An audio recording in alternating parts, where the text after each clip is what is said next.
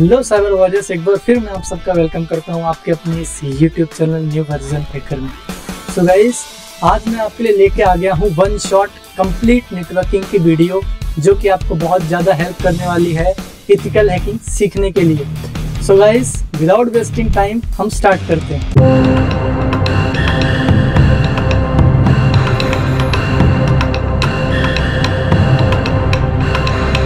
Welcome to New Version Hack. Disclaimer The content provided in our cybersecurity and ethical hacking videos is intended for educational purposes only. We do not endorse or encourage any illegal or malicious activities. Viewers are urged to use the knowledge gained responsibly and in accordance with applicable laws and regulations. The information shared is based on best practices and ethical principles. So warriors start करने से पहले मैं आपको बता दूँ ये जो complete video है इसको मैंने टाइम स्टैम्प के थ्रू डिवाइड कर दिया है चैप्टर बाय चैप्टर तो आप नीचे स्क्रॉल करके इसके कंप्लीट चैप्टर देख सकते हो एंड जंप कर सकते हो आप अपने हिसाब से, जहाँ भी आपको जंप करना है। सो जो हमारा फ़र्स्ट पार्ट होने वाला है, उस पर हम देखेंगे कि नेटवर्किंग क्या है नेटवर्किंग की इम्पोर्टेंट है एंड नेटवर्किंग क्या होती है एक्चुअल में, वो सारी चीज़ें हम कवर अप करने वाले हैं। सो मिलते हैं हम स्लाइड पे।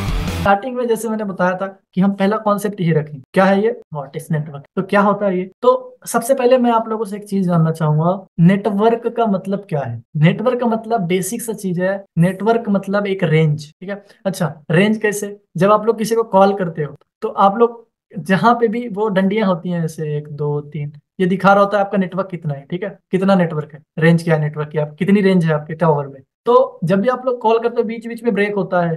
यहाँ पे अगर ये डंडियाँ कम रही तो है ना? कभी कभी डिस्कनेक्ट हो जाता है कॉल ऑटोमेटिक तो यहाँ पे जो आप बोलते हो ना टावर कम है मेरे फ़ोन में तो यहाँ पे नेटवर्क कम है। तो ये बात हो रही थी रेंज की रेंज कम आ रही है। आप लोग ब्लूटूथ में आप लोगों ने ब्लूटूथ में ये चीज़ें देखी होगी, ठीक है? फील किया होगा कि ब्लूटूथ डिवाइस अगर आपके फ़ोन से ज़्यादा दूर रहा तो आपका ब्लूटूथ डिवाइस बता देता है कि आउट ऑफ़ रेंज मतलब आप उसके नेटवर्क से बाहर, ठीक है? तो नेटवर्क का मतलब होता है रेंज अब नेटवर्किंग का मतलब क्या होता है? तो देखते हैं आगे, है ना? नेटवर्क का मतलब तो रेंज हो गया। नेटवर्किंग का मतलब क्या है? तो यहाँ देखो what is computer network computer networking कुछ नहीं है, ये बस एक प्रोसेस है जो परफॉर्म की जा रही है। मैं आपको यहाँ पे समझाता हूँ, यहीं से, ठीक है? देखो, अगर यहाँ पे कुछ सिस्टम्स रखे हुए ठीक है? ये दो चार सिस्टम्स दो ही सिस्टम समझ रहा हूँ। मैं अभी दो ही एग्ज़ाम्पल देता हूँ फ़र्स्ट एंड सेकंड इस सिस्टम ने यहाँ पे, इस सिस्टम को एक पीडीएफ शेयर की। तो जब ये पीडीएफ शेयर कर रहा है ना ये, इस पीडीएफ शेयर की मतलब पीडीएफ कब शेयर कर सकता है वो? ये इसकी रेंज में आके मतलब इससे नेटवर्क रेंज में आके। तभी पीडीएफ शेयर हो सकती है। रेंज से बाहर रहेगा तो नहीं होगी। अब कैसी रेंज होती है वो हम आगे चल के देखेंगे। तो यहाँ पे ये एक रेंज में आके ही इसको शेयर कर सकता है। तो यहाँ पे जब ये इसने पीडीएफ शेयर किया, अभी तक जब रेंज में आया तो वो तो नेटवर्क था। जब रेंज में आया वो नेटवर्क था, उसके नेटवर्क में आ गया। लेकिन जब उसने पीडीएफ शेयर किया, ये वाली, है ना तो वो नेटवर्किंग परफॉर्म हुई। कहने का मतलब ये है, जब कोई भी सिस्टम जब दो सिस्टम्स आपस में, दो या दो से ज़्यादा सिस्टम आपस में कम्युनिकेशन करके मतलब बातचीत करके, वही रेंज में आके, है ना? बहुत सारे सिस्टम आपस में रेंज में आके एक दूसरे से कम्युनिकेशन करें है ना? कम्युनिकेशन मतलब बातचीत। कम्युनिकेशन करके बातचीत करते sharing of software software share करें फ़ाइल शेयर करें इन्फॉर्मेशन शेयर करें। इन्फॉर्मेशन प्रिजर्वेशन और सिक्योरिटी बाद में समझाता हूँ। शेयरिंग ऑफ़ डेटा ये कोई भी चीज़ परफॉर्म कर रहे हैं पीडीएफ शेयर कर रहे हैं, आप लोग भी व्हाट्सएप पे अपने फ्रेंड से शेयर करते हो। कोई भी चीज़ें। तो जो आपने वहाँ पे पीडीएफ शेयर की है इमेजेस शेयर की है, वो नेटवर्किंग परफॉर्म हुई। वो वहाँ पे नेटवर्किंग परफॉर्म हो रही है। मतलब जब दो दो सिस्टम या दो से ज़्यादा सिस्टम आपस में कम्युनिकेट करके कम्युनिकेट करके मतलब बातचीत करके आपस में sharing of data sharing of file कर रहे हैं। मतलब कोई भी डेटा शेयर कर रहे हैं, कोई भी फ़ाइल शेयर कर रहे हैं, कोई भी मैसेज भी शेयर कर रहे हैं तो वो नेटवर्किंग कहलाएगी, है ना? ये एक प्रोसेस है, जो कि कुछ भी शेयर करते हैं तभी होती है। तो this is a networking I hope ये क्लियर हो गया आपको नेटवर्किंग क्या है। अब यहाँ पे मैंने बताया दो चीज़ें हैं sharing of security and preservation अब देखो, जब सिस्टम में मैं आपको समझ लो यहाँ से एक, ये वाला कंप्यूटर यहाँ से एक पीडीएफ शेयर कर रहा है। ये सिस्टम यहाँ पे पीडीएफ शेयर कर रहा है, समझ लो व्हाट्सएप पे। तो ये वाला सिस्टम उसको डाउनलोड कर सकता है, अपने पास सेव कर सकता है ना। तो उसने जो सेव किया ना, वही है प्रिजर्वेशन मतलब वो सेव कर सकता है उस फ़ाइल को, जो भी, है ना। सेव कर सकता है। ऐसा तो नहीं है कि देख के वो सेव ना कर सके, सेव कर सकता है। उसके बाद है यहाँ पे सिक्योरिटी तो इसका मतलब है सिक्योरिटी का मतलब है कि जब ये दो आपस में, जैसे मैंने एग्जांपल लिया था कि कोई आपस में शेयर कर रहा है पीडीएफ तो कोई बीच में से इंटरप्ट ना कर ले तो जब नेटवर्किंग परफॉर्म हो रही है तो बीच में सिक्योरिटी भी चाहिए। एक सिक्योरिटी भी मैटर करती है, ठीक है? तो इसको कहते हैं हम सिक्योरिटी मतलब जब ये दो सिस्टम आपस में कम्युनिकेट करे तो वहाँ पर सिक्योरिटी भी हो, ताकि किसी का डेटा का कोई हार्म ना हो, ठीक है? तो सिक्योरिटी का यही काम है। अब सिक्योरिटी क्या क्या होती है, हम आगे चल के देखेंगे। शेयरिंग ऑफ़ हार्डवेयर हार्डवेयर कैसे अब नेटवर्किंग में हार्डवेयर कैसे शेयर हो सकता है? तो देखो, आपके सिस्टम में जो ब्लूटूथ लगा हुआ है, वो क्या है? वो हार्डवेयर डिवाइस है। वाईफाई लगा है, वो क्या है? वो हार्डवेयर डिवाइस है। बट फ़र्क इतना है कि ये फ्रीक्वेंसी से मैच करते हैं। मतलब इनकी खुद की एक फ्रीक्वेंसी होती है। उससे कम्युनिकेशन करते हैं। पहले हम ब्लूटूथ से क्या करते थे? फ़ाइल भी शेयर करते थे डेटा भी शेयर करते थे। मतलब उनका भी नेटवर्क बन रहा है। ना उससे भी कम्युनिकेशन होता है। तो ये, वहाँ पे तो है तो हार्डवेयर डिवाइस है ना? बट वो कम्युनिकेट कर रहा है। तो मतलब यहाँ पे एक हार्डवेयर भी शेयर कर रहे हैं। अब सबसे एक एग्ज़ाम्पल ले लो कि आ, आप लोगों ने लैन केबल का नाम सुना हुआ एक केबल होता है लैन लैन इसका कोई लेना देना नहीं है बस लैन समझो आप ठीक है? ये फुल फॉर्म पे मत जाना। दो सिस्टम्स में दो सिस्टम को आपस में कनेक्ट करता है इंटरनेट के लिए ठीक है? या फिर राउटर से लेके सिस्टम्स में आपस में एक दूसरे से कनेक्टेड होते हैं। तो ये जो केबल था ये क्या है? हार्डवेयर है है ना? हार्डवेयर हार्डवेयर किसको कहते हैं हम? जैसे ये इसका सिस्टम पे ये कीबोर्ड है, ये माउस है, ठीक है? इसके अंदर क्या होगा? इसके अंदर मदर बोर्ड है, ठीक है? जिसको हम टच कर सकते हैं, उसको हार्डवेयर कहते हैं। एंड जो सिस्टम के अंदर चलते हैं, व्हाट्सएप, जूम, ये सारे सॉफ्टवेयर हैं। तो ये जो केबल है, इसको भी हम टच कर सकते हैं, जो यहाँ से यहाँ आपस में कनेक्ट होती है, ये। तो इसको भी हम हार्डवेयर कहते हैं, ठीक है? तो शेयरिंग ऑफ़ हार्डवेयर यहाँ, ये केबल भी शेयर हुई यहाँ पे मतलब शेयरिंग ऑफ़ हार्डवेयर हो गया। आई होप इतना क्लियर होगा आप सभी को। ये नेक्स्ट स्टेशन देखते हैं देखो, अब हमारे पास टोटल टाइप ऑफ़ नेटवर्क्स कितने नेटवर्क यहाँ पे बोल रहे type of networks in networking मतलब कितनी, देखो, इसका सिंपल मतलब है कितनी तरह की रेंज है। जैसे मैंने कहा कि एक जो मेरी रेंज है जो नेटवर्क है मेरा, उसकी रेंज है दस मीटर, एक की है सौ मीटर, एक की है हज़ार मीटर। तो ऐसे हमारे नेटवर्किंग में कितनी तरह की रेंजेस तो यहीं पे हम देखेंगे, ठीक है? हे वॉरियर्स कॉन्ग्रेचुलेशन आपने पहला पार्ट कंप्लीट कर लिया है। एंड आगे का जो पार्ट आने वाला है, इसमें हम देखेंगे कि नेटवर्क्स कितने टाइप के होते हैं? एक्चुअल में नेटवर्क कितने टाइप के हैं? कितने तरीके से इनको यूज़ लिया जाता है? एंड कहाँ कहाँ यूज़ लिया जाता है? वो सारी चीज़ें हम समझेंगे। एंड साथ ही साथ थोड़ा सा इंट्रोडक्शन है हमारा आईपी का एंड एक टर्म है हमारा आईएसपी उसके बारे में भी देखेंगे। सो so, मिलते हैं हम स्लाइड पे। वीडियो में हम देखेंगे कि टाइप ऑफ़ नेटवर्क नेटवर्किंग में कितने हैं? मतलब कितने टाइप के नेटवर्क्स हैं हमारे नेटवर्किंग में? तो आज हम यही डिस्कस करेंगे यहाँ पे। तो देखो मैंने जैसे कि कहा आप लोगों को कि नेटवर्क का मतलब क्या हो नेटवर्क क्या होता है एक्चुअली नेटवर्क का मतलब है एक रेंज नेटवर्क का मतलब है एक रेंज एंड आप लोग अगर इसको कनेक्ट कर पाए तो आप लोगों ने एक ब्लूटूथ डिवाइस लिया है. तो ब्लूटूथ डिवाइस जब भी आप लेते हो तो उसमें लिखा होता है कि इसकी टेन मीटर की रेंज है.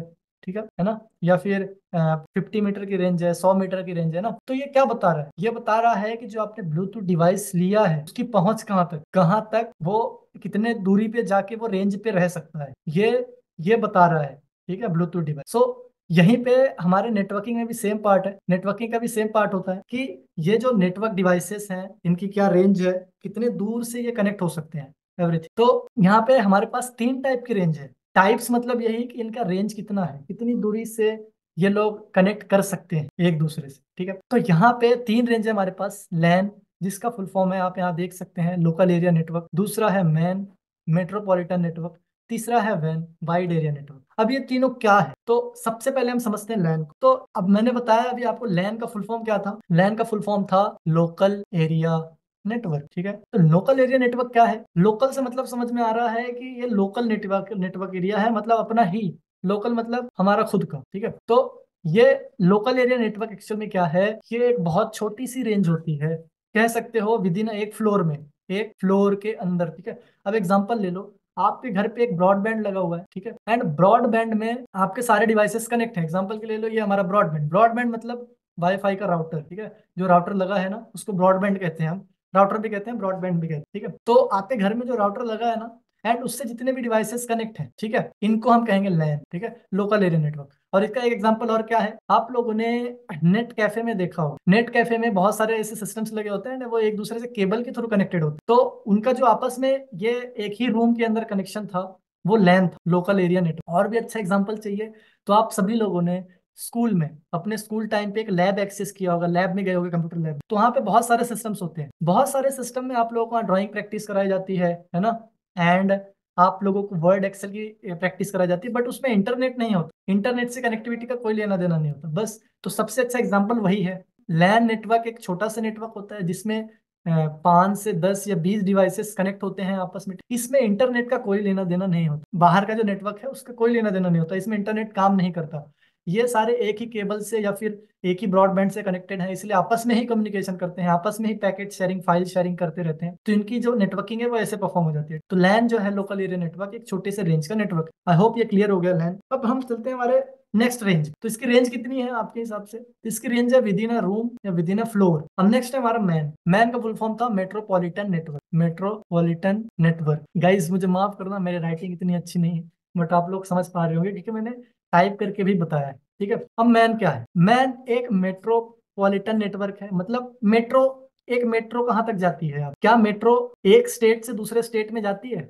नहीं जाती। तो आप इसको सबसे अच्छा इसी एग्ज़ाम्पल समझ सकते हो कि ये मेट्रो एक सिटी टू सिटी में ही रहती है। इस सिटी के कॉर्नर टू कॉर्नर जाती है कॉर्नर से उस कॉर्नर तक जाती है। तो मेट्रोपॉलिटन नेटवर्क क्या क्या करता है? या फिर मेट्रोपॉलिटन नेटवर्क में क्या होता है? यहाँ पे सिटी के कॉर्नर टू कॉर्नर कम्युनिकेशन होता है। एग्ज़ाम्पल ले लो, ये दिल्ली है। ये दिल्ली के चार कॉर्नर है ईस्ट नॉर्थ एंड साउथ ये चार कॉर्नर से अब किसी कंपनी की चार ब्रांचेस हैं सारे कोनों में, ठीक है? कॉर्नर टू कॉर्नर ठीक है? अब उनको रिपोर्ट मंगानी है यहाँ से यहाँ। तो यहाँ से, यहाँ पे रिपोर्ट ट्रांसफ़र करने के लिए मतलब यहाँ पे, यहाँ से यहाँ तक कोई भी फ़ाइल शेयर करने के लिए यहाँ पे मैन नेटवर्क यूज़ होगा। क्यों? क्योंकि ये सिटी के कॉर्नर टू कॉर्नर में होता है। एंड मैन जो नेटवर्क है, इसकी रेंज विद इन एक स्टेट होती है, ठीक है? दिल्ली ले लो महाराष्ट्र सॉरी नागपुर ले लो। मतलब एक सिटी के अंदर रहती है। इसको मैं करेक्ट करना चाहूँगा थोड़ा फ्रेंड एक स्टेट में नहीं, एक सिटी के अंदर होती है सिर्फ़। City to corner to corner है ना? क्योंकि एक मेट्रो सिटी टू सिटी जाती है स्टेट दूसरे स्टेट में नहीं जाती कभी ना? दूसरे सिटी में कभी जंप नहीं करती। तो एक मेट्रो जो है, वो एक सिटी टू सिटी रहती है सिटी से बाहर नहीं जाती। तो मेट्रोपॉलिटन नेटवर्क भी सिटी के अंदर ही कॉर्नर टू कॉर्नर मतलब आप एक सिटी के अंदर कहीं भी इस नेटवर्क का यूज़ कर सकते हो। जो लैन था हमारा वो एक रूम के अंदर ही था, वहीं पे कम्युनिकेट कर रहा था। अब एग्ज़ाम्पल के ले लो, यहाँ पे तीन ब्रांचेस हैं एसबीआई की दो ब्रांचेस हैं, एक इधर में है, एक इधर में है एसबीआई टू ये एसबीआई को, ये वाले एसबीआई में एक रिपोर्ट शेयर करनी। तो यहाँ पे मैन नेटवर्क का यूज़ करके, क्योंकि ये विद इन सिटी में है, इधर से इधर डायरेक्ट ट्रांसफ़र कर सकता है, क्योंकि ये मेट्रोपॉलिटन नेटवर्क अब क्या हम लैन में ये काम कर सकते? तो बिल्कुल नहीं, क्योंकि लैन की जो रेंज है वो एक रूम के अंदर है। ना? उसकी जो रेंज है एक रूम के अंदर ही है बस रूम से बाहर नहीं है। तो ऐसे वर्क करता है हमारा मैन नेटवर्क मेट्रोपॉलिटन नेटवर्क और अच्छा एक अच्छा एग्ज़ाम्पल ये है कि देखो, यहाँ पे जैसे ये बनाया है, एक कॉर्नर ये हो गया, एक कॉर्नर ये हो गया, यहाँ पे एक लैन है, यहाँ पे एक लैन है मतलब एक, दो, तीन, चार, बहुत सारे लैन को मिला के यहाँ पे एक मैन नेटवर्क क्रिएट होता है मेट्रोपॉलिटन नेटवर्क ठीक है? I hope metropolitan network clear होगा आपका, ठीक है? ये कुछ नहीं है, बस रेंज है इनकी, कहाँ से कितने दूर तक कम्युनिकेशन कर सकते हैं। अब एक बात बताओ, क्या आप लोग अभी इंडिया के बाहर कॉल कर सकते हो? अपने लोकल सिम से नहीं कर सकते, उसके लिए स्पेशल रिचार्ज कराना पड़ता है ना? इंटरनेशनल रिचार्ज सेम ऐसा ये भी है, इनकी अलग अलग रेंज डिसाइड कर दी गई है कि तुम इतने में ही कम्युनिकेट करोगे, इतने में ही रहोगे, इतने में ही अपना फ़ाइल शेयरिंग करोगे, ठीक है? एंड इससे बाहर नहीं जाओ आई होप मैन क्लियर होगा। चलते हैं नेक्स्ट टॉपिक पे, जो कि है वैन। वैन का फुल फॉर्म है wide area network. Wide area network, इसका सिंपल सा एग्जांपल है इंटरनेट सिंपल सा एग्जांपल है इंटरनेट अब इंटरनेट की रेंज कितनी बड़ी है? तो इंटरनेट की रेंज जो है, वो पूरे वर्ल्ड में है। World wide W W W world wide web ये जो आप एक्सेस करते हो ना, वो इसी से करते हो, वैन से। वाइड एरिया नेटवर्क के। इंटरनेट ठीक है? तो पूरे वर्ल्ड का इंटरनेट पूरे वर्ल्ड का इंटरनेट ही वैन है wide area network world wide network है ठीक है? इसका एग्ज़ाम्पल देने की ज़रूरत नहीं आप सभी इंटरनेट यूज़ करते हो। देखो, यहाँ से समझ लो एक इंडिया हो गया एंड एक ये यूएसए हो गया। तो आप इंडिया में बैठे बैठे यूएसए के किसी बैठे अपने फ्रेंड से बातचीत कर सकते हो कम्युनिकेशन कर सकते हो इंटरनेट के थ्रू चैट कर सकते हो। आप गूगल है वहाँ पे गूगल का सर्वर गूगल का सर्वर जो है और तो इंडिया में भी है बट कंपनी है यूएसए की। तो आप यहाँ बैठे बैठे वहाँ के सर्वर को एक्सेस करते हो, ठीक है? तो ये पॉसिबल है एक वैन में, क्योंकि ये पूरे पूरे के पूरे वर्ल्ड में फैला हुआ नेटवर्क पूरे पृथ्वी में फैला हुआ नेटवर्क है अब क्या आप मैन से पूरे वर्ल्ड वाइड में एक्सेस कर सकते हो? नहीं, क्योंकि एक सिटी तक सीमित, इसकी लिमिट सिटी है। लैंड से इस पूरे वर्ल्ड वाइड के नेटवर्क को एक्सेस कर सकते हो? नहीं, क्योंकि इसकी जो रेंज है वो एक रूम ठीक है? इसकी जो रूम एंड एक फ्लोर है। इसकी रेंज एक रूम एंड फ्लोर है, बस। ठीक है, इससे ज़्यादा कुछ नहीं। तो इंटरनेट से आप हर चीज़ एक्सेस कर सकते हो, ये है बाय एरिया क्लियर है इतना आप सभी को? ओके, सो नेक्स्ट आगे बढ़ते हैं। आई होप पिछले टॉपिक आप सारे क्लियर होंगे। अब यहाँ पे इंटरनेट में कम्युनिकेशन करने के लिए इंटरनेट में कम्युनिकेशन करने के लिए एक चीज़ की ज़रूरत पड़ती है आईपी एड्रेस आईपी एड्रेस की क्यों ज़रूरत पड़ती है? एंड आईपी एड्रेस है क्या? तो सबसे पहले आईपी एड्रेस का फुल फॉर्म जानते हैं। आईपी एड्रेस का आईपी एड्रेस का फुल फॉर्म जो होता है वो है इंटरनेट प्रोटोकॉल एड्रेस ठीक है? यहाँ पे मेरे राइटिंग को थोड़ा अवॉइड करना आप लोग। इंटरनेट प्रोटोकॉल एड्रेस ठीक है? अब ये किस काम आता है? अब एक एक क्वेश्चन है मेरा बेसिक सा। अगर आपको किसी के घर जाना है, ये एक कंप्यूटर को मैं एज अ होम लिख रहा हूँ। अगर आपको किसी के घर जाना है तो आपको किस चीज़ की ज़रूरत पड़ेगी? किसी के घर जाना है। आप उनसे उनकी लोकेशन मांगते हो, ठीक है? लोकेशन मतलब उनका एड्रेस मांगते हो। तो किसी के घर जाने के लिए आपको एड्रेस होना चाहिए। अच्छा किसी के घर में अगर आपको पार्सल भेजना है तो आपको एड्रेस की नीड होगी। एड्रेस की ज़रूरत पड़ती है डेफिनेटली पड़ती है ना? तो वैसे ही यहाँ पे जब सिस्टम्स आपस में एक दूसरे को कुछ शेयर करेंगे तो उनको भी एड्रेस की ज़रूरत पड़ेगी। क्योंकि यहाँ पे तो बहुत सारे सिस्टम्स है ना इस दुनिया में कितने सिस्टम होंगे अगर मैं यहाँ पे पैकेट भेज दूँ, अब इसके पास एड्रेस ही नहीं है किसके पास जाएगा तो वापस आ जाएगा नहीं तो पैकेट वापस इसी कंप्यूटर में। अगर आप पार्सल भेजो, उस पर एड्रेस ही नहीं लिखा है तो आपके घर पे वापस आ जाएगा, है ना? तो यहाँ पे एड्रेस की ज़रूरत पड़ती है, ठीक है? तो यहाँ पे हम जो हमारे होम में लोकल लैंग्वेज में एड्रेस बोलते हैं पता बोलते हैं। यहाँ पे कंप्यूटर लैंग्वेज में या फिर हमारे आईटी फ़ील्ड में टेक्निकल वर्ड में इस एड्रेस को आईपी एड्रेस कहते हैं इंटरनेट प्रोटोकॉल एड्रेस ठीक है? तो यहाँ पे सिस्टम्स आपस में कम्युनिकेशन करने के लिए एक दूसरे से इंटरनेट प्रोटोकॉल एड्रेस का यूज़ करते हैं, यानी आईपी का यूज़ करते हैं। क्लियर है? तो ये आईपी एड्रेस कुछ नहीं, एक दूसरे से कम्युनिकेट करने का एड्रेस ठीक है? और भी इसके बारे में नॉलेजेस हैं, इसके बारे में और भी जानकारियाँ मैं आप लोगों को दूँगा, ठीक है? तो एग्ज़ाम्पल के ले लो। इस सिस्टम को एक पैकेट भेजना है एक पीडीएफ शेयर करना है। पैकेट मतलब जब भी मैं पैकेट बोलूँ समझ जाना एक कोई भी फ़ाइल है पीडीएफ अभी के लिए ठीक है? आगे तो पैकेट में आप क्लियर कर दूँगा और भी चीज़ें होती हैं। तो पीडीएफ का मतलब है आ, मतलब पैकेट का मतलब है पीडीएफ ठीक है? अब यहाँ पे समझ लो इसका जो एड्रेस एड्रेस आईपी एड्रेस जो है वो अभी आप लोगों के लिए नंबर फॉर्म में रहेगा। एक ये हो गया एंड एक ये हो ठीक है? सॉरी सेम हो गए दोनों। यहाँ पे टू डॉट टू डॉट कर लेते हैं इसको two dot two dot two dot two ठीक है? ये two dot two dot two and one dot four time one dot one dot तो एग्ज़ाम्पल के ले लो कि अगर इसको ये पीडीएफ शेयर करनी है मुझे तो मेरे सिस्टम में पहले पता फ़ीड होगा कि ये किसके पास जाना है, ठीक है? मुझे मेरे सिस्टम को बताना पड़ेगा कि ये एड्रेस ये जो पीडीएफ है, किस एड्रेस पे भेजना है। तो जो सामने वाले सिस्टम का एड्रेस है, वो मुझे यहाँ फ़ीड करना पड़ेगा। आई होप आप लोगों को आईपी एड्रेस का जो वर्क है, वो समझ में आ गया हो। आगे बढ़ते हैं एंड कुछ और जानते हैं हम अपने आईपी एड्रेस के बारे में, ठीक है? सो लेट्स स्टार्ट एंड देखो आईपी एड्रेस में जानने से पहले एक चीज़ और जानना ज़रूरी है आपको आईएसपी क्या होता है? आईपी एड्रेस तो मैं अभी समझाऊँगा, लेकिन आईपी एड्रेस को समझने के लिए अभी तो काम तो उसके समझ गया होगा आपको बट उसके बारे में और थोड़ा सा नॉलेज जान लेने के लिए उसके अंदर की इन्फॉर्मेशन लेने के लिए आईएसपी के बारे में जानना बहुत ज़रूरी है। आईएसपी क्या होता है? तो आईएसपी का जो फुल फॉर्म है इंटरनेट सर्विस प्रोवाइडर ठीक है? इंटरनेट सर्विस प्रोवाइडर ठीक है? अब इंटरनेट सर्विस प्रोवाइडर कौन है? आप किसकी सिम यूज़ करते हो इंटरनेट यूज़ करने के लिए? जियो वी आई एयरटेल ठीक है? बस तो यही है आपके आईएसपी ठीक है? मतलब जिसका आप इंटरनेट यूज़ कर रहे हो, जिसकी इंटरनेट की सर्विस यूज़ कर रहे हो, वो आपका आईएसपी है।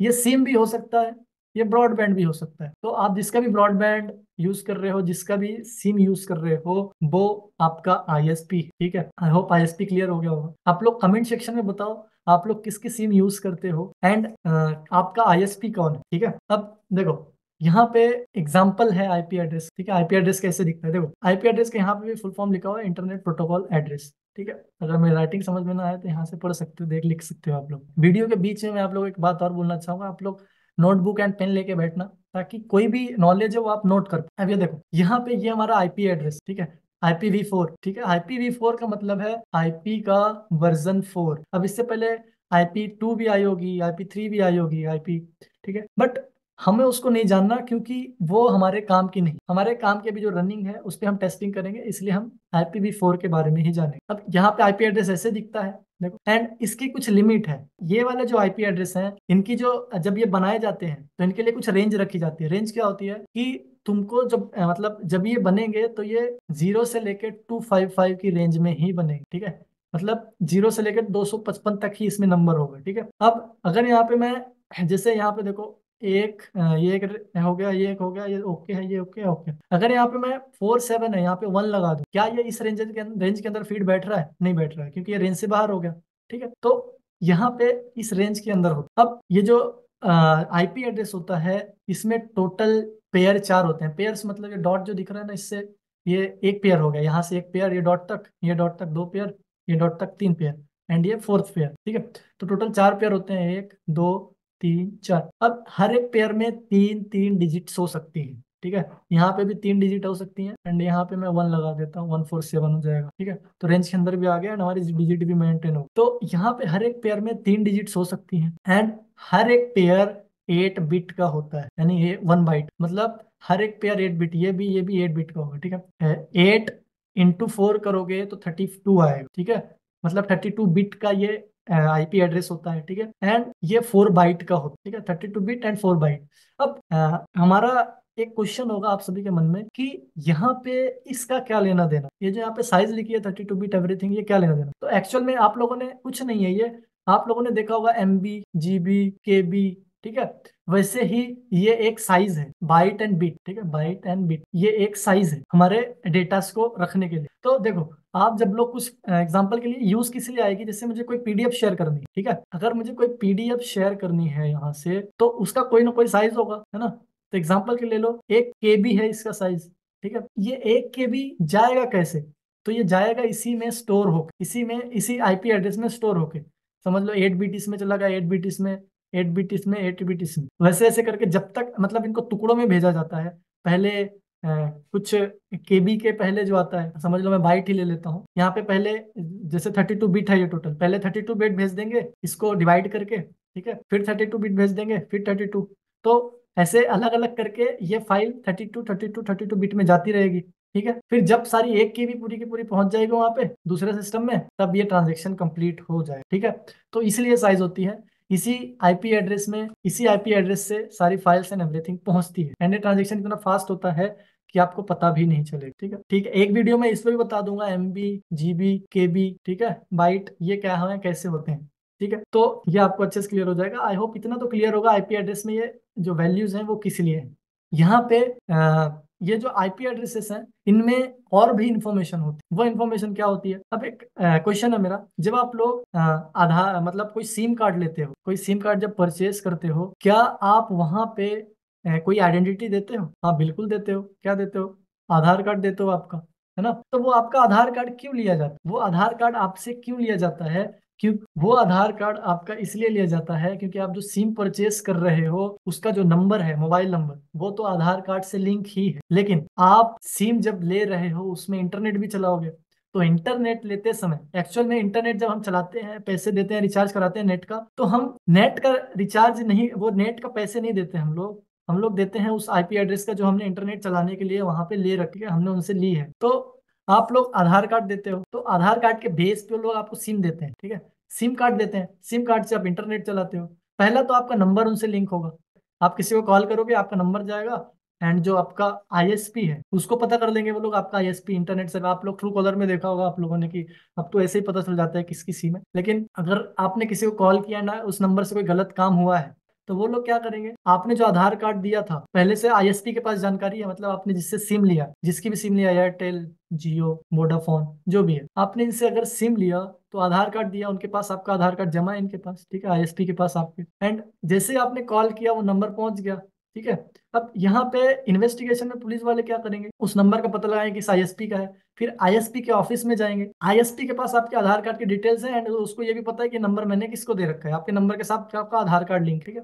एंड आपकी सारी डिटेल्स निकाल के दे देंगे। एंड जब भी आप इंटरनेट चलाते हो तो इंटरनेट में आपको दी जाती है एक आईपी एड्रेस तो जब भी आप आईपी एड्रेस वहाँ इंटरनेट यूज़ कर रहे हो, आपके पास एक आईपी एड्रेस है। वो आईपी एड्रेस भी आपके आधार कार्ड से लिंक है। कैसे लिंक है, वो मैं आगे दिखाऊँगा। तो अब यहाँ पे हम देखते हैं इसमें क्या क्या डिटेल्स होती हैं, ठीक है? ये जो हमारा आईपी एड्रेस है, इसमें क्या क्या डिटेल्स हैं एंड वो हम कैसे देख सकते हैं एवरीथिंग तो देखो, यहाँ पे जो फ़र्स्ट डिजिट मतलब ये जो हर एक पेयर में कुछ ना कुछ डिटेल्स होती हैं, ये अपने साथ डिटेल्स लेके चलते अब आपका जो आधार कार्ड का नंबर है, उसमें भी कोई डिटेल्स है? जो नंबर है वो रैंडम नहीं है आपके पास, उसमें भी कुछ डिटेल्स है? आपका जो पैन कार्ड है, उसमें भी कुछ डिटेल्स है, ठीक है? आपका जो रोल नंबर है स्कूल का, उसमें भी कुछ डिटेल्स है। एग्ज़ाम्पल के ले लो आपका कुछ रोल नंबर होगा, ठीक है? हो सकता है पहला बता रहा हो इलेवेंथ इलेवेंथ क्लास में पहला डिजिट दूसरा बता रहा हो कि ये आप 2022 की बैच है। एंड ये आपकी डिटेल्स ले रखा हो कि ये जो नंबर है, ये इस एग्ज़ाम्पल के लिए मैं यहाँ पे देव लिखता हूँ कि जो 99 नंबर है वो मैंने देव को दे रखा, ठीक है? तो इलेवेंथ का 2022 का बैच का देव, ठीक है? तो ये सारी डिटेल्स होती हैं। वैसे ही एक आईपी एड्रेस में भी सारी डिटेल्स होती हैं। अब हमारे जो आईपी एड्रेस हैं, वो यूज़ होते हैं पूरे इंटरनेशनल मतलब इंटरनेशनल मतलब पूरे वर्ल्ड में, ठीक है? और अगर हम इस पूरे वर्ल्ड को डिवाइड कर दें छोटे छोटे पार्ट्स में तो क्या बन जाएगा? वो कंट्री बन जाएगा। एंड कंट्री को अगर मैं छोटे पार्ट में डिवाइड करूँ तो वो स्टेट बन जाएगा। तो वैसे ही इसी टॉप इसी टेक्निक को यूज़ करके यहाँ पे इस आईपी एड्रेस में डिटेल्स डाली जाती है। अब देखो आईपी एड्रेस है जो वर्ल्ड वाइड यूज़ होता है, ठीक है? यहाँ पे जो आईपी एड्रेस को डिफाइन करेंगे, पहले पेयर में क्या होगा, वो यहाँ पे कंट्री बताएँगे, जैसे कंट्री इंडिया पहले इसमें कंट्री इंडिया ठीक है? मतलब आईपी एड्रेस के थ्रू ये हमारे देश तक पहुँच, उसके बाद दूसरे पेयर में क्या यहाँ पे इंफॉर्मेशन होती है? यहाँ पे इंफॉर्मेशन होती है स्टेट इसमें कौन से स्टेट का है, ठीक है? ये जो आईपी एड्रेस है, जो इंटरनेट पे पहुँचा है, या फिर इस आईपी एड्रेस से अगर क्राइम हुआ है तो पता लगाएँगे पहले ये आईपी एड्रेस किस कंट्री का है। एंड कंट्री वाइज भी सबको जब आईपी एड्रेस दिए जाते हैं तो कंट्री वाइज भी रजिस्ट्रेशन होता है कि ये ये ऐसे थोड़े छोटे ब्रांचेस होते हैं, जैसे वन नाइन टू से लेके टू हंड्रेड तक इंडिया को देंगे, फिर उसके बाद टू ज़ीरो वन से लेके थ्री हंड्रेड तक पाकिस्तान को देंगे एवरीथिंग तो ऐसे रेंज होती है, ठीक है? तो वहाँ भी ये आईपी एड्रेसेस रजिस्टर्ड होते हैं। तो पहले बेस पे ये लोग मेंशन करेंगे ये जो अगर चेक करेंगे तो पहला जो पेयर है, वो किस कंट्री का है? ये बताएगा कि ये आईपी एड्रेस किस कंट्री का है। दूसरा जो पेयर है, वो बताएगा कि स्टेट का है। एंड जो तीसरा पेयर है, वो बताएगा कि ये अगर हम स्टेट को डिवाइड करेंगे तो किसमें कर सकते हैं? सिटी में। तो किस सिटी में? एंड यहाँ पे एक इन्फॉर्मेशन और होती है सिटी के साथ इस सिटी के साथ ये किस आईएसपी का है। मतलब सिटी में एक ऑफ़िस होता है आईएसपी का तो ये किस आईएसपी का है? तो थर्ड पेयर जो है, सिटी के साथ साथ आईएसपी की इन्फॉर्मेशन भी ले चलता है। एंड लास्ट जो पेयर है, ये अपने साथ इन्फॉर्मेशन लेके चलता है कि जो आईपी एड्रेस है मतलब कहने का मतलब ये है कि ये आईपी एड्रेस किस डिवाइस में यूज़ हो रहा है? तो यहाँ पे डिवाइस आईडी होती है? लास्ट पे डिवाइस की इन्फॉर्मेशन ये मैक है या फिर विंडोज़ है फ़ोन है एवरीथिंग डिवाइस की आईडी यहाँ पे ये रजिस्टर कर लेते सो आई होप आप सबको ये टॉपिक समझ में आया होगा ठीक है? तो ये सारी डिटेल्स होती हैं। अब इस टॉपिक के बाद हम देखेंगे कि आईपी एड्रेस एक्चुअल में वर्क कैसे करता है एंड उसके कुछ बेसिक्स रूल ठीक है? कि आईपी एड्रेस के क्या रूल हैं कितने टाइप के हैं एवरीथिंग सो कॉन्ग्रेचुलेशन वॉरियर्स आपने चैप्टर टू भी कंप्लीट कर लिया है। सो so, वॉरियर्स जो हमारा चैप्टर थ्री है ये होने वाला है कंप्लीट आईपी एड्रेस के बारे में। ये आईपी एड्रेस क्या होता है? पब्लिक आईपी एड्रेसेस क्या होते हैं? प्राइवेट आईपी एड्रेसेस क्या होते हैं? एंड लास्टली आपको एक सरप्राइज़ है। आप वहाँ पे ये देख सकते हो कि इन आईपी एड्रेसेस को यूज़ करके एक्चुअल में सिस्टम को एक्सेस कैसे किया जाता है। ठीक है? एक्सेस का मतलब स्क्रीन पे आपको दिख रहा होगा क्या होता है। ठीक है? सो मिलते हैं अपने स्लाइड तो फ्रेंड्स हमने देखा था आईपी एड्रेस क्या हो क्या क्या डिटेल्स होती हैं एक आईपी एड्रेस में एंड आईपी एड्रेस किस लिए यूज़ होता है, ठीक है? तो आज हम देखेंगे आईपी एड्रेस के टाइप कितने। अब एक बात आप लोगों को समझ लेना है कि आपके ये जो टॉपिक है नेटवर्किंग का, इसको प्रॉपर अपने दिमाग में बिठा लेना एंड ज़्यादातर आईपी एड्रेस की वर्किंग क्योंकि सारा का सारा खेल इसी का है नेटवर्किंग का। एंड आईपी एड्रेस क्लियर है? तो यहाँ पे मैं स्टार्ट करता हूँ। हमारे आईपी एड्रेस के टाइप कितने टाइप्स हैं वो देखते हैं, है ना? तो एक्चुअल में आईपी एड्रेस के हमारे पास टोटल चार टाइप चार टाइप में से पहला है हमारा पब्लिक आईपी ठीक है? दूसरा है प्राइवेट आईपी ठीक है?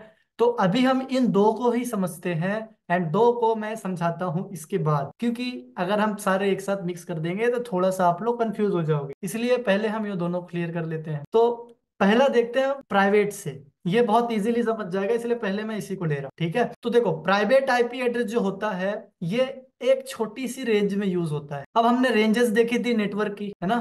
नेटवर्क की रेंज देखी थी क्या क्या देखा था हमने? हमने देखा था लैन मैन वैन तो यहाँ पे ये जो प्राइवेट आईपी एड्रेस है, ये यूज़ होता है लैन है? छोटे से नेटवर्क पे। जब भी एक छोटा सा नेटवर्क होता है, वो लैन आईपी एड्रेस का यूज़ होता है। अब ये और अच्छा कॉन्सेप्ट आपका क्लियर हो जाएगा आगे चल के बट अभी के लिए आपको ये याद रखना है कि जो प्राइवेट आईपी एड्रेस है, ये छोटी सी रेंज के अंदर यूज़ होता है, ठीक है? अब यहाँ पे देखो, समझ लो ये राउटर है ठीक है? राउटर मतलब जो आप वाईफाई लगाते हो घर पे वो क्लियर तो ये जो आप घर पे वाईफाई लगाते हो राउटर लगाते हो, वो है, ठीक है? एंड इधर साइड पे, ये सारे डिवाइसेस हैं जो आपके राउटर से कनेक्ट हैं, वायरलेसली या वायरले, वायर में, ठीक है? वायर से कनेक्टेड हो या वायरलेसली कनेक्टेड हो, वाईफाई, हॉटस्पॉट, ठीक है? तो इधर साइड में जितने भी डिवाइसेस इस राउटर के अंदर, रूम के अंदर कनेक्टेड है वो सारे हो गए लोकल एरिया नेटवर्क मैंने कहा था स्टार्टिंग में आप सभी को याद होगा कि जो लोकल एरिया नेटवर्क होता है, वो एक रूम के अंदर, एक फ्लोर के अंदर हो सकता और एक राउटर से कनेक्टेड हो सकता है, ठीक है? तो देखो, ये सारे डिवाइसेस एक रूम के अंदर ही होंगे एंड एक राउटर से कनेक्टेड होंगे, ठीक है? यहाँ पे जो एक रेंज का ये फॉर्मेशन हो रहा है, ये है लैन लोकल एरिया नेटवर्क ठीक है?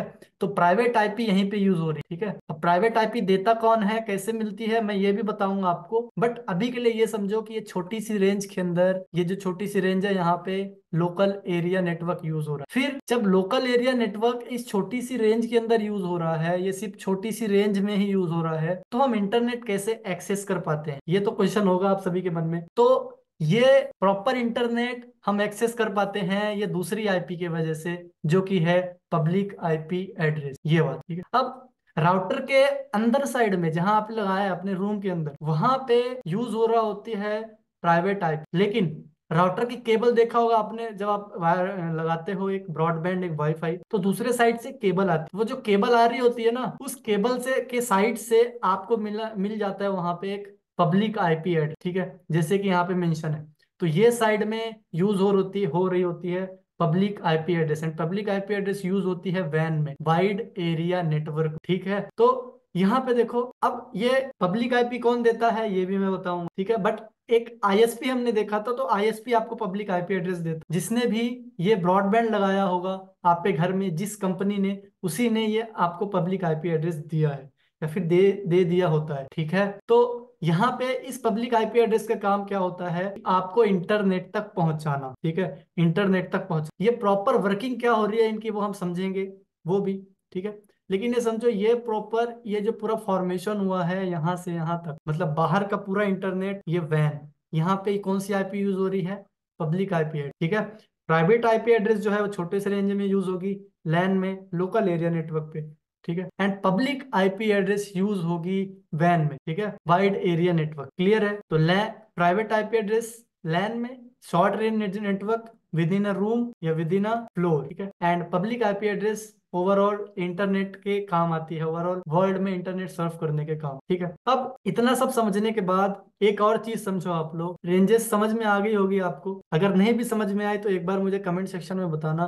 इसके लिए और डिटेल वीडियो बना दो। समझ में आ गई है? तो भी कमेंट्स करना दोस्तों ताकि मुझे और भी मोटिवेशन मिले। आप सभी ये कमेंट से मुझे बहुत मोटिवेशन मिलता है मुझे बहुत खुशी होती है आप सबको ये सब पढ़ाते हुए ठीक है? सो so, ये सब जानने के बाद एक चीज़ जानना ज़रूरी है हमको जो कि रूल्स है ठीक है? रूल ये है कि ये जो पब्लिक आईपी एड्रेस ये वाला ये कभी भी प्राइवेट आईपी एड्रेस से कम्युनिकेशन नहीं कर सकता बातचीत नहीं कर सकता ठीक है? वैसे ही ये प्राइवेट आईपी एड्रेस इस पब्लिक आईपी एड्रेस से कम्युनिकेशन नहीं कर, ठीक है? ये दोनों एक दूसरे से कम्युनिकेशन नहीं कर सकते, बिल्कुल भी। एक दूसरे से बातचीत नहीं करते पब्लिक एंड प्राइवेट कहने का मतलब ये है कि यहाँ पे जो आईपी एड्रेसेस दिए हुए हैं एक जो राउटर के पास आपको दिया हुआ है पब्लिक आईपी एड्रेस एंड अंदर अंदर साइड में है जो प्राइवेट आईपी एड्रेस ये दोनों एक दूसरे से कम्युनिकेशन नहीं कर सकते। फिर यहाँ पे क्या सिस्टम यूज़ होता है, ये भी मैं आगे चल के एक्सप्लेन करूँ बिलीव मी फ्रेंड्स ये सारा टॉपिक आपको चुटकियों में क्लियर हो जाएगा।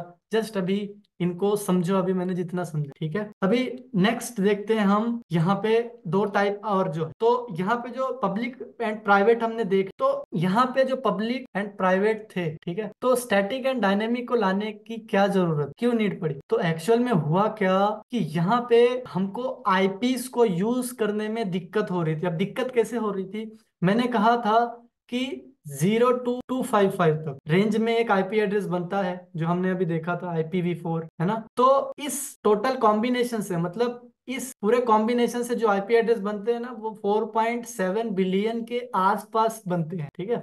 लेकिन इंटरनेट यूज़र जो है, वो 7 बिलियन के आसपास हैं। तो ये कैसे किया जाए? इस फॉर्मेशन को या फिर इस कमी को कैसे दूर किया जाए? तो इन लोगों ने क्या किया? इन लोगों ने आईपी एड्रेसेस को अलग अलग टाइप्स में डिवाइड कर, ठीक है? अब यहाँ पे जैसे देखो, एक है, दो टाइप यहाँ पे और आ गए, ठीक है? पब्लिक एंड प्राइवेट के बाद एक है स्टैटिक एंड दूसरा है डायनेमिक स्टैटिक का मतलब क्या होता है दोस्तों? स्टैटिक का मतलब आप सभी ने देखा होगा फिक्स जो फिक्स होता है. डायनेमिक का मतलब जो चेंजेबल हो. चेंज होता है। एंड स्टैटिक का मतलब जो नॉन चेंजेबल है ना, जो कभी चेंज नहीं होता, ठीक है? तो यहाँ पे static IP address and dynamic IP address ठीक है? ये दोनों हमारे आईपी एड्रेस को फुलफिल करने में हेल्प कर रहे थे। अब कैसे कर रहे थे? तो सबसे पहले हम देखते हैं इनका यूज़ कहाँ हो। तो जो स्टैटिक आईपी एड्रेसेस है ना, ये यूज़ होते हैं हमारे सर्वर्स में। सर्वर क्या होता है? एक बहुत बड़ा कंप्यूटर जो कि हमारे इस नॉर्मल सिस्टम से बहुत बड़ा होता है। बहुत ज़्यादा कॉन्फ़िगरेशन होती है इसकी, बहुत ज़्यादा स्टोरेज होती है इसमें, ठीक है? एंड बहुत बड़ा सा होता है एक रूम कह सकते हो एक अलमारी से बहुत बड़ा हो, ठीक है? अब जितने मर्ज़ी चाहे उतना मर्ज़ी इसको बना सकते अब सर्वर किस काम में आता है तो वेबसाइट जो रन होती है, आप लोग जो वेबसाइट एक्सेस करते हो, वो इस सर्वर से ही एक्सेस करते हो। कोई भी चीज़ डाउनलोड करते हो, वो इस सर्वर में ही स्टोर होती ठीक है? अब जो गूगल है गूगल का भी सर्वर आपने सुना होगा, है ना? तो वो यही सर्वर होता तो हम जब वेबसाइट एक्सेस करने जाते हैं फ्रेंड्स तो वहाँ पे हम वेबसाइट के पास हम जाते हैं वेबसाइट हमारे पास। सिंपल सा क्वेश्चन है मेरा वहाँ पे वेबसाइट के पास हम जाते हैं या वेबसाइट हमारे पास? तो ज़ाहिर सी बात है, हम वेबसाइट के पास जाते, ठीक है? अच्छा एक बात बताओ। एग्ज़ाम्पल ले लो गूगल का आज आईपी एड्रेस ये है, ठीक है? लेकिन कल किसी भी रीजन से ये चेंज हो गया, ठीक है? तो आपको प्रॉब्लम होगी, है ना? और कैसा हो जब डेली बेसिस पे चेंज हो? तो कैसा होगा? आप इस आईपी एड्रेस तक अच्छे से पहुँच ही नहीं पाओगे, या फिर आप गूगल को एक्सेस ही नहीं कर पाओगे, है ना? इसीलिए इस झंझट से बचने के लिए लोगों को प्रॉब्लम ना हो वेबसाइट को एक्सेस करने में तो उन्होंने फिक्स आईपी एड्रेस एक दे दिया गूगल, ठीक है? वैसे ही वेबसाइट जो आप एक्सेस करते हो ऑनलाइन जाके, वेब सर्वर आपके ब्राउज़र में सर्च करके, वो सभी के पास फिक्स आईपी एड्रेस होता है, स्टैटिक आईपी एड्रेस होता है, ठीक है? तो ये होता है बड़ी बड़ी वेबसाइट्स में, जैसे फेसबुक, इंस्टाग्राम एंड जितनी भी वेबसाइट है आपके इंटरनेट पे, सब छोटी से बड़ी, सबके पास फिक्स आईपी एड्रेस होता है, ठीक है? तो इसका यूज़ समझ में आ गया होगा आपको। अब दूसरा है डायनेमिक आईपी एड्रेस जो कि चेंज होता रहे तो चेंज आईपी एड्रेस क्यों ज़रूरत पड़ी और कौन यूज़ करता है? तो ये यूज़ करते हैं हम लोग, हम जैसे लोग, ठीक है? हम जैसे लोग क्यों? अच्छा एक बात बताओ, अभी आपका फ़ोन है, ठीक है? आप फ़ोन में इंटरनेट यूज़ कर रहे हो, आपको एक पब्लिक आईपी दी हुई, ठीक है? लेकिन कुछ समय बाद या फिर कुछ महीनों बाद आपके फ़ोन का इंटरनेट रिचार्ज खत्म हो जाएगा, नेट पैक खत्म हो जाएगा। तो आपका फ़ोन बिना नेट का पड़ा रहेगा। तो क्या आपके फ़ोन में आईपी एड्रेस रखने का कोई सेंस बनता है? नहीं बनता, क्योंकि वो आईपी एड्रेस आपके यूज़ में ही नहीं आ रहा है। ना आप इंटरनेट चला पा रहे हो और आईपी एड्रेस अगर रखा रहा तो कोई मतलब का नहीं, वो वेस्ट हो रहा है। तो यहाँ पे जो जो डायनेमिक आईपी एड्रेस होते हैं, ये इसी यूज़ के लिए होते हैं कि जिनके फ़ोन स्विच ऑफ़ हैं जिनका फ़ोन खराब हो गया है, जिनके फ़ोन में रिचार्ज खत्म हो गया, किसी भी रीजन से, उस फ़ोन में इंटरनेट की ज़रूरत नहीं है तो वहाँ से आईपी एड्रेस हटा दे हटा दिया जाता, ठीक है? जैसे, ये एक फ़ोन है एंड इसको एक आईपी एड्रेस ये वाला मिला हुआ लेकिन बाद में क्या हुआ, ये, इस फ़ोन का रिचार्ज खत्म हो गया तो कंपनी क्या करेगी,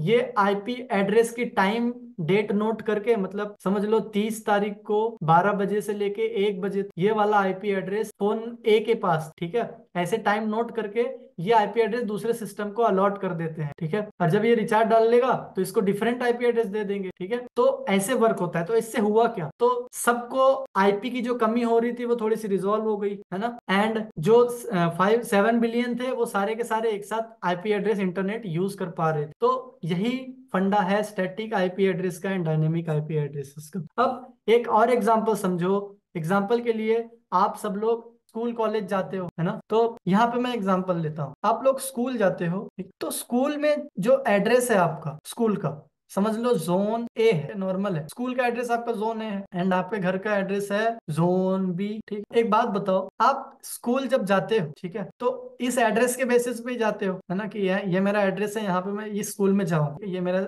एड्रेस है ये मेरा स्कूल। अब कैसा हो अगर आपके स्कूल का एड्रेस डेली चेंज हो जाए, कभी जोन बी हो जाए, फिर जोन सी हो जाए, क्या आपको पता पड़ पाएगा कि जो मेरे स्कूल का एड्रेस है वो जोन सी है, जोन बी है? नहीं पता पड़ पाएगा। आप बहुत मुश्किल से वहाँ तक पहुंचोगे, ठीक है? तो ये दिक्कतें सामना करना पड़ेगा। आप स्कूल पहुँच पहुँच ही नहीं पाओगे झंझट आएगी आपको परेशान हो जाओगे एंड छोड़ दोगे स्कूल ठीक है? फिर अगर मैं दूसरी तरफ़ देखूँ अगर आपके घर का एड्रेस चेंज होता है इधर कभी zone C zone Z zone P कहीं भी हो जाए ठीक है? इन जग, इन जगह पे कहीं भी आ जाए तो आपको स्कूल जाने में दिक्कत होगी क्या? नहीं होगी क्यों? क्योंकि आपका घर कहीं भी रहे लेकिन आपको आपके स्कूल का एड्रेस पता है ना?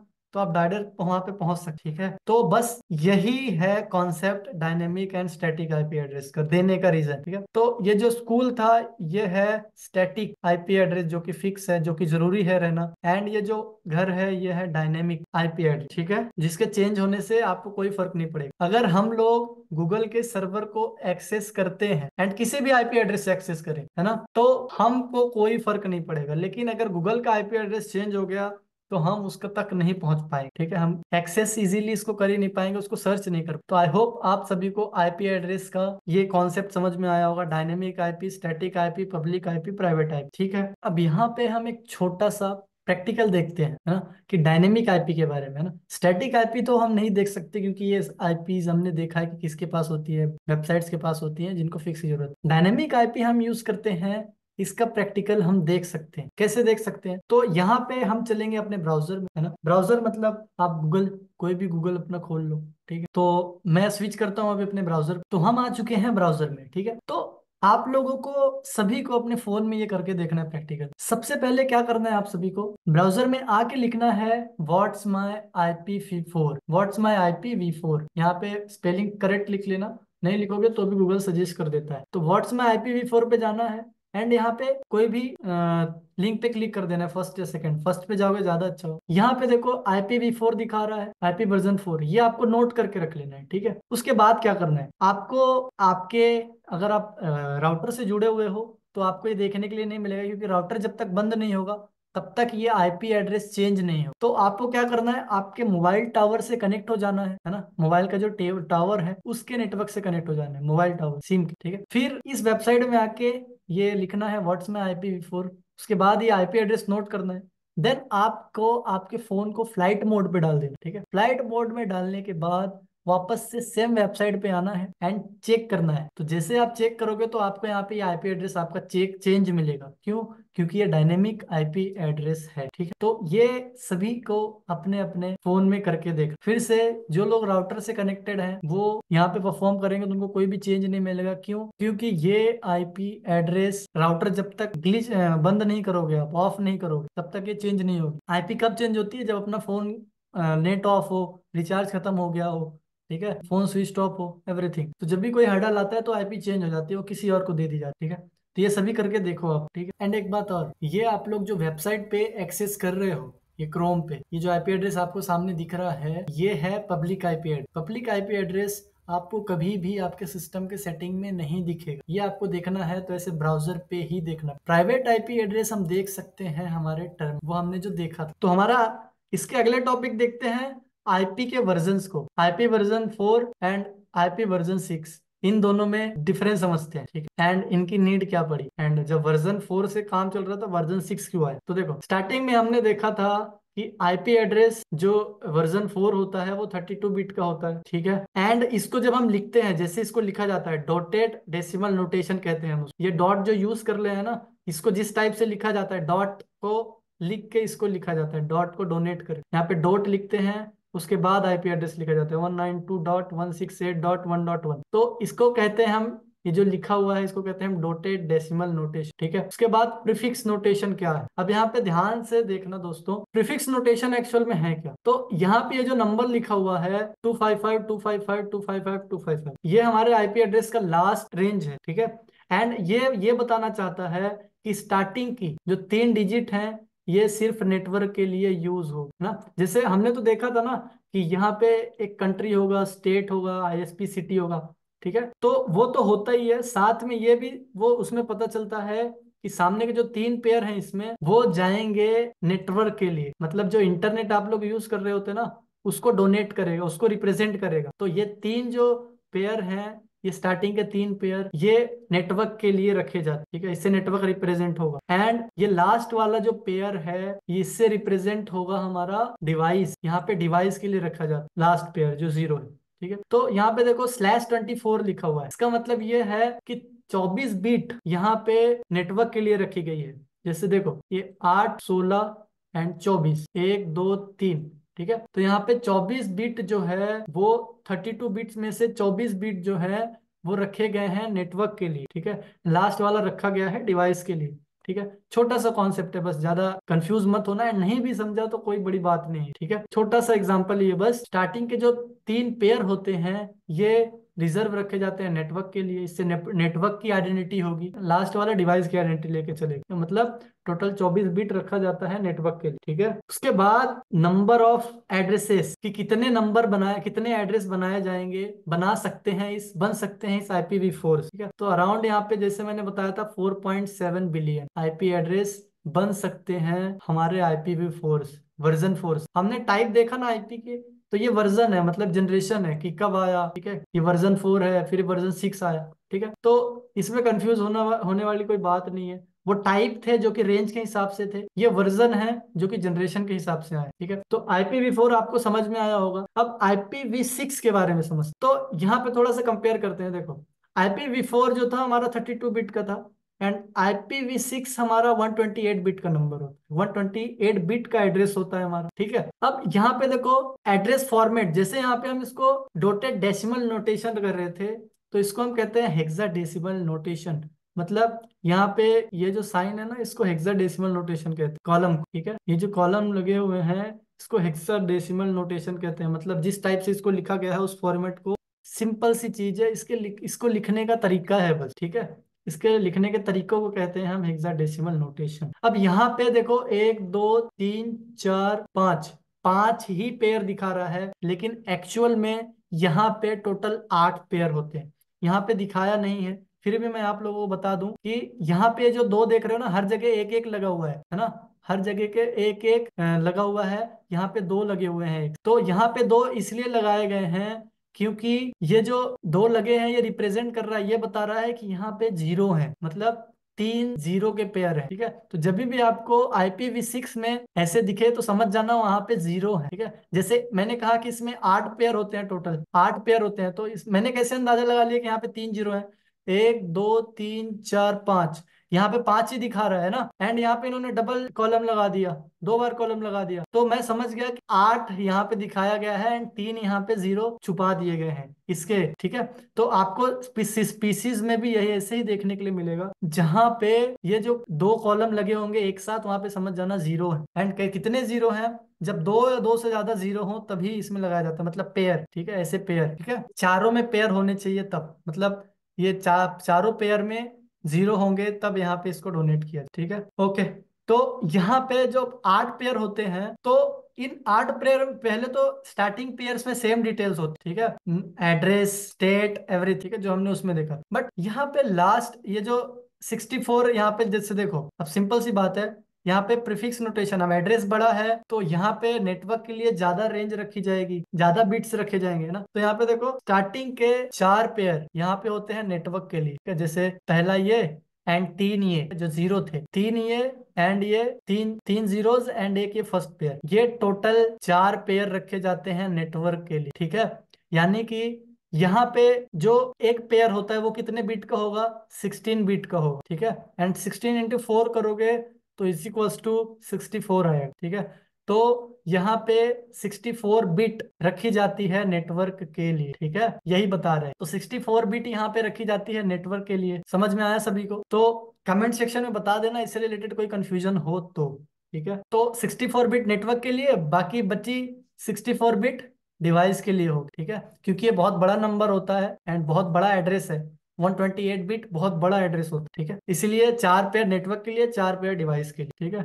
तो ये ये जो चार पेयर हो गए, ये हो गए नेटवर्क के लिए एंड बाकी के बच्चे चार पेयर हो गए हमारे डिवाइस के लिए, जो डिवाइस को रिप्रेजेंट करे, ठीक अब देखो, यहाँ पे देखते हैं नंबर ऑफ़ एड्रेसेस कितने बनाए जाते तो आप यहाँ पे काउंट भी नहीं कर सकते, इतने एड्रेसेस बनाए जा सकते। 340 trillion trillion trillion trillion 340 trillion 340 trillion 340 trillion कह सकते हो कि आने वाली जनरेशन भी इसको यूज़ कर पाएगी एंड उसकी आने वाली जनरेशन की आगे वाली जनरेशन को भी कोई भी दिक्कत नहीं आएगी, क्योंकि ये बहुत ज़्यादा फॉर्मेशन है। ट्रिलियंस ट्रिलियंस आप गिन भी नहीं सकते, इतने फॉर्मेशन हो सकते हैं। अब जो IPv6 है, ये बनता कैसे है? किन कॉम्बिनेशन से बनता है? तो ये बनता है, देखो ज़ीरो टू नाइन इसमें नंबर यूज़ किए जाते हैं एंड ए से लेके एफ़ तक इसमें अल्फाबेट्स यूज़ किए जाते है ज़ीरो से नौ तक नंबर के कॉम्बिनेशन में होगा ये, है ना? जैसे ज़ीरो से ज़ीरो से नौ तक में एक, ठीक है? फिर एक के साथ ज़ीरो लगा देंगे, नौ, फिर नौ के साथ ज़ीरो लगा देंगे मतलब ऐसे ही इन सब के कॉम्बिनेशन एंड अल्फाबेट्स भी मिक्स होते हैं, जैसे ten A ten B ten F F तक ही होगा ठीक है? अच्छा एक क्वेश्चन है मेरा आप सभी से। कि जैसे यहाँ पे ई है, अगर मैं यहाँ पे जेड लगा दूँ, क्या ये आईपी एड्रेस सही होगा? हमारे इस रूल के हिसाब से नहीं होगा। क्यों? क्योंकि ये रेंज के बाहर हो गया। जेड इसमें है ही नहीं, क्योंकि ए से एफ़ तक यूज़ होते हैं इसमें रेंज ठीक है? सो आई होप आप सभी को IPv four and IPv six समझ में आ गया। ये हमारा अपकमिंग एड्रेस है, अभी ये ट्रायल में है। जस्ट लॉन्च होगा। कुछ कुछ डिवाइसेस में देखने के लिए मिल रहा है। कुछ कुछ दिनों में लॉन्च हो जाएगा, ठीक है? तो हम टेस्टिंग करेंगे आईपीवी फोर में ज़्यादातर। एंड आईपीवी सिक्स के बारे में भी बताऊँगा मैं आप सभी इस जर्नी में ठीक है? सो so, अब हम बढ़ते हैं हमारे नेक्स्ट टॉपिक की तरफ़ ठीक है? आईपीवी फोर आईपीवी सिक्स अगर समझ गया होगा तो ठीक है? अगर ये नहीं समझा है तो मुझे आप लोग कमेंट सेक्शन में ज़रूर बताना। एंड आपको सबसे पसंद कौन सा टॉपिक आया वो ठीक है? ओके आई होप आप सभी को आई IPv4 समझ में आया होगा। अब आगे चल के हम देखेंगे कि ये जो आईपी एड्रेस है private IP address public IP address static IP address dynamic IP address ये सब वर्क कैसे कर रहे हैं? इनकी वर्किंग कैसे हो रही है प्रॉपर तो ये जैसे ही समझ जाएगा आपको तो आपका जो कॉन्सेप्ट है वो और अच्छे से क्लियर हो जाए। तब तक हम देख लेते हैं छोटा सा एक प्रैक्टिकल है ना? अब एक क्वेश्चन है मेरा कमेंट सेक्शन में ज़रूर बताना कि क्या आईपी एड्रेस से एक सिस्टम को एक्सेस किया जा सकता है? अब एक्सेस का मतलब है ये, मैं यहाँ पे ये वर्ड यूज़ नहीं कर किया जा सकता है। कमेंट सेक्शन में ज़रूर बता तो इसी का प्रैक्टिकल हम अभी लाइव करके देख, ठीक है? सो so फ्रेंड्स हम आ चुके हैं अपने मशीन्स में प्रैक्टिकल मशीन्स में। तो ये है मेरी काली मशीन ठीक है? एंड ये है मेरी विक्टिंग मशीन दूसरी वाली, ठीक है? ये। तो मैं इसको एक्सेस करने की कोशिश करूँगा अपने इस मशीन से, ठीक है? ये मेरी मैन मशीन होगी एंड ये मेरी टारगेट मशीन होगी। Metasploitable two and Kali. अब ये वर्चुअल मशीन है, ठीक है? ये वर्चुअल मशीन इसलिए सेटअप की जाती है ताकि जो मेरा बाहर वाला सिस्टम है मैन सिस्टम उस पर कोई फ़र्क ना पड़े, ठीक है? यहाँ पे मेरे से कोई मिस्टेक भी हो जाए, कोई करप्ट भी हो जाए, कोई सिस्टम इसमें, या फिर ज़्यादा लोड आ जाए इन सिस्टम्स में तो बाहर वाले सिस्टम पे कोई फ़र्क ना पड़े। तो इनको वर्चुअल सिस्टम सेटअप करते हैं इनके लिए। आपका भी कराऊँगा मैं, कैसे करते हैं, क्या करते हैं, वो सारी चीज़ एक्सप्लेन करूँगा मैं आप सब, ठीक है? तो यहाँ पे हम स्टार्ट करते हैं अपने प्रैक्टिकल तो ये है हमारी मेटस प्लॉटेबल अब मैं कोशिश करूँगा कि इसको आईपी एड्रेस के थ्रू एक्सेस करूँ। एक्सेस करने का मतलब आप सभी समझ रहे होंगे, ठीक है? एंड इस मशीन से, काली मशीन से। तो सबसे पहले मैं तो बिना आईपी एड्रेस मतलब उसकी आईपी एड्रेस देखे बिना, उस सिस्टम में मैं टच भी नहीं करूँगा सिस्टम ठीक है? तो यहाँ पे देखो, सबसे पहले मैं अपने सिस्टम को परमिशन दे रहा हूँ, ठीक है? तो यहाँ पे मैंने इसको परमिशन दी। देखो, हर सिस्टम में दो यूज़र होते हैं गेस्ट एंड एक एडमिनिस्ट्रेटर तो मैंने इसको एडमिनिस्ट्रेटर की परमिशन दी है, ठीक है? एडमिनिस्ट्रेटर अकाउंट पे मैं एक्सेस हुआ हूँ, यानी रूट अकाउंट में एक्सेस हुआ, ठीक है? यहाँ पे मैं आपको कमांड भी सिखाऊँगा, हर एक चीज़ सिखाऊँगा कमांड्स कैसे रन करते हैं एवरीथिंग जितनी भी कमांड्स हमारी यूज़ में आएगी, वो सारी, ठीक है? तो सबसे पहले मैं सामने वाले की आईपी सिस्टम में जाए बिना देखूँगा, ठीक है? तो यहाँ पे मैं नेट डिस्कवर का यूज़ करूँगा, ठीक है? ये नेट डिस्कवर एक टूल होता है, जो कि अपने रेंज में जितनी भी आईपी एड्रेसेस उनको कैसे स्कैन किया जाए ये इससे पता चल ठीक है? हम इससे स्कैन कर सकते हैं अपने रेंज के जितने भी आईपी एड्रेस तो यहाँ पे सबसे पहले मैं एक और टर्मिनल खोल लेता आप सभी को ये ग्रीन लाइंस पसंद आ रही होगी। वैसे मुझे भी पसंद है बहुत। तो यहाँ पे सबसे पहले मैं क्या करूँगा कि इसको भी परमिशन दे देता हूँ ठीक है? ताकि आ, आगे चल के कुछ काम हो तो मैं इस पे परफॉर्म कर तो ये आई एफ़ कॉन्फिग है। जो इस पे जब हम रन करते हैं ना तो यहाँ पे हम इसकी आईपी देख पाते हैं। तो ये जो मेरा सिस्टम है जिसपे मैं, ये मेरा मैन सिस्टम इसकी आईपी एड्रेस ये है अभी, ठीक है? एंड मैं यहाँ पे सामने वाले सिस्टम की आईपी का एक अंदाज़ा लगाऊ, ठीक है? क्योंकि अभी मेरा एक ही सिस्टम है तो मैं आसानी से पहचान जाऊँगा आप भी पहचान सकते हो। तो यहाँ पे ये दो आईपीज बिल्कुल भी नहीं हो सकती क्यों नहीं हो सकती? ये आगे चल के आप भी समझ सकते हो। आप भी समझ जाओगे, ठीक है? क्यों ये दो आईपीज नहीं है? अब पहली तो बिल्कुल भी नहीं है एंड दूसरी के बारे में मैं ज़्यादा श्योर नहीं एंड ये वर्चुअल मशीन है तो हो सकता है इसका सपोर्टेबल राउटर आईपी हो ये, ठीक है? बट ये जो थर्ड वाली दिख रही है, मुझे लग रहा है ये। एंड ये लास्ट वाला जो है, ये भी डिफ़ॉल्ट ये भी नहीं हो सकता क्योंकि ये डिफ़ॉल्ट सबनेट मास्क ठीक है? तो यहाँ पे मैं ये वाली आईपी चूज़ कर रहा हूँ, ठीक है? आप लोग भी सिलेक्ट कर पाओगे बहुत इजीली अभी जो आगे नेक्स्ट टॉपिक आने वाला है ना, उससे चूज़ कर पाओगे, ठीक है? तो आप लोगों को कंफ्यूज नहीं होना है कि सर ने कैसे किया। आप अगर अभी से स्टार्ट कर रहे हो, आपको कुछ भी नहीं आता तो ज़ाहिर सी बात है, सबको कंफ्यूजन आईपी पहचानने के बाद, अब मैं यहाँ पे अटैक परफॉर्म करूँगा सामने वाले सिस्टम पे, उसको एक्सेस करने की कोशिश करूँगा। तो आईपी मैंने सिलेक्ट कर लिया है, ये वाली। अब मैं क्या करूँगा, ये आईपी सिलेक्ट करने के बाद मैं यहाँ पे उस पर स्कैनिंग करता हूँ अटैक परफॉर्म करता हूँ। अटैक परफॉर्म करने के लिए हम एक टूल का यूज़ लेते हैं, जो कि बहुत फ़ेमस है, आप लोगों ने सुना होगा। एनमैप ठीक है? इसे यूज़ करेंगे। एंड हाइफन वी लिखेंगे हम। हाइफन वी एक तरह से यूज़ होता है वर्बसिटी दिखाने के लिए। कोई भी डिटेल्स कोई भी कमांड जब रन करते हैं, उसको जो भी रिज़ल्ट आ रहा है उसको डिटेल्स वे में दिखाने के लिए। कभी कभी क्या होता है, कोई कमांड हम रन कर देते हैं उसके बैकएंड में बहुत सारी प्रोसेस चल रही होती है, वो हमको पता नहीं चलता कि वो टूल एक्चुअल में कर क्या रहा है। तो डिटेल्स में देखने के लिए हम हाइपन वी का यूज़ करते हैं। एंड उसके बाद हम पोर्ट स्कैनिंग करेंगे। पोर्ट क्या होते हैं, वो भी बताऊँगा मैं। तो इसका मतलब है कि हम सारे पोर्ट एक साथ स्कैन कर रहे हैं और कितने पोर्ट होते हैं, वो भी बताऊँगा। तो पोर्ट्स को लेके आपको कंफ्यूज नहीं होना है, बिल्कुल, ठीक है? एंड ज़ाहिर सी बात है, आप लोग अगर अभी स्टार्ट कर रहे हो तो आपको कुछ नॉलेज नहीं होगा। सब बताने की ज़िम्मेदारी मेरी है, ठीक है गाइज़ ठीक। तो अब नेक्स्ट आईपी आईपी एड्रेस यहाँ पे डाल देता हूँ मैं। One nine two dot one six eight dot six six dot one forty dot one forty four ठीक है? एक बार मैच कर लेंगे आईपी एड्रेस यही है, नहीं सेक्ट में यही है, ठीक अब मैं यहाँ पे कुछ स्क्रिप्ट रन करूँगा। एक छोटी सी स्क्रिप्ट रन करूँगा, या फिर अभी हम नहीं करेंगे तो भी चलेगा, ये थोड़ा सा एडवांस हो जाएगा। मैं आपको स्क्रिप्ट कर रन करना भी बताऊँगा, हर चीज़ बताऊँ, ठीक है।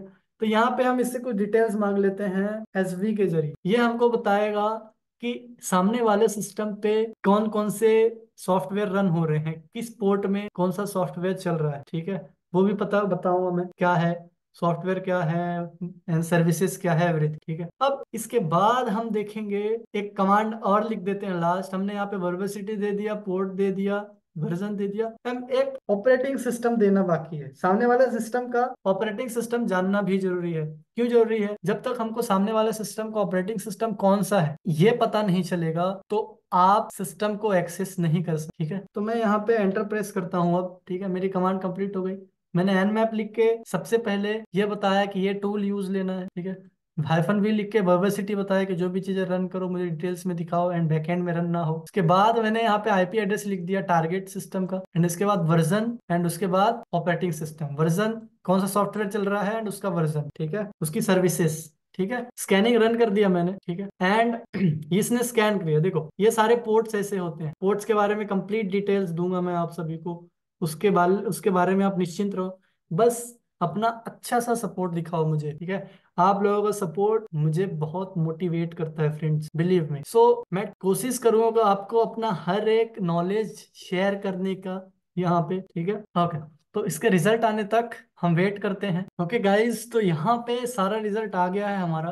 ठीक है? तो अब हम देखते हैं हमको क्या क्या डिटेल्स मिली है। तो इसको मैं थोड़ा सा बड़ा करने की कोशिश करता हूँ। एंड इसको मैं जूम इन कर देता हूँ थोड़ा ठीक है? ठीक ओके। सो यहाँ पे देखिए यहाँ पे इसने मुझे बताया है डिटेल्स में कि इतनी सारी पोर्ट ओपन है यहाँ पे ठीक है? एंड यहाँ पे देखो ये सारी सर्विसेज़ ओपन है। वर्जन बता रहा है उनके एंड ये सर्विसेज़ ठीक है? अब यहाँ पे और भी डिटेल्स हमने मांगी थी इससे ऑपरेटिंग सिस्टम की कि वो जाने बिना ऑपरेटिंग सिस्टम क्या होता है वो भी बताऊँगा मैं आपको। तो यहाँ पे हम्म, ये बता रहा है ऑपरेटिंग सिस्टम। ये बोल रहा है लिनक्स चल रहा है एंड लिनक्स का बता रहा है कि ये वर्जन चल रहा है लिनक्स का इसके बीच में ठीक है? ठीक है हमको पता चल गया लिनक्स का है ये। अब मैं देखूँगा कि सबसे जल्दी मैं किस पोर्ट से एक्सेस ले सकता हूँ। तो मेरे एक्सपीरियंस के हिसाब से ये वाला जो पोर्ट है ये मुझे लग रहा है कि बहुत जल्दी एक्सेस दे देगा ठीक है? पोर्ट नंबर है फाइव वन टू फोर ठीक है?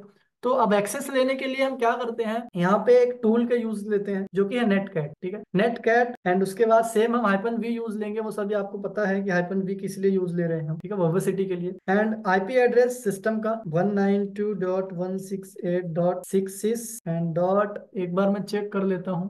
आईपी एड्रेस फिर से six six dot one forty ठीक है? Dot one forty four and port number ओ गलती से एंटर प्रेस हो गया फ्रेंड्स एंड पोर्ट नंबर यहाँ पे मैं डालूँगा वन फाइव टू फोर ठीक है? यही था हमारा वन फाइव टू फोर हम इन सारे पोर्ट से सिस्टम को प्रैक्टिकल में, जब आगे का प्रैक्टिकल करेंगे हम, इन पोर्ट से जितने भी पोर्ट्स हैं, सबसे सिस्टम को एक्सेस करके देखेंगे, ठीक है? ठीक है फाइव वन टू फोर ही हमारा। अब मैं एंटर प्रेस करता हूँ। ये बोल रहा है कि ओपन हो गया अब आपको क्या लगता है सिस्टम एक्सेस कर लिया मैंने? या फिर मैंने सिस्टम आप समझ पा रहे हैं मैं क्या बोलना चाहता हूँ? क्या मैंने सिस्टम को एक्सेस कर लिया है? देखते हैं। सबसे पहले मैं यहाँ पे एल एस लिखूँगा। मतलब देखता हूँ, सामने वाले सिस्टम की कुछ फाइल्स दिख रही है मुझे। तो मुझे तो यहाँ पे कुछ फाइल्स दिख रही हैं, पर मुझे ये नहीं पता कि अपने ही सिस्टम में है या ये सामने वाले के सिस्टम में। ठीक है तो हम क्या करेंगे? यहाँ पे सेम फ़ाइल सामने वाले सिस्टम में देखिए। तो सबसे पहले मैं यहाँ पे चेक कर लेता हूँ किस फोल्डर में पड़ी हुई है फ़ाइल ठीक है, किस जगह पे? तो मैं इसकी लोकेशन देखूँगा। तो यहाँ पे मुझे लोकेशन दिख रहा है रूट रूट लोकेशन मतलब ये बैकस्लैश का मतलब है रूट ये भी मैं बताऊँगा आपको क्या होता तो जो रूट नाम की एक रूट नाम का एक फोल्डर है, उसके अंदर ये पड़ा हुआ है। एंड इसको मैं डिटेल्स भी मैं आप सबको बताऊँगा। अब मैं दूसरे वाली मशीन को अब देखो आपके सामने टच करूँ, ठीक है। एंड अब तक मैंने इस पर लॉग भी नहीं किया था तो अब मैं इसको लॉग भी करूँगा, ठीक है। ठीक मैंने लॉग इन कर लिया। अब मैं इसका सबसे पहले आईपी चेक करता हूँ। यहाँ पे इसका आईपी वही है जिसपे हमने टैग किया था। वन फोर फोर ठीक है? ये वाला। अब यहाँ पे मैं चेक करता हूँ कि किस जगह पे हूँ मैं, ठीक है? क्या किस डायरेक्टरी में तो पीडब्ल्यू से हम किस लोकेशन में वो पता चलता है। तो ये बोल रहा है कि मैं होम एंड एडमिन के अंदर बैठा हूँ। लेकिन मुझे किस जगह पे जाना है? रूट वाले में मतलब एक बैकस्लैश की जो लोकेशन थी उसके अंदर। तो मैं सीडी करके उस जगह पे जाऊँगा एंड यहाँ पे एलएस करके देखो। यहाँ पे वो मुझे दिख रहा है नहीं दिख तो यहाँ पे देखो, बिन है, बूट है सी रोम है देव है ईटीसी होम, ये सारी चीज़ें हैं, आप लोग देख सकते अब मैं दूसरे सिस्टम में जाता हूँ एंड यहाँ पे देखता हूँ वो सारी चीज़ें दिख रही है। बूट है सी डी रोम देव ईटीसी ठीक। हमने ये एक्सेस कर लिया। आप देखते हैं यहाँ पे क्या हमको वो वाले सामने वाले सिस्टम का आईपी एड्रेस दिखा रहा है? तो देखो, सामने वाले सिस्टम का आईपी एड्रेस भी दिखा रहा है। हमारा आईपी एड्रेस डिफरेंट था, हमने जब देखा था। इसको बंद कर देते हैं। यहाँ पे हम आई एफ़ कॉन्फिक से अपना आईपी एड्रेस देखते हैं। तो यहाँ पे हमारा आईपी एड्रेस दिखा रहा है वन थ्री थ्री एंड इसका आईपी एड्रेस दिखा रहा है 144 अब हमने थोड़ा सा अंदाज़ा लगाया हमने एक्सेस किया या नहीं। अब मैं क्या करता हूँ? सामने वाले सिस्टम को, इसको अगर रिबूट कर दूँ मैं, अपने ही सिस्टम से, कैसा होगा? तो मुझे अंदर लग जाएगा, बड़ा इम्पैक्ट होगा तो हमको दिखेगा कि हाँ सिस्टम है। तो यहाँ पे रिबूट करूँगा एंटरप्रेस दबा दूँगा रिबूट लिख के। तो देखते हैं सामने वाला सिस्टम होता है रिबूट या नहीं। तो देखो, ये रिबूट होना स्टार्ट हो गया है। ये रिबूट होना स्टार्ट हो गया। ठीक। देखो रिस्टार्ट हो गया, अभी वापस से पूरा रिस्टार्ट होगा, ठीक है? तो हम दूसरे जगह बैठे बैठे एक सिस्टम को एक्सेस कर पाए एंड उसको रिबूट भी कर दिया, ठीक है? तो ये सारी चीज़ें आप भी कर पाओगे आगे आने वाली जर्नीज आने वाली क्लासेस अब एक, आप सभी के लिए एक इंस्ट्रक्शन है ये जो सारी वीडियोस हैं, ये आपके नॉलेज को इनहेंस करने के लिए एंड आप किसी की हेल्प कर सको इसके लिए बनाए जा रहे हैं। गलत काम में आप किसी को यूज़ नहीं लेना है ये सारी ठीक है? अब एक बात और, यहाँ पे ये जो मेटास्प्लोटेबल मशीन है, ये यहाँ पे बेसिकली प्रैक्टिकल के लिए ही बनाई गई ठीक है? तो यहाँ पे ज़रूरी नहीं कि आप किसी भी सिस्टम में अटैक करो आप कर पाओगे, लेकिन आने वाली जो क्लासेस हैं, उसमें मैं सब बताऊँ, ठीक है? क्या है, कैसा है, क्यों इसको हम इसी मशीन को चूज़ करते हैं एवरीथिंग ठीक है? सो आई होप आप सभी को ये सब क्लियर होगा, समझ में आया होगा। कॉन्ग्रेचुलेशन वॉरियर्स आपने पार्ट थ्री भी कंप्लीट कर लिया है। अब हम जंप कर रहे हैं पार्ट फोर में। सो जो पार्ट फोर है, इसमें आप देखोगे कि जो एक राउटर है, वो कम्प्लीटली वर्क कैसे करता है? And public IP address and private IP address ये दोनों आपस में काम कैसे करते हैं एंड इनको अलॉट कौन करता है? मतलब आपको देता कौन है आईपी एड्रेस तो ये सारी चीज़ें देखने वाले हो। एंड बहुत सारी चीज़ें हैं जो राउटर के अंदर होती हैं। एग्ज़ाम्पल ले लो डीएससीपी कैसे काम करता है है ना? एआरपी कैसे काम करता है? सो so, ये सारी चीज़ें भी आप देखने वाले हो। सो so, मिलते हैं अपने स्लाइड पे। सो so, स्टूडेंट्स आज का हमारा यही टॉपिक है कि ये प्रॉपर वर्क कैसे हो रहा है इंटरनेट ठीक है? तो हम स्टार्ट करते हैं। पुरानी आईपीस के बारे में सभी को क्लियर होगा। ठीक है? अभी हम यहाँ पे आईपी की वर्किंग देखें अब सबसे पहले हमने पढ़ा था आईएसपी के बारे में। आईएसपी कौन होते हैं? इंटरनेट सर्विस प्रोवाइडर ठीक है? एग्ज़ाम्पल अगर मैं लू जैसे जियो एयरटेल ठीक है? तो सबसे पहला काम क्या होता है? जब भी कोई कंपनी अपनी सिम लॉन्च करती है ना तो एक काम सबसे पहले करती है। क्या? कि वो बहुत सारे आईपी की रेंज ले लेती है अपने पास, बहुत सारे आईपी का स्टॉक अपने पास रख लेती है। एग्जांपल के लिए, ये एक एयरटेल का है, जिन, एक सिम जो कि कंपनी है कंप्लीट ठीक है? उसने यहाँ से लेके यहाँ तक, ठीक है? यहाँ तक एक आईपी एड्रेस की रेंज रखी। अब क्योंकि ये आईएसपी है तो इसने जो रेंज रखा, ये कौन सी रेंज होगी? पब्लिक या प्राइवेट तो ये है पब्लिक ठीक है? ये पब्लिक आईपी की रेंज इसने पास रख ली। अब जब भी भी कोई अपने घर पे एक ब्रॉडबैंड वाईफाई लगाता है, या फिर आप लोग सिम परचेस करते हो। तो ये आई क्या करते हैं कि इस रेंज में से एक आईपी एड्रेस आपको अलॉट कर देते हैं, दे देते हैं उठा, ठीक है? तो आपके पास इनके रेंज में से एक पब्लिक आईपी एड्रेस आ गया। अब ये कौन सा एड्रेस है? पब्लिक तो है, लेकिन कौन सा है? ये डायनेमिक है, ठीक है? ये डायनेमिक आईपी एड्रेस ठीक है? अब आपके पास, आपने राउटर लगाया एंड आपके पास एक पब्लिक आईपी एड्रेस आ चुका है। अब नेक्स्ट क्या करोगे आप? आप अब डिवाइसेस को कनेक्ट करोगे, है ना? तो यहाँ पे जब भी आप डिवाइसेस कनेक्ट करोगे तो इनको कौन सा आईपी एड्रेस मिलेगा? प्राइवेट या पब्लिक तो राउटर के पास एक ही पब्लिक आईपी एड्रेस होता है, ठीक है? तो आपके जो डिवाइसेस होंगे, इनके पास होगा, सबके पास प्राइवेट आईपी एड्रेसेस होगा, ठीक है? तो जैसे इन कंपनीज़ ने अपने पास एक रेंज रखी थी आईपी एड्रेसेस ना? वैसे जब राउटर आता है ना तो बाय डिफ़ॉल्ट उसमें भी एक रेंज होती है अपने पास, ठीक है? One nine two dot one six eight dot one dot one या फिर मैं ज़ीरो डॉट वन ले लेता हूँ ज़ीरो डॉट वन ठीक है? तो जैसे इन्होंने रखी थी तो राउटर को बाय डिफ़ॉल्ट कंपनी सेट करके बेचती है, इसके पास खुद ही ऑटोमेटिक डिफ़ॉल्ट सेटिंग होती है। इसमें पहले से कुछ आईपी एड्रेसेस होते हैं। यहाँ से लेके समझ लो one nine two dot one six eight dot zero dot twenty तक इसकी एक रेंज है, ठीक है? इसने रेंज की राउटर ने अपने पास रखा है, ठीक है? तो ये कौन से आईपी एड्रेस होंगे जो राउटर ने अपने पास रखा हुआ है? ये है प्राइवेट आईपी एड्रेस ये सारे प्राइवेट आईपी एड्रेसेस अब क्योंकि हम सारे सिस्टम को पब्लिक आईपी नहीं दे सकते क्योंकि ये आईपी सिर्फ़ राउटर के पास होता है। तो राउटर क्या करता है? इन प्राइवेट आईपी में से सबको देता है, ठीक है? क्योंकि उसके पास एक ही पब्लिक आईपी है, वो तो सब में बांट नहीं सकता और ये पॉसिबल भी नहीं है। तो ये क्या करता है? इसके पास जो प्राइवेट आईपी की रेंज है, उसमें से सभी को अलॉट कर देता है। जैसे यहाँ पे दे दिया उसने, समझ लो six eight zero dot two. Two यहाँ पे दे दिया, है ना? ज़ीरो डॉट थ्री इसको दे दिया, ठीक है? ज़ीरो डॉट थ्री मैं यहाँ पे सिर्फ़ थ्री लिख देता हूँ। ज़ीरो डॉट फोर यहाँ पे दे दिया, ज़ीरो डॉट फाइव यहाँ पे दे दिया, ज़ीरो डॉट सिक्स यहाँ पे दे दिया, ज़ीरो डॉट सेवन यहाँ पे दे दिया, ठीक है? तो सबको एक एक आईपी एड्रेस इसने अलॉट कर दिया। अब यहाँ पे ये आईपी एड्रेसेस सारे सिस्टम्स को मिल चुके हैं, है ना? अब एक क्वेश्चन है कि यहाँ से जैसे अब हमने देखा था कि ये आईपी एड्रेस जो है, यहाँ से टू से दिया है ये ना? टू से अलॉट कर रहा है। बट एक ध्यान में ये देना है आपको, एक बात याद रखो कि ये जो रेंज में आईपी एड्रेस होते हैं ना राउटर के पास, कभी भी ये आईपी एड्रेस में की जो फ़र्स्ट रेंज है, इस आईपी एड्रेस की जो फ़र्स्ट रेंज है प्राइवेट आईपी एड्रेस जो राउटर अपने पास रखता है, ये रेंज में से पहली आईपी एड्रेस वो राउटर किसी को देता नहीं है, वो अपने पास रखता है, ठीक है? ये किस लिए रखता है मैं बताता हूँ अभी। पहला बात तो ये है कि ये इस आईपी एड्रेस को इन सिस्टम से कम्युनिकेशन करने के लिए रखता है, बाकी जो डिवाइसेस होते हैं। मतलब डिफ़ॉल्ट गेटवे कहते हैं हम इसको डिफ़ॉल्ट गेटवे होता है ठीक है? अब एग्जांपल के लिए लो कि इसको कुछ सर्च करना है। एग्जांपल के लिए गूगल डॉट कॉम ठीक है? जब भी कुछ सर्च करते हो तो एक पैकेट जनरेट होता है रिक्वेस्ट पैकेट हो, कोई भी हो। एक पैकेट जब जनरेट होगा, यहाँ से जनरेट होकर जब जाएगा, ठीक है? तो इंटरनेट पे कैसे जाएगा? हमने देखा था कि ये प्राइवेट आईपी एड्रेस बाहर तो जाता नहीं है इंटरनेट पे, है ना? इंटरनेट पे तो बाहर जा नहीं सकते, छोटी सी नेटवर्क पे है। है ना? अब ये देखो, यहाँ से लेके यहाँ तक जो अंदर अंदर डिवाइसेस हैं, ठीक है?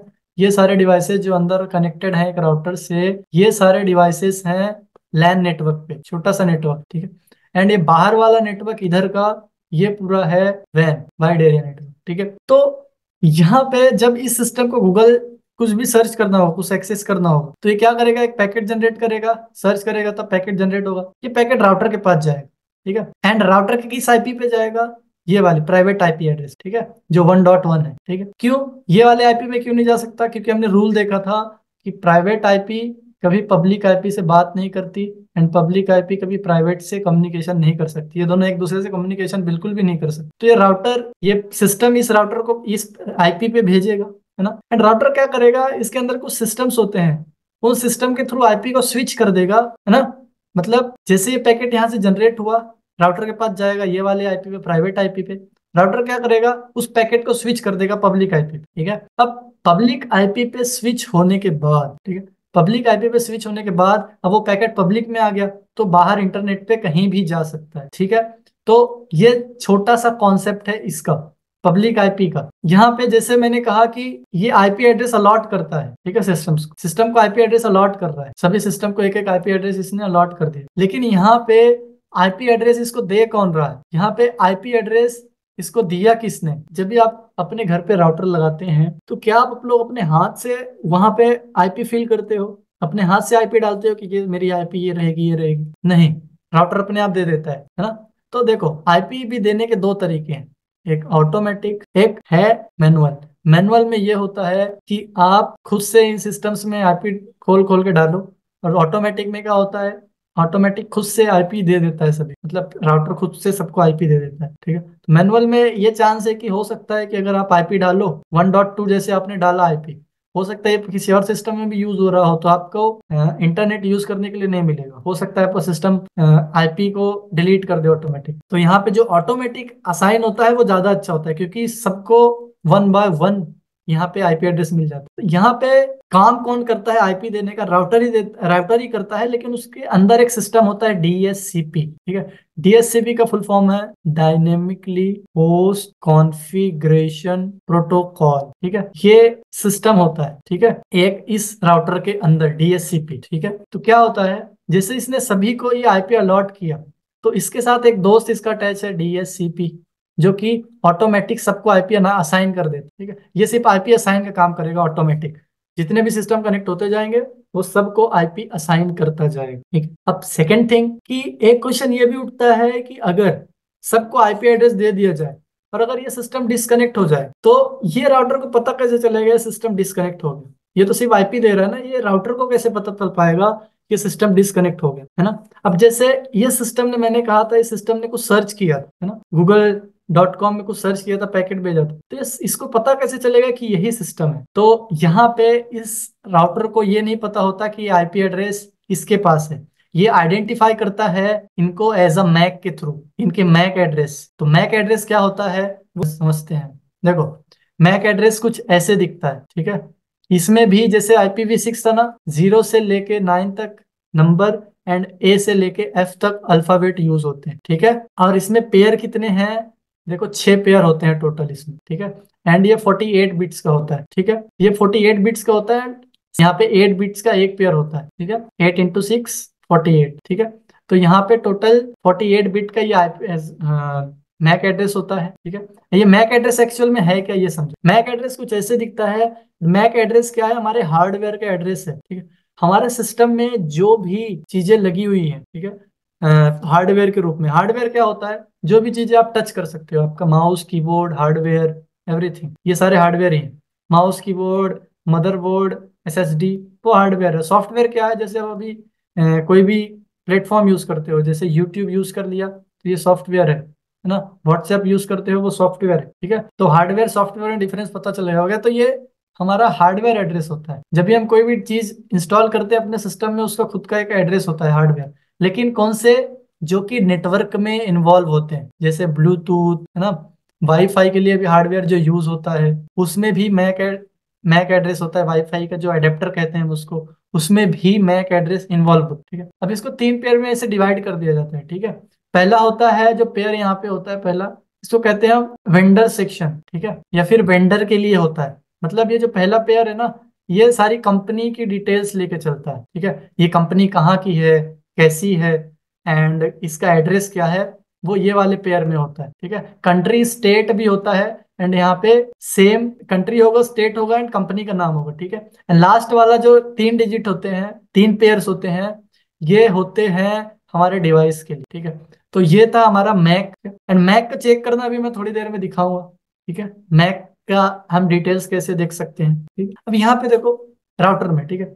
तो यहाँ पे मैक की डिटेल्स देखनी होती। है मैक के ज़रिए पहचानता है। मैक अभी हमने देख लिया मैक क्या होता है? तो मैक कौन देता है तो मैक देने के लिए यहाँ पे होता है एक एआरपी नाम का भी और एक फ़ंक्शन होता है जो कि राउटर का ही अंदर का फीचर होता है एआरपी एड्रेस रिजोल्यूशन प्रोटोकॉल ठीक है? एड्रेस रिजोल्यूशन प्रोटोकॉल कहते हैं हम इसको एआरपी को। एंड ये क्या करता है? सारे सिस्टम्स को मैसेज भेजता है। कौन? राउटर किसके थ्रू एआरपी के थ्रू मतलब सभी को ब्रॉडकास्ट करता है। ब्रॉडकास्ट मत करना मतलब सभी को एक साथ मैसेज भेजता है एआरपी थ्रू कि ये आईपी किसके पास है? मतलब 102 आईपी किसके पास है? 100 आईपी किसके पास है? सभी को भेजेगा एंड जिसके पास भी वो आईपी होगी ना, जैसे 102 इसके पास है तो ये रिप्लाई में भेज देगा कि मेरे पास ये आईपी एड्रेस है एंड साथ में अपना मैक एड्रेस भी भेज देगा। हर डिवाइस में एक मैक एड्रेस होता है।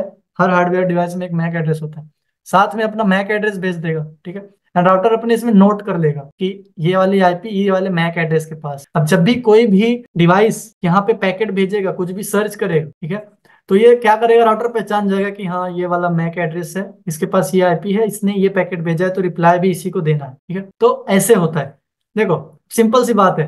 कभी आपने ये देखा है कि ये वाले सिस्टम ने पैकेट भेजा हो और रिसीव किसी और को हो गया हो? नहीं होता। क्यों? क्योंकि प्रॉपर यहाँ पे सिस्टम हो जा सिस्टम होता है। ए एआरपी डीएससीपी ये सब मिलके काम करते हैं। तब जाके यहाँ पे काम होता है। अब सर, जैसे ये सिस्टम डिस्कनेक्ट हो गया तो राउटर सबको भेजेगा कि ये आईपी किसके पास है, ठीक है? तो ये रिप्लाई नहीं देगा, ये होगा ही नहीं तो रिप्लाई कहाँ से देगा? तो ये राउटर क्या करेगा? ये नोट कर लेगा कि यहाँ से रिप्लाई नहीं आया, है ना? यहाँ से रिप्लाई नहीं आया इस सिस्टम से तो वो वहाँ पे नोट कर लेगा, उसको समझ जाएगा कि आईपी खाली अब जब कोई दूसरा डिवाइस कनेक्ट होगा यहाँ पे तो राउटर क्या करेगा कि यही वाली आईपी दूसरे को दे दे, ठीक है? तो ऐसे वर्क करता है ये। अभी इस एआरपी के अंदर लिखा क्या होता है? इस एआरपी के अंदर लिखा होता है, जैसे ऐसे मैसेज आता है। Who has who has one nine two dot one six eight dot zero dot two ऐसे करके जाता है, ठीक है? तो ये एआरपी के अंदर एआरपी में यही मैसेज जाता है सभी सिस्टम को एआरपी के ज़रिए, ठीक है? अब ये समझ में आया आपको तो कमेंट सेक्शन में ज़रूर बताओ। एंड अगर इससे रिलेटेड कोई डाउट हो तो तो भी बताओ मुझे। अब दूसरी चीज़, ये पहले आईपी का मतलब समझ में आया, क्यों रखा इसने? पहली बात तो ये यहाँ से पब्लिक टू पब्लिक बातचीत नहीं होती, इसलिए इसने यहाँ से सिस्टम से रिप्लाई लेने के लिए किया। ठीक है सेव रखा है। और दूसरा जो भी आप राउटर का पासवर्ड सेट करते हो सेटिंग करनी होती है तो अपने ब्राउज़र में यही आईपी जब डालोगे ये वाली आईपी अपने राउटर की फ़र्स्ट आईपी ठीक है? ये हर एक राउटर की अलग अलग हो सकती है। तो पहली आईपी अलग अलग कैसे होगी? जैसे वन डॉट वन हो सकती है ज़ीरो डॉट वन है तो वन डॉट वन हो सकती है एवरीथिंग ऐसे थोड़ी मोटी चेंज होंगी। सो so, यहाँ से आप अपने राउटर का पासवर्ड सेट कर सकते हो है ना? और और भी सारी सेटिंग हो जाती है इसी आईपी के थ्रू जब आप इसको ब्राउज़र में डालो लेकिन आपको अपने सिस्टम से कनेक्ट रहना पड़ेगा इस राउटर से, तभी जाके वो सेटिंग होगी, ठीक है? अब समझ में आया ये? अब यहाँ पे कुछ चीज़ें देखते हैं। देखो, यहाँ पे राउटर के पास कितनी आइडेंटिटीज हो गई? पहला, इसके पास ये एक पब्लिक आईपी एड्रेस हो गया। दूसरी आइडेंटिटी क्या हो गई? ये प्राइवेट आईपी एड्रेस उसका खुद का। तीसरी आइडेंटिटी क्या होगी? क्योंकि ये हार्डवेयर है तो इसके पास एक मैक एड्रेस भी हो है ना? हार्डवेयर के पास मैक एड्रेस होता है ठीक है? तीन आइडेंटिटीज हो गई राउटर के पास। अब ये जो सिस्टम है, इसके पास कितनी आइडेंटिटी हो सकती है? तो इसके पास भी देखते हैं, पहला तो प्राइवेट आईपी एड्रेस है, जो कि राउटर ने दिया है इसको। दूसरा क्या है, इसके पास मैक एड्रेस ना, क्योंकि हार्डवेयर है। एंड इसके पास एक और एड्रेस होता है, जिसको हम कहते हैं लोकल होस्ट लोकल होस्ट क्या होता है? लोकल होस्ट एक्चुअल में एक ऐसा एड्रेस होता है, जो कि सिस्टम के सेल्फ टेस्टिंग के काम आता है। ठीक है, जब इससे इंटरनेट कनेक्ट नहीं होता, तब वो एड्रेस यूज़ होता है। वो सिस्टम से बाहर कहीं नहीं जाता। ये प्राइवेट आईपी एड्रेस राउटर तक तो जाता है, लेकिन ये लोकल होस्ट जो एड्रेस है, ये इससे बाहर नहीं जाता सिस्टम से। इसका एड्रेस होता है one twenty seven dot zero dot zero dot one ऐसे दिखता है लोकल होस्ट है ना? एंड इसका डोमेन जो होता है डोमेन भी बताऊँगा, लेकिन अभी समझो लोकल होस्ट जो होता है इसका, वो लोकल होस्ट ही होता है। डोमेन इसका लोकल होस्ट होता है, ठीक है? आईपी एड्रेस लोकल होस्ट का होता है one twenty seven dot zero dot zero dot one and local host जो है इसका डोमेन नेम ठीक है? अब ये क्या काम आता है? तो जैसे मैंने अभी बताया कि सेल्फ टेस्टिंग के काम आता है। एंड कुछ ऐसे सॉफ्टवेयर जैसे आप लोगों ने देखा होगा कि आप सिस्टम में यूज़ करते हो वर्ड ठीक है? एक्सेल ठीक है? और भी सारे सॉफ्ट फ़ाइल मैनेजर एवरीथिंग कुछ सॉफ्टवेयर यूज़ करते हो। तो क्या इनको इंटरनेट की ज़रूरत होती है? नहीं होती। लेकिन इनका छोटा सा खुद का एक सर्वर होता है, जो आपके सिस्टम में ही होता है। उस सर्वर को एक्सेस करने के लिए भी एक एड्रेस की ज़रूरत होती है।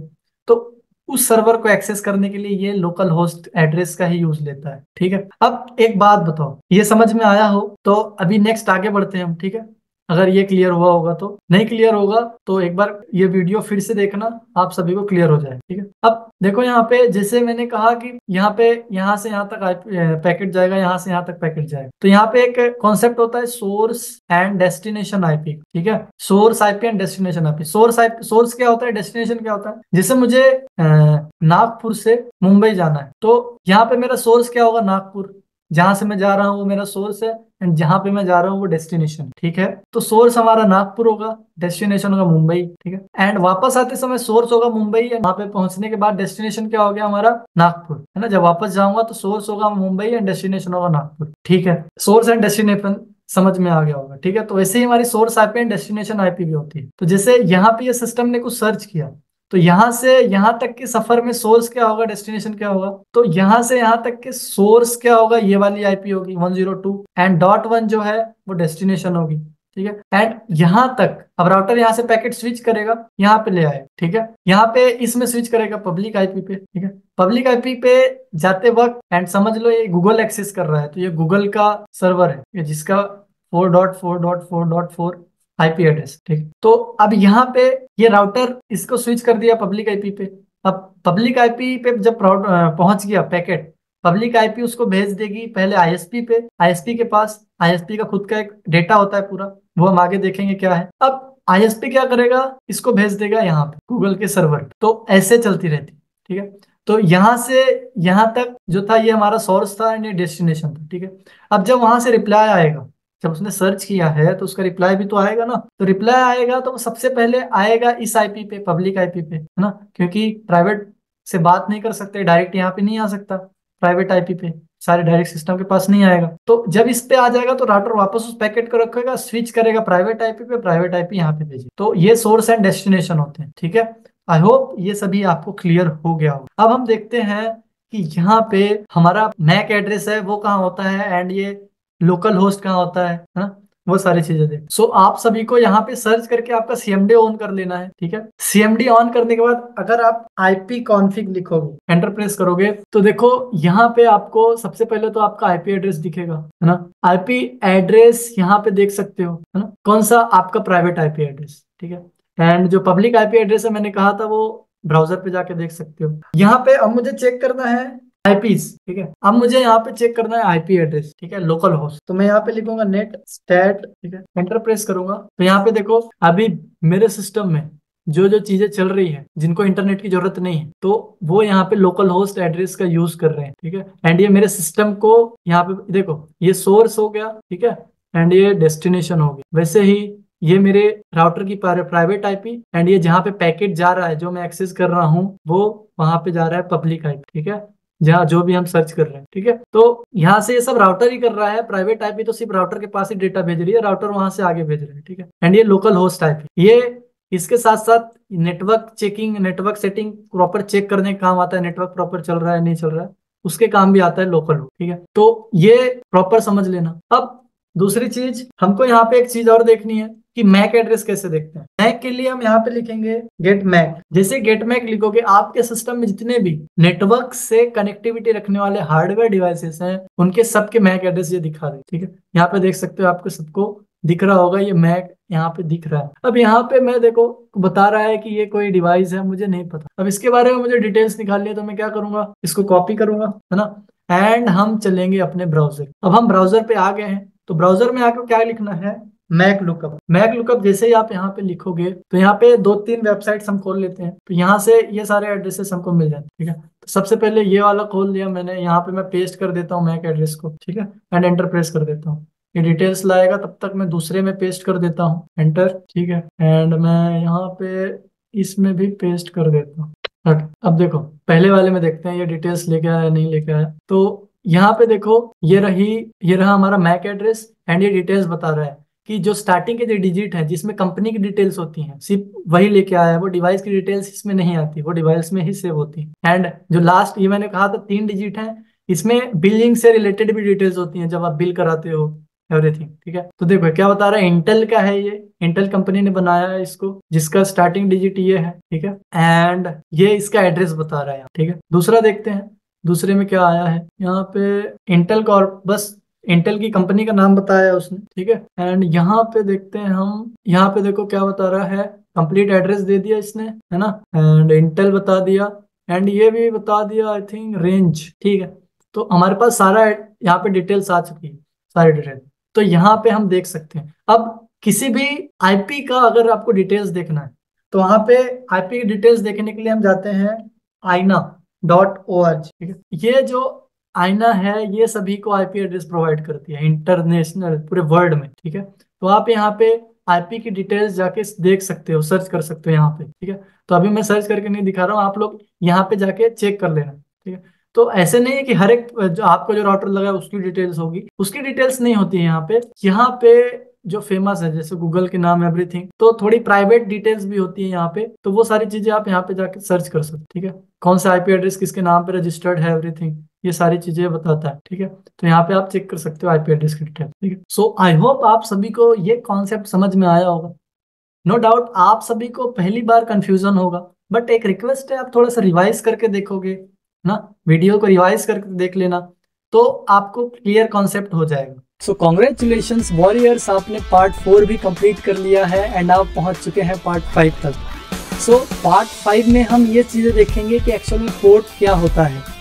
हमारे साइबर सिक्योरिटी में इथिकल हैकिंग में जो हम एक्सेस लेते हैं वो हम पोर्ट के थ्रू ही लेते हैं। नो डाउट आईपी एड्रेस का भी रोल होता है बट हमारे पोर्ट का भी उतना ही रोल होता है। तो so, यहाँ पर हम समझेंगे पोर्ट्स क्या होते हैं कैसे काम करते हैं कितने टाइप के पोर्ट्स होते हैं मतलब टाइप ऑफ़ पोर्ट्स सो मिलते हैं अपने स्लाइड में। तो आज हम यहाँ पे पोर्ट्स के बारे में सब कुछ समझने वाले हैं। तो गाइज़ यहाँ पे पोर्ट्स हमारे तीन टाइप के होते हैं, ठीक है? यहाँ पे हमारे पास पोर्ट तीन टाइप के हैं। सबसे पहले है वेल नोन ठीक है? दूसरा है रजिस्टर्ड एंड तीसरा है डायनेमिक लेकिन इससे पहले कि इनके टाइप से पहले हम ये जान ले कि ये पोर्ट सेक्सुअल में होते क्या है, ठीक है? तो हमने आईपी एड्रेस देखा था, है ना? आईपी एड्रेस के बारे में हमने देखा था। आईपी एड्रेस क्या था? एक सिस्टम का एड्रेस था, ठीक है? जो डेटा पहुँचाने के काम करता। लेकिन गाइज़ एक बात बताओ, क्या आप लोग सिर्फ़ एड्रेस थे?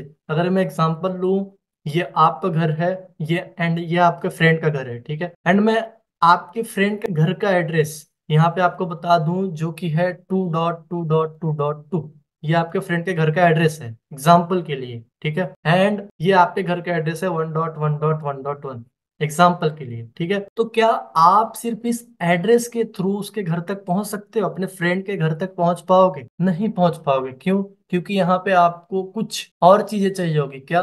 आपको रास्ते की ज़रूरत पड़ेगी। जब तक आपके पास रास्ता नहीं होगा, तब तक आप उसके घर तक नहीं पहुँच पाओगे। आपको एक रूट की ज़रूरत पड़ेगी, है ना? हवे में तो जाओगे नहीं, ठीक है? हवे में भी रूट की ज़रूरत होती है कि इस रूट से जाओगे तो ही घर पे पहुंचेगी। तो वैसे ही अगर मैं इनको एक सिस्टम मान लू, ठीक है? तो जब सिस्टम डेटा पैकेट भेजते हैं ना, जैसे इस सिस्टम को यहाँ तक कुछ पैकेट भेजना है तो इसको एक रास्ते की ज़रूरत पड़ेगी, ठीक है? उन रास्तों को ही हम पोर्ट्स कहते हैं, ठीक है?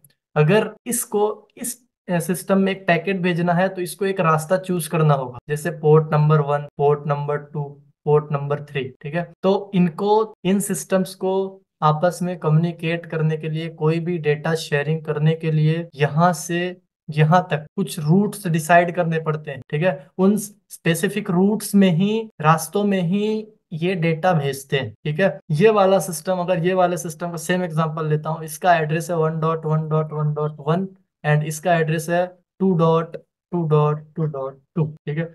अब इस सिस्टम को, इस सिस्टम के पास एक पैकेट भेजना है, ठीक है? एक मैसेज भेजना है तो क्या करेगा वो? एड्रेस तो उसके पास आ गया, लेकिन वो एक रास्ता भी डिसाइड कर लेगा। रास्ता मतलब पोर्ट ठीक है? कि ये जो पैकेट है, ये किस रास्ते से जाएगा ठीक है? क्या आप लोग बिना रास्ते के, बिना रूट के किसी के घर पहुँच सकते हो? बिल्कुल भी नहीं पहुँच सकते। हो तो ये जो पोर्ट है, कह सकते हो, ये इनका रास्ता है। ठीक है? इन रास्तों से ही जाते हैं ठीक है? तो अब एक बात बताओ, क्या आपके घर से आपके फ्रेंड के घर जाने के लिए एक ही रास्ता है? नहीं। आपके घर से आपके फ्रेंड के घर तक जाने के लिए एक रास्ता नहीं है। वहाँ पे टोटल जो रास्ते हैं, वो बहुत होंगे। वो आप लोगों ने गिने नहीं होंगे, लेकिन बहुत ज़्यादा होंगे। ऑप्शंस बहुत ज़्यादा होंगे आपके पास। वैसे ही इन सिस्टम के पास, पूरे सिस्टम के पास और ओवर दी वर्ल्ड सभी के पास रास्ते होते हैं six double five three five ठीक है? 6535 रास्ते होते हैं पूरे सिस्टम्स के पास। दुनिया में जितने भी सिस्टम है, हर एक सिस्टम के पास, सिर्फ़ एक सिस्टम के पास six double five three five ये सारे रास्ते होते हैं। सिस्टम चीज़ों को शेयर करने के लिए। कह, या फिर कह सकते हो पूरे नेटवर्किंग में, पूरे नेटवर्क में six double five three five रास्ते होते हैं इन डेटास को भेजने के लिए, हर एक सिस्टम ठीक है? आई होप आप सभी को पोर्ट क्या होता है समझ में आ जाता है। सिंपल सी समरी है इसकी कि ये एक रास्ता है जिनसे ट्रेवल करता है हमारा डेटा ठीक है? उन्हीं को हम पोर्ट्स कहते हैं ओके सो आई होप ये टॉपिक क्लियर हो गया होगा आपको पोर्ट्स के बारे में। अब देखो, जैसे हमने आईपीस को देखा था, है ना? आईपी को उनके रेंज के हिसाब से डिवाइड कर दिया गया, है ना?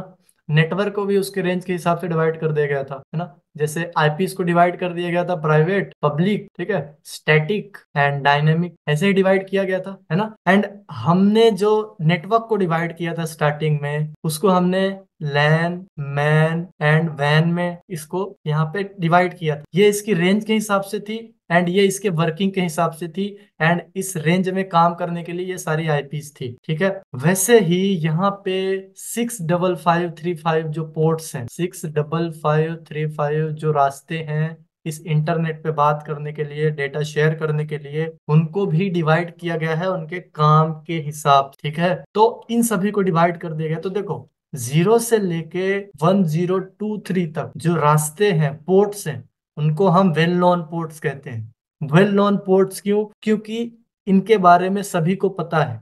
अब एग्ज़ाम्पल के ले लो, एक एच टी टी पी ये एक सर्विस है, ठीक है? इसको प्रोटोकॉल भी कहते हैं, पर ये सर्विस भी है, ठीक है? अब प्रोटोकॉल क्या होता है, मैं आगे बताता हूँ। ये एक सर्विस है, जो कि पोर्ट नंबर एटी पे चलती है। S T T P S ये रास्ते को यूज़ होती है फोर फोर थ्री को, ठीक है? वैसे ही यहाँ पे बहुत सारे रास्ते हैं, जिनके बारे में मुझे पता है। क्यों पता है? क्योंकि वो वेल नोन है, वैसे ही बहुत सारे लोगों को पता है इनके बारे में।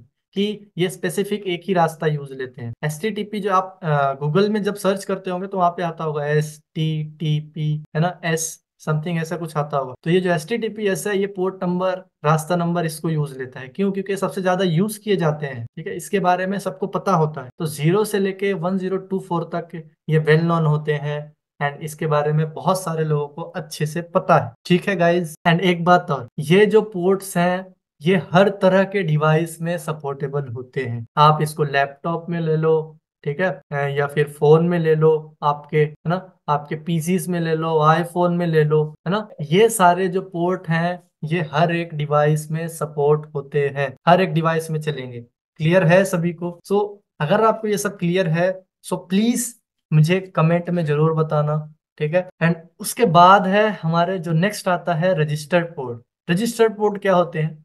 जैसे हमने वेल नॉन में देखा कि ये हर एक डिवाइस में सपोर्ट है लैपटॉप में यूज़ कर लो फ़ोन में यूज़ कर लो आईफोन में यूज़ कर लो एंड्रॉयड में यूज़ कर लो, हर जगह सपोर्टेबल वैसे ही कुछ रजिस्टर्ड पोर्ट होते रजिस्टर्ड पोर्ट क्या होते हैं? ये स्पेसिफिक कुछ सर्विसेज़ के लिए रजिस्टर किए गए हैं कुछ कंपनी द्वारा।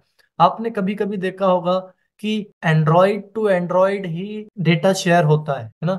एंड्रॉयड टू एंड्रॉयड ही डेटा शेयर होता है। कभी कभी आईफोन में भी हो जाता है, लेकिन बहुत रेयर ठीक है? तो एंड्रॉयड टू एंड्रॉयड बहुत जल्दी डेटा शेयर हो जाता है एंड आईफोन टू आईफोन बहुत जल्दी डेटा ट्रांसफ़र हो जाता है। है ना? विंडोज़ टू विंडोज़ डेटा बहुत जल्दी ट्रांसफ़र हो जाता है। है ना? विंडोज़ टू विंडोज़ यानी आपके Windows laptop to Windows but Mac OS में बहुत बहुत मुश्किल से डेटा ट्रांसफ़र हो पाता है। ठीक है? क्यों? क्योंकि इनके लिए खुद डेटा शेयर करने के लिए एक कुछ पोर्ट्स रख लिए गए हैं रजिस्टर्ड पोर्ट ठीक है? तो ये रजिस्टर्ड पोर्ट जो है, ये स्पेसिफिक चीज़ों के लिए रखे गए हैं। जैसे आईफोन टू आईफोन ही ट्रांसफ़र करने के लिए एंड्रॉयड टू एंड्रॉयड ही ट्रांसफ़र करने के लिए, है ना? एंड कुछ और कंपनीज़ ने इनको अपने नाम पर रजिस्टर्ड कर रखा है, ठीक है? ताकि ये फ्यूचर में इनका यूज़ ले सके अपने अपने तरीके से। ठीक है? तो रजिस्टर्ड पोर्ट वो पोर्ट होते हैं, वो रास्ते होते हैं जिनको सभी लोगों ने अपने अपने नाम पे रजिस्टर कर रखा है, ठीक है? जैसे आप लोगों के घर के आगे कोई गली होगी या फिर वो आपकी ज़मीन में है, ठीक है? आपके अंडर आती है तो आपने उसको अपने नाम पे रजिस्टर्ड कर रखा होगा, है ना? वैसे ही ये जो पोर्ट्स हैं, ये रास्ते हैं, इनको भी कंपनीज़ ने अपने अपने नाम पे रजिस्टर कर रखा है, ठीक है? ओके आई होप आपको ये रजिस्टर्ड पोर्ट भी समझ में आ गया होगा। नेक्स्ट टॉपिक पे बढ़ते हैं, ठीक है? नेक्स्ट क्या है हमारा? नेक्स्ट पोर्ट ये है डायनेमिक पोर्ट अब ये डायनेमिक पोर्ट जो है, ये थोड़ा सा इंटरेस्टिंग है। ये क्या है? ये इसको डायनेमिक पोर्ट के साथ साथ हम प्राइवेट पोर्ट भी कहते हैं, ठीक है? प्राइवेट प्राइवेट पोर्ट क्यों कहते हैं हम इसको? क्योंकि ये यूज़ होता है हमारे सिस्टम में ही, ठीक है? अब एक बात और सभी को मैं समझाना चाहूँ। देखो, ये एंड ये port well known and registered port ज़्यादातर सर्वर में यूज़ होते हैं, ठीक है? ये ये ज़्यादातर सर्वर में ही यूज़ होते हैं। कभी कभी कोई कोई पोर्ट जो है मैं आगे चल के बताऊँगा, ये डिवाइस में भी यूज़ होते हैं, पर ये ज़्यादातर सर्वर में यूज़ होते हैं। सर्वर आप सभी को मैंने बताया था, एक बड़ा सा कंप्यूटर होता है, जिसमें वेबसाइट्स रन हो रही होती है। वेबसाइट चल रही होती हैं स्टोर होती हैं उसमें, ठीक है? उसको हम सर्वर कहते हैं। एंड ये हमारे कंप्यूटर से बड़ा होता है, हमारे लैपटॉप सिस्टम से नॉर्मल सिस्टम से बहुत बड़ा होता है, ठीक है? एंड स्टोरेज इसकी जो कैपेसिटी है, वो बहुत ज़्यादा होती है। तो ये दो दो पोर्ट हैं ये ज़्यादातर सर्वर में रन होते हैं वेल नोन एंड रजिस्टर्ड है ना? एक एग्ज़ाम्पल ये भी ले सकते हो। हमारे डिवाइस में भी रन होते हैं। एंड जैसे मैंने कहा था, ये हर तरह के डिवाइस में रन होता है, ठीक है? वेल नोन तो आप एग्ज़ाम्पल से समझो कि ये जो दो पोर्ट हैं वेल नोन एंड रजिस्टर्ड ये सर्वर में ज़्यादातर रन होते हैं। एंड हमारे डिवाइस में क्या रन होता है फिर? हमारे डिवाइस में ये डायनेमिक पोर्ट ज़्यादा रन होते हैं, ठीक है? जिनकी रेंज है four nine one five two से लेके six double five three five तक। ये प्राइवेट एंड डायनेमिक भी होते हैं, ठीक है? इनको प्राइवेट एंड डायनेमिक पोर्ट्स भी कहते हैं, ठीक है? अब जैसे यहाँ से हमको एक रिक्वेस्ट भेजनी है इस सर्वर पे, एग्ज़ाम्पल के ले लो ये गूगल है। यहाँ पे एक रिक्वेस्ट भेजनी है आपको कुछ सर्च करना है तो ये जो पीसी है, ये जो हमारा पीसी है ये यूज़ लेगा इन पोर्ट्स को, ठीक है? डायनेमिक पोर्ट को। लेकिन समझ लो इसने गूगल का जब एक्सेस किया वहाँ पे तो एस यूज़ होगा, ज़ाहिर सी बात है। एस ही यूज़ होता है वहाँ पे शेयरिंग के समय, है ना? आप लोग एक बार चेक करना, वहाँ पे सर्च करना तो S T T P S T T P S दिखेगा। यहाँ पे एस टी टी पी जब जाएगा, ये फोर फोर थ्री में जाएगा, ठीक है? भेजने के लिए मतलब यहाँ से जब निकलेगा तो वो निकलेगा four nine one five two से इन दो, इन किसी भी पोर्ट पे इनमें से किसी भी पोर्ट पे हाँ इनमें से किसी भी पोर्ट से ये डेटा निकलेगा। लेकिन वहाँ पे जाएगा किसमें वो जाएगा फोर फोर थ्री में ही जाएगा, क्योंकि ये फोर फोर थ्री सर्वर पे ही रन हो रही है गूगल का सर्वर है। क्लियर है आपको डायनेमिक पोर्ट अब ये हमारे सिस्टम में कहाँ रन होती है? मैं डायनेमिक पोर्ट्स का एग्जांपल दिखाता हूँ आप सभी, ठीक है? आप लोग जैसे ही अपने सिस्टम में आओगे, ठीक है? अपने मैन कंप्यूटर में आ जाना एंड यहाँ पे सर्च करना सीएमडी के बारे में सीएमडी ये कमांड प्रॉम्प्ट इसको ओपन करोगे एंड यहाँ पे लिखोगे नेट स्टैट ठीक है?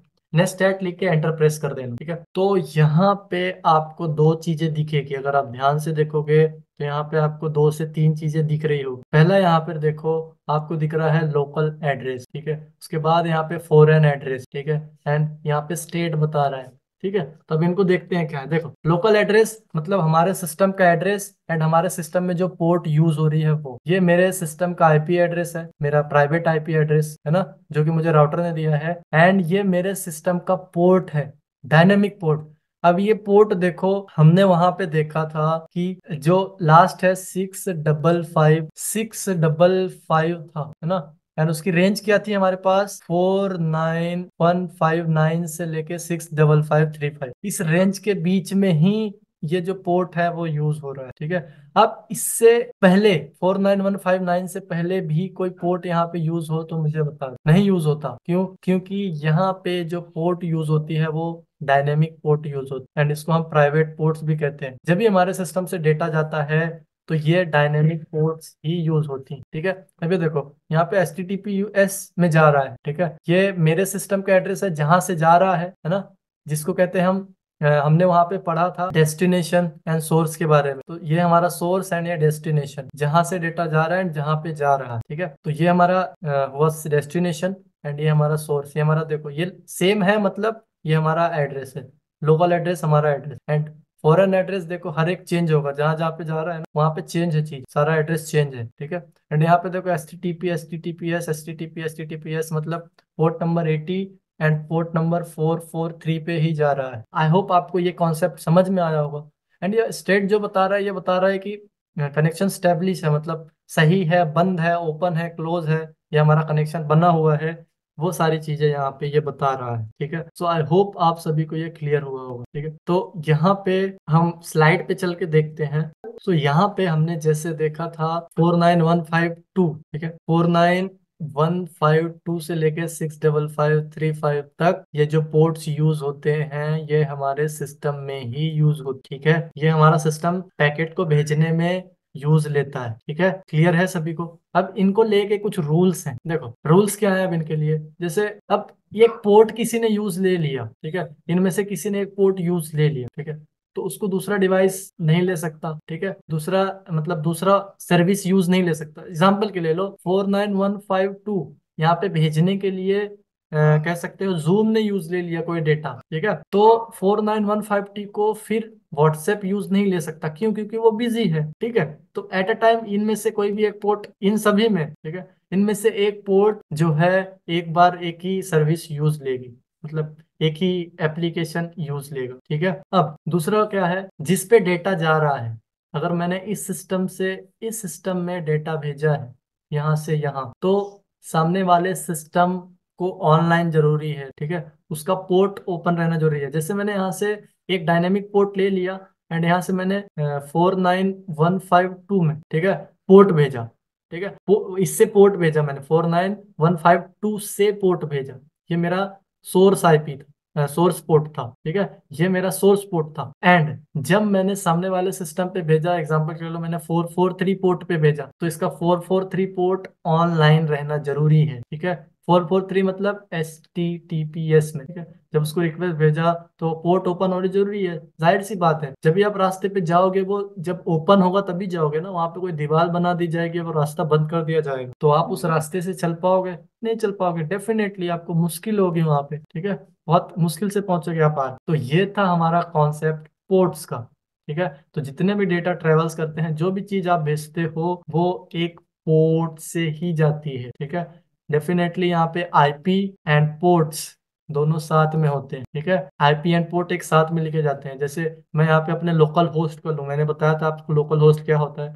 One twenty seven dot zero dot zero dot one and port number यहाँ पे मैं दे दूँ one five two nine one six क्या ये पोर्ट सही है? नहीं। तो ये मैंने बस एग्जांपल के लिए लिया है, ठीक है? क्योंकि ये रेंज की पोर्ट हमारे सिस्टम हमारे सिस्टम यूज़ ही नहीं होती, फिर भी मैंने एग्जांपल के लिए लिया है। तो ऐसे ही होता है हमारा पोर्ट या आईपी का कॉम्बिनेशन डबल कॉलम के बाद हमेशा एक पोर्ट लिखा जाता है, ठीक है? सो ये देखो, जैसे अभी हमने देखा था सीएमडी में हम वापस चल, हम वापस चलते हैं अपने कमांड प्रॉम्प्ट ठीक है? सो यहाँ पर देखो, हर एक पोर्ट एंड आईपी एक साथ है। ये देखो, ये आईपी एंड कॉलन के बाद पोर्ट ठीक है? एंड यहाँ पर कोई भी आप जो एड्रेस देख रहे हैं, ठीक है? ये मेरे सिस्टम का है, ठीक है? एंड मैंने ये कहना चाहता था, आप इनमें से जो पोर्ट देख रहे हैं ये कोई भी four nine one five two से लेके six double five three five के बीच में ही है। ना उससे पहले का है, उससे पहले का हो जाएगा तो वो रजिस्टर्ड पोर्ट हो जाएगा, वो हमारे यूज़ में नहीं है यहाँ पे सिस्टम एंड उसके बाद कोई पोर्ट ही नहीं है। तो six double five three five तक यूज़ होगा फोर नाइन वन फाइव ठीक है, ये हमारा सिस्टम यूज़ करता है यहाँ से भेजने के लिए। ठीक है सो आई होप ये सारे पोर्ट्स का कॉन्सेप्ट आपको सभी को क्लियर होगा। ठीक है एंड यहाँ पे देख सकते हो आप लोग, ये मेरा लोकल होस्ट ये भी ये डायनेमिक पोर्ट का यूज़ हो रहा है। अब इनको डायनेमिक क्यों करते हैं हम? डायनेमिक पोर्ट इनको कहते क्यों है एक्चुअल में? तो इनको डायनेमिक पोर्ट इसीलिए कहते हैं कि जैसे अभी जूम ने, मैंने कहा जूम ने यूज़ ले लिया यहाँ पे four nine one five two को।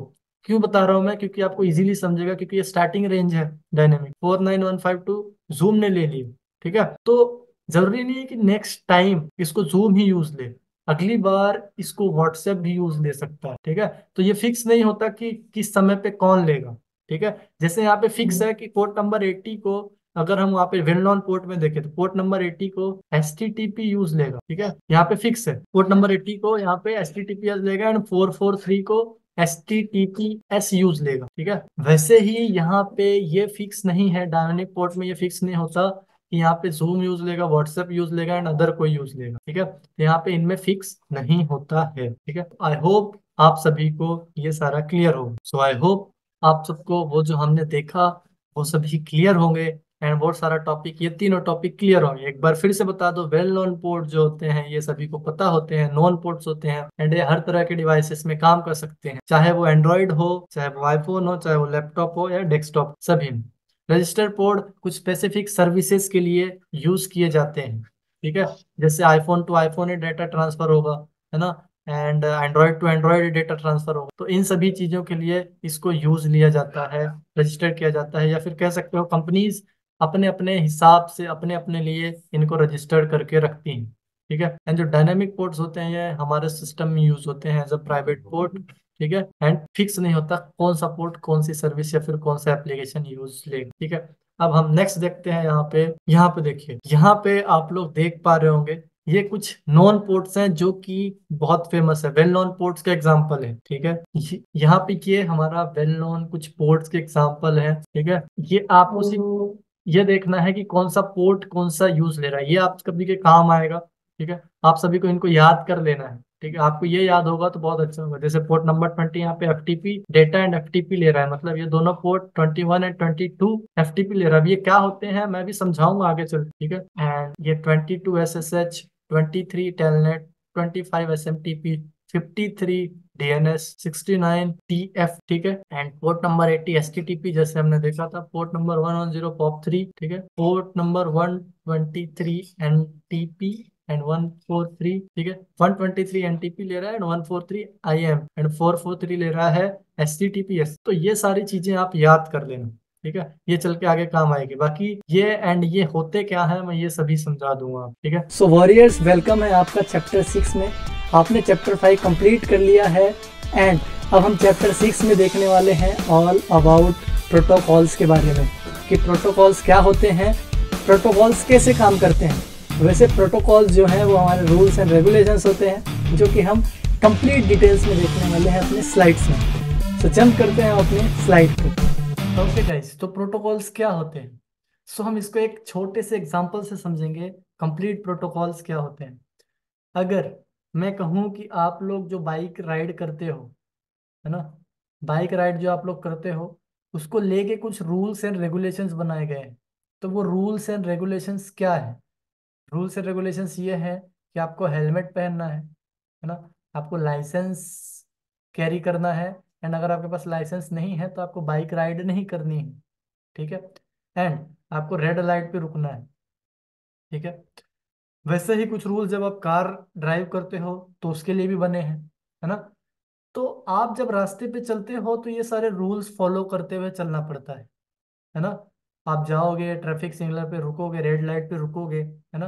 हेलमेट लगाओगे ना? लाइसेंस रखोगे अपने पास।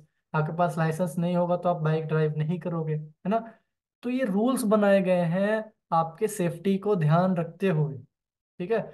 अब इसको अगर मैं प्रोटोकॉल से रिलेट करना चाहूँ तो ऐसे ही कुछ रूल्स बनाए गए हैं हमारे डेटा को सेफ्टी देने के लिए। ये रूल्स बनाए गए थे आपको सेफ्टी देने के लिए। एंड ये जो रूल्स बनाए जा रहे हैं ये जो प्रोटोकॉल्स हैं ये हमारे डेटा को सेफ्टी देने के लिए बनाए गए। ठीक है? सो so, जो प्रोटोकॉल्स हैं ये कुछ नहीं ये set of rules and regulations हैं जिससे डेटा सिक्योरली अपने डेस्टिनेशन तक पहुँच सके है ना? जहाँ जा जहाँ तो उसको जाना है वहाँ पे इजीली पहुँच सके। ठीक है? तो इसी को हम कहते हैं प्रोटोकॉल क्लियर है? एक बार अगेन मैं रिपीट कर देता हूँ। प्रोटोकॉल जो है, ये कुछ set of rules and regulations होते हैं, ठीक है? नेटवर्किंग में, ठीक है? अब हमारे नेटवर्किंग में सिर्फ़ दो ही टाइप के प्रोटोकॉल्स हैं, ठीक है? पहला है टीसीपी एंड दूसरा है यूडीपी टीसीपी का फुल फॉर्म है ट्रांसमिशन कंट्रोल प्रोटोकॉल ठीक है? ट्रांसमिशन कंट्रोल प्रोटोकॉल ठीक है? एंड यूडीपी का फुल फॉर्म है यूज़र डेटाग्राम प्रोटोकॉल ठीक है? गाइस अगर आपको स्पेलिंग समझ में नहीं आ रही है तो आप इसको गूगल भी कर सकते हो। इट्स सो इजी ठीक है? तो टीसीपी है transmission control protocol and UDP है यूज़र डेटाग्राम प्रोटोकॉल ठीक है? अब हम वन बाय वन समझेंगे। टीसीपी क्या होता है, कैसे काम करता है एंड यूडीपी के बारे में, ठीक है? सो लेट्स स्टार्ट करते हैं। तो सबसे पहले हम देखेंगे अपने टीसीपी के बारे में, टीसीपी कैसे काम करता है, ठीक है? तो टीसीपी जब भी काम करता है ना तो ये थ्री वे हैंडशेक फॉलो करता है। थ्री वे हैंडशेक क्या होता है? इससे पहले हम इसके कुछ फ्लैग्स जान लेते हैं। अब फ्लैग्स क्या होते हैं? एंड फ्लैग क्या है? अब आप लोगों ने ट्रेन के बारे में सुना है। तो ट्रेन के आगे अगर आप रेड फ्लैग लगाते हैं तो उसका मतलब क्या है? ट्रेन को स्टॉप होना है है ना? एंड अगर ग्रीन फ्लैग लगाते हैं तो क्या होता है? वहाँ पे उसको चलना होता है है ना? स्टार्ट करना होता है, ट्रेन को चल देना होता है, ठीक है? वैसे ही यहाँ पे टीसीपी के भी कुछ फ्लैग्स हैं, ठीक है? अब ये फ्लैग्स क्या कहना चाहते हैं? वहाँ पे स्टार्ट एंड स्टॉप ही था। यहाँ पे देखो, टोटल सिक्स फ्लैग्स हैं टीसीपी के, टोटल छह फ्लैग हैं। ये अलग अलग इंडिकेशन देते हैं अलग अलग चीज़ों के लिए इंडिकेट करते हैं सारे फ्लैग ट्रेन में सिर्फ़ रेड एंड ग्रीन थे, जो कि स्टार्ट एंड स्टॉप के लिए थे. एक था येल्लो समझ लो, अगर येल्लो भी होता तो येल्लो का मतलब था कि सावधानी से चलना है, देख के चलना है है ना? बट यहाँ पे टीसीपी के छह फ्लैग हैं. अगर मैं फ़र्स्ट फ्लैग लू यू आर जी जिसको कहते हैं हम अर्जेंट फ्लैग अब अर्जेंट फ्लैग का क्या काम है? अगर मैं कहूँ कि जल्दी से मुझे पानी दो, बहुत ज़ोर से प्यास लगी है। तो आप क्या करोगे? मुझे पानी दोगे जल्दी से। क्योंकि मैंने वहाँ पे एक जल्दी शब्द का यूज़ ले लिया है। ठीक है? जल्दी। अब मैंने जल्दी शब्द का यूज़ लिया मतलब ये मेरा फ्लैग था। अर्जेंट, है ना? क्योंकि मुझे अर्जेंट चाहिए। तो अर्जेंट फ्लैग किस काम आता है? किसी चीज़ को अर्जेंटली कराने के लिए। कोई भी डेटा जब बहुत अर्जेंटली भेजना होता है तो टीसीपी उसके साथ अर्जेंट फ्लैग लगा देता है, जिससे डेटा बहुत फास्ट ट्रांसफ़र होता है, अर्जेंटली ट्रांसफ़र हो पाता है, ठीक है?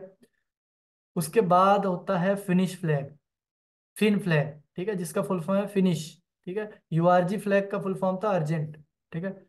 इसका फुल फॉर्म है फिनिश फ्लैग। फिनिश फ्लैग क्या होता है? अब जैसे यहाँ पे दो डेटा ट्रांसफ़र हो रहे हैं, ठीक है?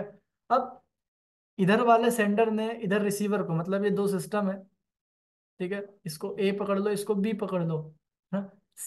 जो सिस्टम ए है, वो सिस्टम बी को डेटा भेज रहा है, कोई फ़ाइल शेयर कर रहा है। अब जब इसके तरफ़ से सारी फ़ाइल हंड्रेड परसेंट इसके पास पहुँच गई तो क्या करेगा ये? कनेक्शन तोड़ देगा, ठीक है? लेकिन कनेक्शन तोड़ने के लिए ये फिन फ्लैग का यूज़ करता है है ना? जैसे ही सारा डेटा ट्रांसफ़र हो गया, है ना? इसको पता चलेगा कि सारा डेटा ट्रांसफ़र हो चुका है। तो टीसीपी क्या करेगा? वहाँ पे फिनिश फ्लैग का यूज़ करेगा, ठीक है? फिनिश फ्लैग भेज देगा सामने वाले सिस्टम पे, या फिर बने हुए कनेक्शन में, जिससे वो कनेक्शन ब्रेक हो जाएगा, टूट जाएगा, ठीक है? तो वहाँ पे कनेक्शन फिनिश हो जाएगा। अब यहाँ पे R S T R S T flag का फुल फॉर्म है रिसेट ठीक है? अगर रिसेट फ्लैग का मैं एग्ज़ाम्पल लू, ये किस काम आता है? तो जैसे अगर आपने देखा होगा कि कई बार आप ऑनलाइन देखते हो, कोई भी चीज़ सर्च करते हो तो वहाँ पे एरर आ जाता है है ना? एरर जब आता है तो क्या होता है वहाँ पे? आप वहाँ पे रिलोड करते हो वेबसाइट को, है ना? रिलोड करते हो। अच्छा और इजी एग्जांपल लूँ तो आपके सिस्टम में कोई भी हर्डल आता है तो आप क्या करते हो? सिस्टम को रिसेट करते हो, है ना? तो उससे ज़्यादातर 99.9 परसेंट तक प्रॉब्लम सॉल्व हो जाती है है ना? वैसे ही रिसेट फ्लैग जब भी सिस्टम में या फिर नेटवर्क पे कोई एरर आए, कोई हर्डल आए तो यहाँ पे रिसेट फ्लैग का यूज़ होता है। रिसेट फ्लैग क्या करता है? सिस्टम को जो नेटवर्क बना हुआ है, सिस्टम को रिसेट नहीं करेगा। जो नेटवर्क बना हुआ है, वो नेटवर्क को रिसेट कर देगा, है ना? सारी कॉन्फ़िगरेशन रिसेट कर देगा, जिससे वापस से स्टेब्लिश हो जाएगा कनेक्शन जिससे भी जो भी एरर थी वो रिजॉल्व हो जाएगी, ठीक है? तो टीसीपी रिसेट फ्लैग कनेक्शन को रिसेट करने के लिए यूज़ करता है, ठीक है? उसके बाद है हमारा फोर्थ फ्लैग, पुश फ्लैग, ठीक है? पुश फ्लैग क्या है?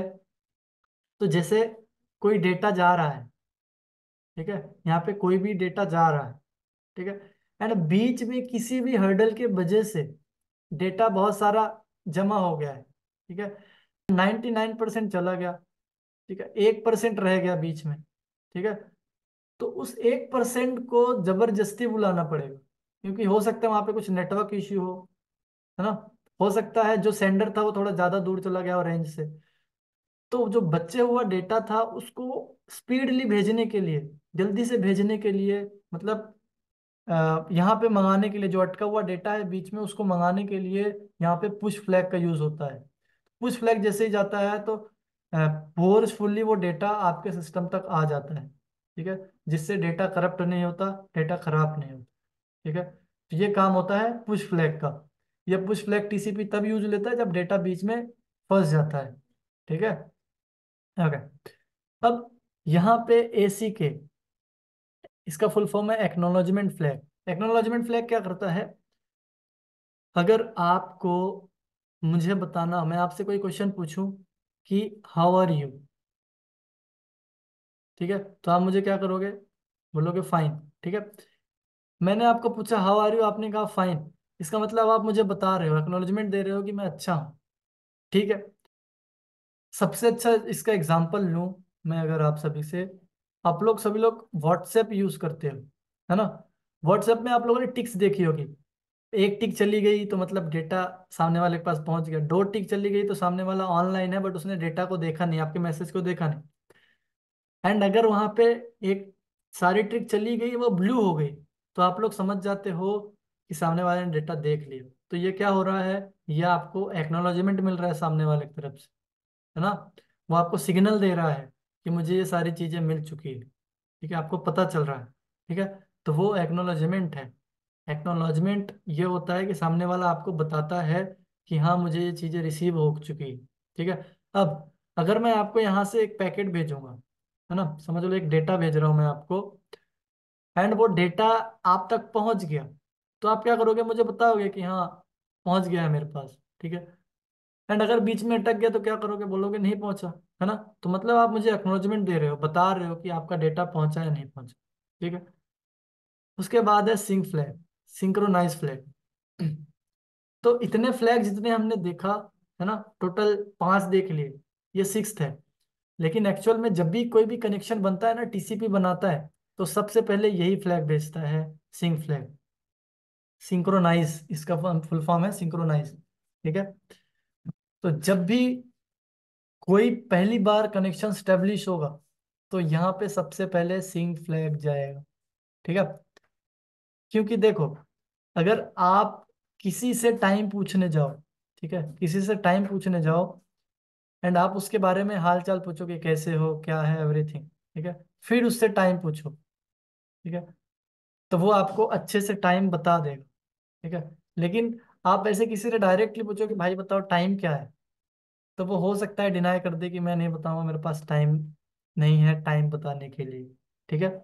तो यहाँ पे क्या हुआ कि आपने पहली बार जब हैंड शेक किया, ठीक है? हैंडशेक मतलब उससे बातचीत की एवरीथिंग तो वहाँ पे चांसेस थे कि आपको वो टाइम बता देता, लेकिन दूसरी टाइम जो आपने किया, वो नहीं लेकिन जो दूसरी टाइम आपने यहाँ पे उससे बिना उससे हालचाल पूछे, उससे टाइम पूछा तो वो वहाँ पे नहीं बताता, ठीक है? कुछ चांसेस थे जो बता देता, पर नहीं बताता जाता। वैसे ही सिम फ्लैग क्या करता है? सिम फ्लैग यहाँ पे सबसे पहले सिस्टम के पास हैंडशेक भेजता है फ़ाइल भेजता है, जिससे हाथ मिलाना कहते हैं, ठीक है? पहले हाथ मिलाता है सामने वाले सिस्टम को, ठीक है? उसके बाद ही आगे की प्रोसेस बढ़ती है। ठीक है? सो आई होप आप सभी के सारे फ्लैग समझ में आए होंगे। अब हम ये सारे फ्लैग समझने के बाद, जैसे मैं कह रहा था कि TCP three way handshake follow करता है, ठीक है? तो यहाँ पे ये दो सिस्टम है एग्ज़ाम्पल ले ये दो सिस्टम है, एक ये एंड ये। ये क्लाइंट है, ये एक सर्वर है। या फिर ये नाम से समझो, ये बॉब है, ये लॉसिस है, ठीक है? अब यहाँ पे सबसे पहले इस सिस्टम को, इस सिस्टम से कनेक्शन बनाना है। तो सबसे पहले ये सिंक फ्लैग भेजेगा। मतलब उसको हाल चाल पूछेगा, उससे हाथ मिलाएगा, ठीक है? अब जब सामने वाले सिस्टम को इस सिस्टम से कनेक्शन बनाना होगा तो वो भी साथ में सिंक फ्लैग भेजेगा। सिंक फ्लैग भेजेगा एक, ठीक है? नहीं तो वो एक्नोलेजमेंट फ्लैग भेज के सिस्टम यहाँ पे नेटवर्क खत्म कर देगा। नेटवर्क यहाँ पे क्लोज कर देगा, ठीक है? तो यहाँ पे सिंक फ्लैग भेजने का मतलब ये है कि मुझे आपसे बात करना है। मैं आपसे कनेक्शन बनाना चाहता हूँ। देखो यहाँ पे लिखा भी है I want to like to talk with you नोसिस on port number twenty three are you open मतलब ये यहाँ पे पूछ रहा है कि मुझे आपसे पोर्ट नंबर ट्वेंटी थ्री पे बात करनी है। क्या आपका पोर्ट ओपन है? ठीक है? तो यहाँ पे अगर इसको बात करना है तो यहाँ पे सिंक फ्लैग भेजेगी। ठीक है? एंड अगर बात नहीं करना है तो यहाँ पे सिर्फ़ एसी के फ्लैग भेज देगी। अब एसी के फ्लैग क्यों? एसी के फ्लैग इसलिए भेजेगी क्योंकि वो बताना चाहती है कि जो आपने सिंक फ्लैग भेजा है, ठीक है, हाथ मिलाने की रिक्वेस्ट भेजी है, वो मुझे यहाँ पे मिल चुकी है, ठीक है? तो वो रिप्लाई देती है। एसी के फ्लैग में बताती है कि मुझे मिल चुकी है, ठीक है? एंड अगर उसको कनेक्शन बनाना होता है तो एसी के फ्लैग के साथ सिंक फ्लैग भी डाल देती है यहाँ, ठीक है? सिंक का मतलब है सिंक्रोनाइज फ्लैग एसी का मतलब है एक्नोलॉजमेंट फ्लैग ठीक है? अब जब यहाँ पे इसने कनेक्शन बनाने की रिक्वेस्ट डाल दी मतलब इसने सिंक फ्लैग अटैच किया है एक्नोलॉजमेंट के साथ मतलब इसको कनेक्शन बनाना है तो इसने कहा okay Bob I am open on port number twenty three ठीक है? अब इसने यहाँ पे वापस से रिप्लाई दिया एक्नोलॉजमेंट का। ठीक है? किस चीज़ का एक्नोलॉजमेंट का? कि मुझे आपकी कनेक्शन बनाने की जो रिक्वेस्ट है, वो मिल चुकी है। है ना? मतलब यहाँ पे जो इसने एक्नोलॉजमेंट भेजा इसने जब इसने एक्नोलॉजमेंट के साथ एक सिंग फ्लैग भेजा तो इस, इसको पता चल गया कि हाँ ये कनेक्शन बनाना चाहती है। तो ये इसने इसका रिप्लाई दिया है कि हाँ मुझे आप पे कनेक्शन बनाने की जो रिक्वेस्ट है वो मिल चुकी है। तो यहाँ पे कनेक्शन स्टेब्लिश हो जाएगा इन दोनों के बीच में ठीक है? कनेक्शन बन जाएगा ठीक है? तो ऐसे थ्री वे हैंड शेक करते हैं ठीक है? तीन वे हैंड शेक करके यहाँ पे कनेक्शन स्टैब्लिश होता है। किससे? टीसीपी से। ठीक है ट्रांसमिशन कंट्रोल प्रोटोकॉल से तो ये पहला था हमारा जो प्रोटोकॉल ठीक है फ़र्स्ट प्रोटोकॉल ठीक है। अब यहाँ पे कनेक्शन बन तो गया इन लोगों का, ठीक है। हैंडशेक करके यहाँ पे कनेक्शन बन गया। लेकिन जब इसको बंद करना हो, इस कनेक्शन को खत्म करना हो, तोड़ना हो, तब क्या करेंगे? तो यहाँ पे कनेक्शन तोड़ने के लिए, जैसे मैंने कहा था, जब भी कोई फ़ाइल शेयरिंग हो गई तो यहाँ पे कनेक्शन तोड़ने के लिए फिन फ्लैग का यूज़ होता है है ना? जैसे आप लोग यहाँ पे देख रहे हो। अब इसको जो भेजना था, समझ लो एक फ़ाइल भेजनी थी तो यहाँ पे इसके पास पहुँच चुकी है, ठीक है? तो यहाँ पे बॉब ने कहा कि I am done with the data transfer मतलब मेरे तरफ़ से जो डेटा था वो ट्रांसफ़र हो चुका है। तो इसने ट्रांसफ़र जैसे ही हो गया फिन फ्लैग भेज दिया फिनिश फ्लैग भेज दिया, ठीक है? अब यहाँ पे लॉजिस ने क्या किया, इस दूसरे जो यूज़र था, उसने क्या किया यहाँ पे उसने एक्नोलॉजमेंट फ्लैग भेज दिया। एक्नोलॉजमेंट फ्लैग क्यों? कि उसने बोला फिन इस, जब इसने फ्लिंग फ्लैग जब इसने फिन फ्लैग भेजा यहाँ पे तो इस चीज़ को बताने के लिए कि हाँ मुझे आपका फिन फ्लैग मतलब कनेक्शन टर्मिनेशन की रिक्वेस्ट मिल चुकी है ठीक है ये बताने के लिए। तो यहाँ पे क्या लिखा रिसीव यूर टर्मिनेशन रिक्वेस्ट तो इसने क्या किया यहाँ पे? जैसे ही टर्मिनेशन रिक्वेस्ट मिली तो इसने पहले यहाँ पे चेक किया कि मेरे पास पूरा डेटा आया, नहीं आया। ठीक है?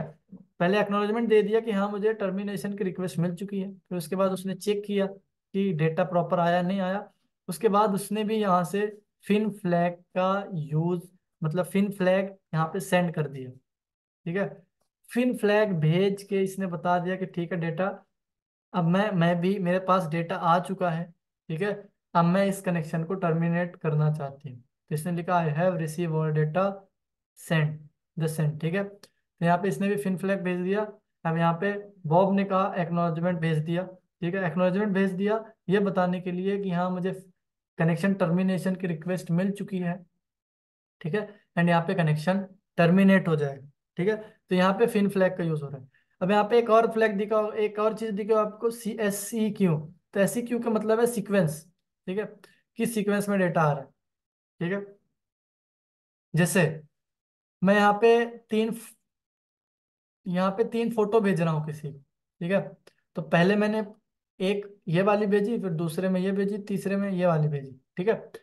अब कुछ नेटवर्क इश्यू की वजह से पहले ये वाली फ़ोटो चली गई, दूसरी वाली रुक गई, फिर तीसरी चली गई, ठीक है?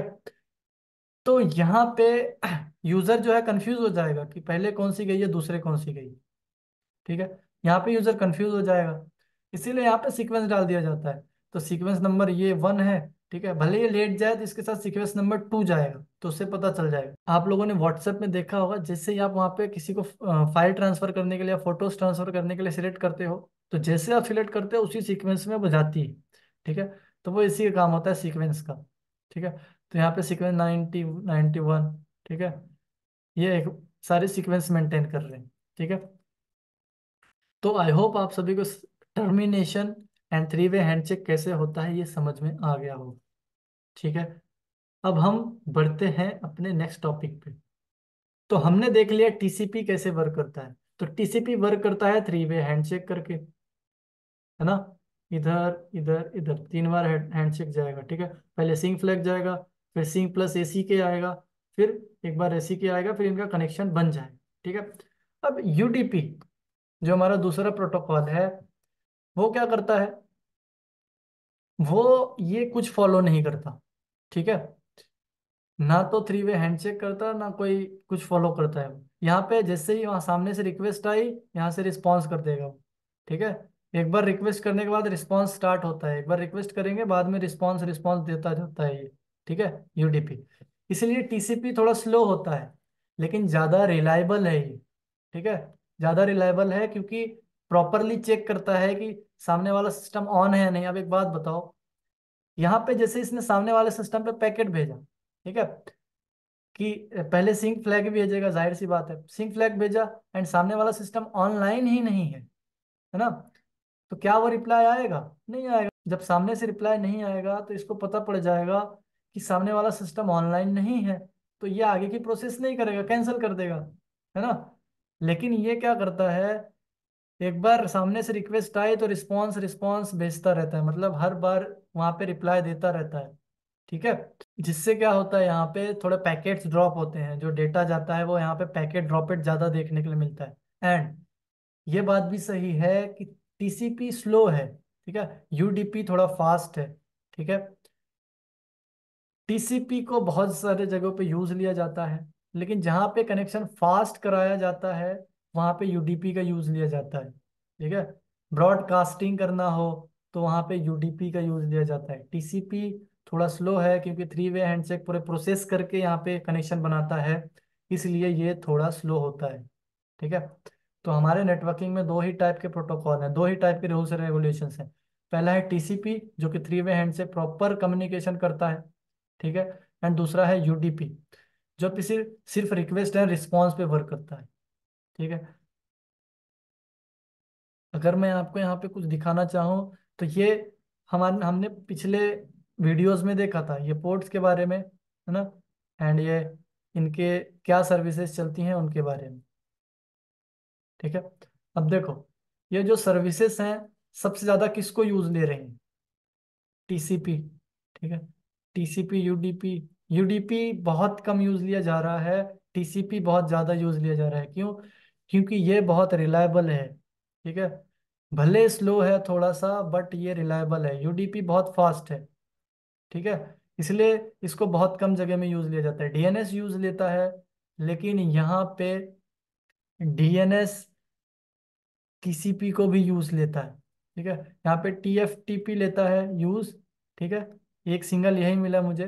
जो कि ये यूज़ लेता है यूडीपी को ठीक है? सो so, ये है हमारा प्रॉपर कम्युनिकेशन कैसे होता है। Warriors congratulations chapter six complete करने के लिए अब आ चुके हैं चैप्टर सेवन में। सो चैप्टर सेवन में क्या देखने वाले हैं? तो जैसे कि हमने चैप्टर सिक्स में देखा था कि प्रोटोकॉल्स क्या होते हैं। तो प्रोटोकॉल हमने देखा था दो तरीके के हैं टीसीपी एंड यूडीपी इन दोनों में से ज़्यादा यूज़ कौन सा हो रहा था? तो डेफिनेटली टीसीपी यूज़ हो रहा था। एंड वहाँ पर हमने देखा था टीसीपी के कुछ फ्लैग्स के बारे में भी है ना?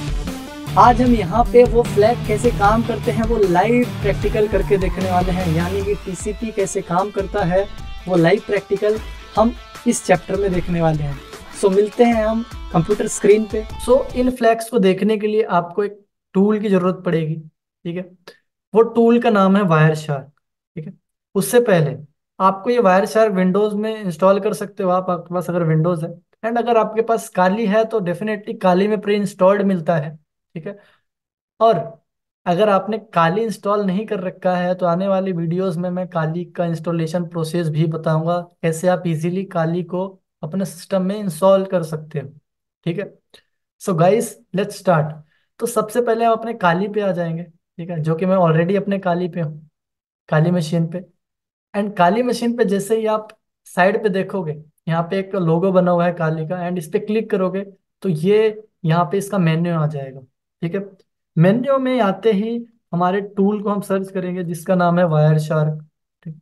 वायर शार्क पे क्लिक करना है, ठीक है? वायर शार्क पे क्लिक करके यहाँ पे इसको ओपन कर लेंगे तो ओपन करने के बाद ये इंटरफेस कुछ ऐसे दिखेगा इसका, ठीक है? अब इंटरफेस जब ऐसे दिखेगा तो यहाँ पे आपको कुछ नेटवर्क्स पूछ रहा है कि किस नेटवर्क का आपको यहाँ पे मॉनिटरिंग करनी है। अब वायर शार एक्चुअल में है क्या? ये टूल काम क्या करता है? तो गाइस इसका बहुत बड़ा टॉपिक है एंड ये काम क्या करता है? ये भी बहुत बड़ा खुद में टॉपिक है। सो so, सीधा सा समझो आप सिंपल सी समरी है इसकी कि आपके आसपास नेटवर्क में जितने भी ट्रैफिक्स है उसको एनालाइज करता है ये वायर शार ठीक है? तो यहाँ पे हमको जिस नेटवर्क की ट्रैफ़िक को एनालाइज करना है, यहाँ पे हमको क्लिक कर देना है उस पर तो मैं यहाँ पे अपने नेटवर्क को चेक करूँगा कि मैं किस नेटवर्क के हूँ। एक्चुअल में मेरे नेटवर्क का इंटरफेस क्या है? तो मैं यहाँ पे आई एफ़ कॉन्फिक लिखूँगा। आई एफ़ कॉन्फिक लिख के एंटर प्रेस करूँगा। तो यहाँ पे आप लोग देख सकते हैं ई टी एस ज़ीरो दिखा रहा है। ये मेरा नेटवर्क का इंटरफेस है, ठीक है? ये चीज़ें आने वाले सेशंस में बताऊँगा, लेकिन जो हमारा मेन फोकस है वो हम उस पर ज़्यादा फोकस करते हैं, ठीक है? तो ईटीएच ज़ीरो पे डबल क्लिक करोगे तो कुछ ऐसा पैनल ओपन हो जाएगा, ठीक है? अब यहाँ पे अभी ये ब्लैंक है, ठीक है? लेकिन देखो, जैसे ही मैं वायर शार्क ओपन करूँगा तो यहाँ पे बहुत सारे रिक्वेस्ट एंड रिस्पॉन्स आने लगेंगे, ये देखो, आने लगे। अब यहाँ पे दो दो ओपन हो गए देखो बैकएंड में बहुत सारे रिक्वेस्ट एंड रिस्पॉन्स आने लगे हैं, ठीक है? तो क्योंकि ये ब्राउज़र है ब्राउज़र भी एक तरह का नेटवर्क स्टेब्लिश करता है, कनेक्शन बनाता है। तो ज़ाहिर सी बात है कि यहाँ पे कुछ ना कुछ डिटेल्स आएगी, ठीक है? तो यहाँ पे जब ब्राउज़र कनेक्ट हुआ अपने नेटवर्क से एंड कनेक्ट होते ही अपने कुछ सर्वर से कनेक्ट किया होगा उसने तो सारी डिटेल्स यहाँ पे आ रही है, ठीक है? अब गाइस ध्यान देना यहाँ पे, ये आप लोगों को यहाँ पे एक एआरपी नाम दिख रहा होगा। ये हमने पढ़ा था जब हम राउटर कैसे वर्क करता है, वो वाले वीडियो में हमने देखा था एआरपी का। तो आप यहाँ पे लाइव देख लो एआरपी क्या पूछता है एंड कैसे वर्क करता है। तो यहाँ पे देखो एआरपी ने किसी को रिक्वेस्ट भेजी है ये पूछने के लिए कि 133 जो आईपी है वो किसके पास है है ना? एंड ये राउटर की आईपी बता रहा है डॉट टू ठीक है? गाइस ये डॉट टू इसलिए है क्योंकि ये VMware की आईपी अब मैं बताऊँगा क्यों ये डॉट टू ले रहा है। ठीक है? क्योंकि हमने वहाँ पे देखा था कि राउटर की जो आईपी होती है वो डॉट वन होती है। पर यहाँ पे डॉट टू दिखा रहा है क्योंकि ये VMware की आईपी है वर्चुअल राउटर सपोर्ट की आईपी ठीक है? तो जब हम इंस्टॉलेशन करेंगे VMware में, तब मैं आप सभी को समझा दूँगा। ठीक है? तो यहाँ पे देखो हु हैज़ ये आईपी पूछ रहा है किसके पास है है ना? एआरपी अब इसको रिप्लाई भी जाएगा। ठीक है? तो यहाँ पे four two one nine something is eight zero zero something ARP R P ने इसको कुछ रिप्लाई आया है तो ऐसे रिप्लाई आया है, ठीक है? ओके सो अब हम आज का फ्लैग्स देखते हैं, ठीक है? ए आर पी आप लोगों को क्लियर हो गया होगा। तो देखो, यहाँ पे जैसे मैंने ब्राउज़र ओपन किया ना तो यहाँ पे बहुत सारी डिटेल्स आई, लेकिन देखो, सबसे पैकेट पहला पैकेट कौन सा गया? जो मैंने कहा था, सबसे पहला पैकेट सिंग फ्लैग जाता है हैंडशेक करने के लिए। तो यहाँ पे देखो, सबसे पहले हैंड शेक करने के लिए सिंग फ्लैग गया है, ठीक है? आई होप आप सभी को ये विजुअल होगा अच्छे से। अब यहाँ पे देखो, ये सिंक फ्लैग जब गया है यहाँ पे तो गया कैसे है? तो थोड़ा सा यहाँ पे हम समझते हैं। देखो, यहाँ पे टाइम दिखा रहा है। तो टाइम में बता रहा है कि किसको कितना टाइम लगा, कितने देर में पैकेट पहुँचा है, ठीक है? एंड यहाँ पे सोर्स एंड डेस्टिनेशन बता रहा है कि सोर्स आईपी क्या है डेस्टिनेशन आईपी क्या है। कहाँ से गया है एंड कहाँ पे गया है? ये ये दोनों चीज़ें बता रहे हैं, ठीक है? एंड यहाँ पे प्रोटोकॉल्स कम्युनिकेशन में कौन सा प्रोटोकॉल यूज़ हो रहा है वो एंड यहाँ पे सारी इन्फॉर्मेशन ये लेंथ है पैकेट की, ठीक है? जो रिक्वेस्ट गई है, उसमें कितनी लाइन है, उसकी लेंथ कितनी थी, ठीक है? तो अगर यहाँ पे देखें, पहले तो सोर्स दिखा रहा है, ठीक है? सोर्स आईपी जो कि ये हमारी आईपी है। अब ये मुझे कैसे पता ये हमारी आईपी है? तो मैंने अभी यहाँ पे नेटवर्क का एडेप्टर चेक करते वक्त नेटवर्क इंटरफेस चेक करते वक्त मैंने देखा था आई एफ़ कॉन्फिग ठीक है? यहाँ पे देखो double six one three three ठीक है? ये आईपी दिख रही होगी आप सभी को, ठीक है?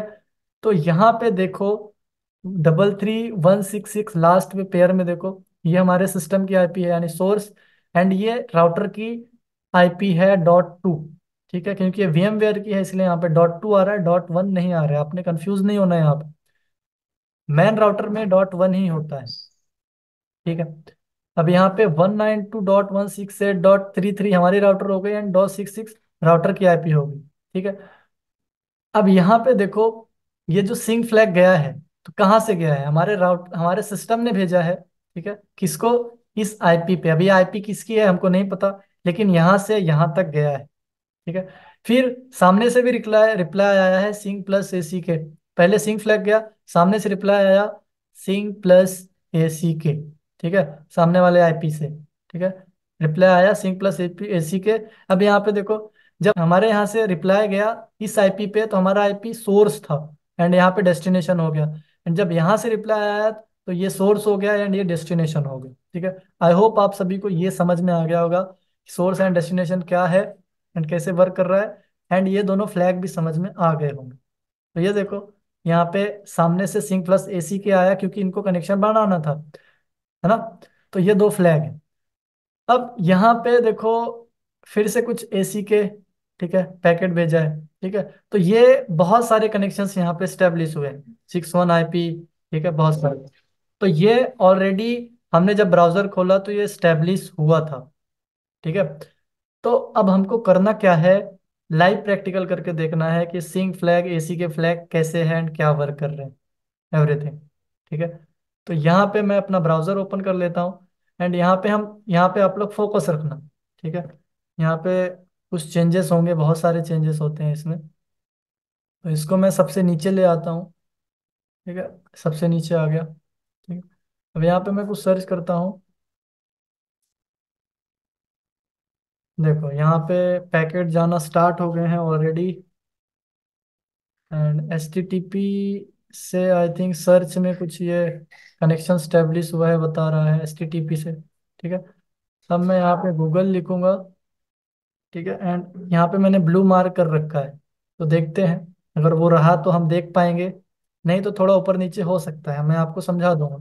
ठीक है? तो देखो, यहाँ से पैकेट ऊपर चला गया है।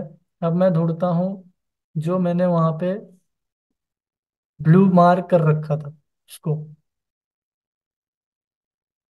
आई थिंक वो बहुत ये रहा। ठीक? ये ब्लू मार्क मैंने कर रखा था।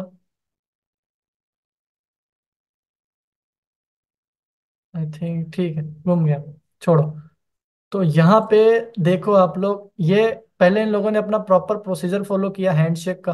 यहाँ पे पूरा प्रोसीजर फॉलो करने के बाद यहाँ पे सबसे पहला क्या गया? ऊपर में जो प्रोसीजर फॉलो हुई, वो इंक्रिप्शन सारी कीज एक्सचेंज हुई, कि ये क्या होती है, मैं आगे चल के बताऊँगा आप लोगों को। ये सारी प्रोसीजर फॉलो होने के बाद देखो, सबसे पहले हमारे सिस्टम से गया सिंक फ्लैग ठीक है? अब सिंक फ्लैग जाने के बाद इनका कुछ फिर से प्रोसीजर हुआ। ठीक है? प्रोसीजर होने के बाद यहाँ पे देखो एसी के फ्लैग आया किसी चीज़ का। ठीक है? अब यहाँ पे सामने वाले सिस्टम से देखो, सामने वाले सिस्टम से, सामने वाले आईपी से SYN plus A C K flag आया। ठीक है? फिर हमारे सिस्टम ने एसी के फ्लैग भेजा देन कनेक्शन स्टेब्लिश हो गया। ठीक है? इतना प्रोसीजर हुआ स्टार्टिंग में। ठीक है? अब कुछ और देखते हैं नीचे। ठीक है? यहाँ पे इनका प्रॉपर प्रोसीजर वही फॉलो हुआ। यहाँ पे देखो ईआरपी फिर से रिक्वेस्ट पैकेट आया है। थोड़ी देर में आता रहता है ये। थोड़ी थोड़ी देर में हर जगह आता रहता है। ठीक है? मैं आप लोगों को कुछ और फ्लैग्स दिखाने, ये देखो। यहाँ पे फिन फ्लैग फिनिश कुछ कनेक्शन फिनिश करने की रिक्वेस्ट आई होगी। तो यहाँ पे देखो फिनिश हम अभी बहुत देर से वहाँ पे गए नहीं है। ठीक है? गूगल में। तो हो सकता है कनेक्शन फिनिश करने की रिक्वेस्ट आई है तो यहाँ पे देखो finish A C K FIN flag भी यूज़ हुआ है यहाँ पे फिनिश करने के लिए कनेक्शन ठीक है? सो so, यहाँ पे एक और फ्लैग दिखाता हूँ मैं आप लोगों को जो कि है आर एस टी रिसेट ठीक है? आर एस टी फ्लैग बहुत रेयरली देखने के लिए मिलता है बट मैं ट्राई कर रहा हूँ आप लोगों को दिख जाए। ओके गाइज़ तो ये है देखो R S T reset flag actual में ये किसमें यूज़ हो रहा है? देखो, कोई सिस्टम की हर्डल आई होगी, कोई सिस्टम में कनेक्शन इशू होगा तो यहाँ पे आर एस टी फ्लैग गया है कनेक्शन को रिसेट करने के लिए, ठीक है? आप रेड कलर में देख पा रहे होंगे आर एस टी फ्लैग ठीक है? तो हमने फिन फ्लैग देख लिया एसी के फ्लैग देख लिया, है ना? सिंग फ्लैग देख लिया and R S T flag भी देख लिया। तो यहाँ पे आप लोगों को यू आर जी फ्लैग देखने के लिए नहीं मिला होगा, क्योंकि यहाँ पे यू आर जी फ्लैग बहुत रेयरली देखने के लिए मिलता है। तो यहाँ पे यू आर जी फ्लैग दे ही देख पाओगे आप लोग, ठीक है? तो जितने फ्लैग्स हम देख सकते थे, वो हमने डेफिनेटली यहाँ पे देख लिया ठीक है? तो ऐसे ही वर्क करता है पूरा नेटवर्किंग देखो, यहाँ पे सारे फ्लैग्स गए हैं, ठीक है? अभी मैं देखो यहाँ पे ना कनेक्शन तोड़ने की कोशिश करता हूँ, ठीक है? मैं यहाँ पे कनेक्शन तोड़ता हूँ। अभी भी यहाँ पे देखो एआरपी की रिक्वेस्ट रिस्पांस जा ही रहे हैं, ठीक है? ये रिस्पांस जा रहा है रिक्वेस्ट आ रही है। यहाँ पे मैं, यहाँ पे गूगल बंद करता हूँ, ठीक है? देखो, यहाँ पे अनरीचेबल कनेक्शन आया एंड यहाँ पे फिन फ्लैग गया आई थिंक ठीक है? डायरेक्टली हमने ब्राउज़र ही बंद कर दिया तो अनरीचेबल कनेक्शन बता दिया उसने, ठीक है? तो ब्राउज़र बंद हो गया, इसलिए यहाँ पे फिन फ्लैग आया नहीं, ठीक है? एक बार फिर से करके देख लेते हैं। तो यहाँ पे देखो पहले कनेक्शन का रिसेट कर लिया उसने, कुछ इश्यू था। पहले कनेक्ट करते वक्त इश्यू हुआ तो कनेक्टर रिसेट कर लिया। फिर यहाँ पे एक्नोलॉजमेंट एक्नोलॉजमेंट किसी पहले का जो बच्चा होगा, हो सकता है वो आया हो। सबसे पहले देखो सिंग फ्लैग गया, फिर सिंग फ्लैग एसी के आया। ठीक है? एंड उसके बाद बाकी की प्रोसेस यहाँ पे स्टार्ट हो गई। ठीक है? अब यहाँ पे मैं, देखो यहाँ पे भी R S T flag use हुआ है। तो ये कुछ कॉमन फ्लैग्स हैं जो कि जनरली यूज़ होते हैं। ठीक है? अब मैं यहाँ पे एक और टैब खोलता हूँ एंड यहाँ पे लिखता हूँ गूगल गूगल डॉट कॉम ठीक है? एंड एंटर प्रेस करता हूँ। एंड मैं इसको सबसे नीचे लेके गया हूँ अभी, ठीक है? अब देखो, यहाँ पे फिन एसी के कुछ कनेक्शन हम भी हमने ब्राउज़र ओपन नहीं किया तो उसका भी आया है। मैं यहाँ पे देखो कनेक्शन तोड़ता हूँ एक बार, ठीक है? यहाँ पे कुछ गए हैं एंड आई थिंक यहाँ पे फिन फ्लैग आ जाना चाहिए था। थोड़ा सा वेट करते हैं। कीप एक्टिव एसी के बंद हो रहा है वो। ठीक है। फिनिश फ्लैग यहाँ पे नहीं भेजा है आई थिंक ठीक है। तो गाइस यहाँ पे फिनिश फ्लैग नहीं दिख रहा है। हो सकता है कैप्चरिंग ना हो ये हो। बट यहाँ पे जैसे ही हम कनेक्शन डिसेबल करते हैं कनेक्शन बंद करते हैं तो देखो ऐसे फिनिश फ्लैग आते हैं।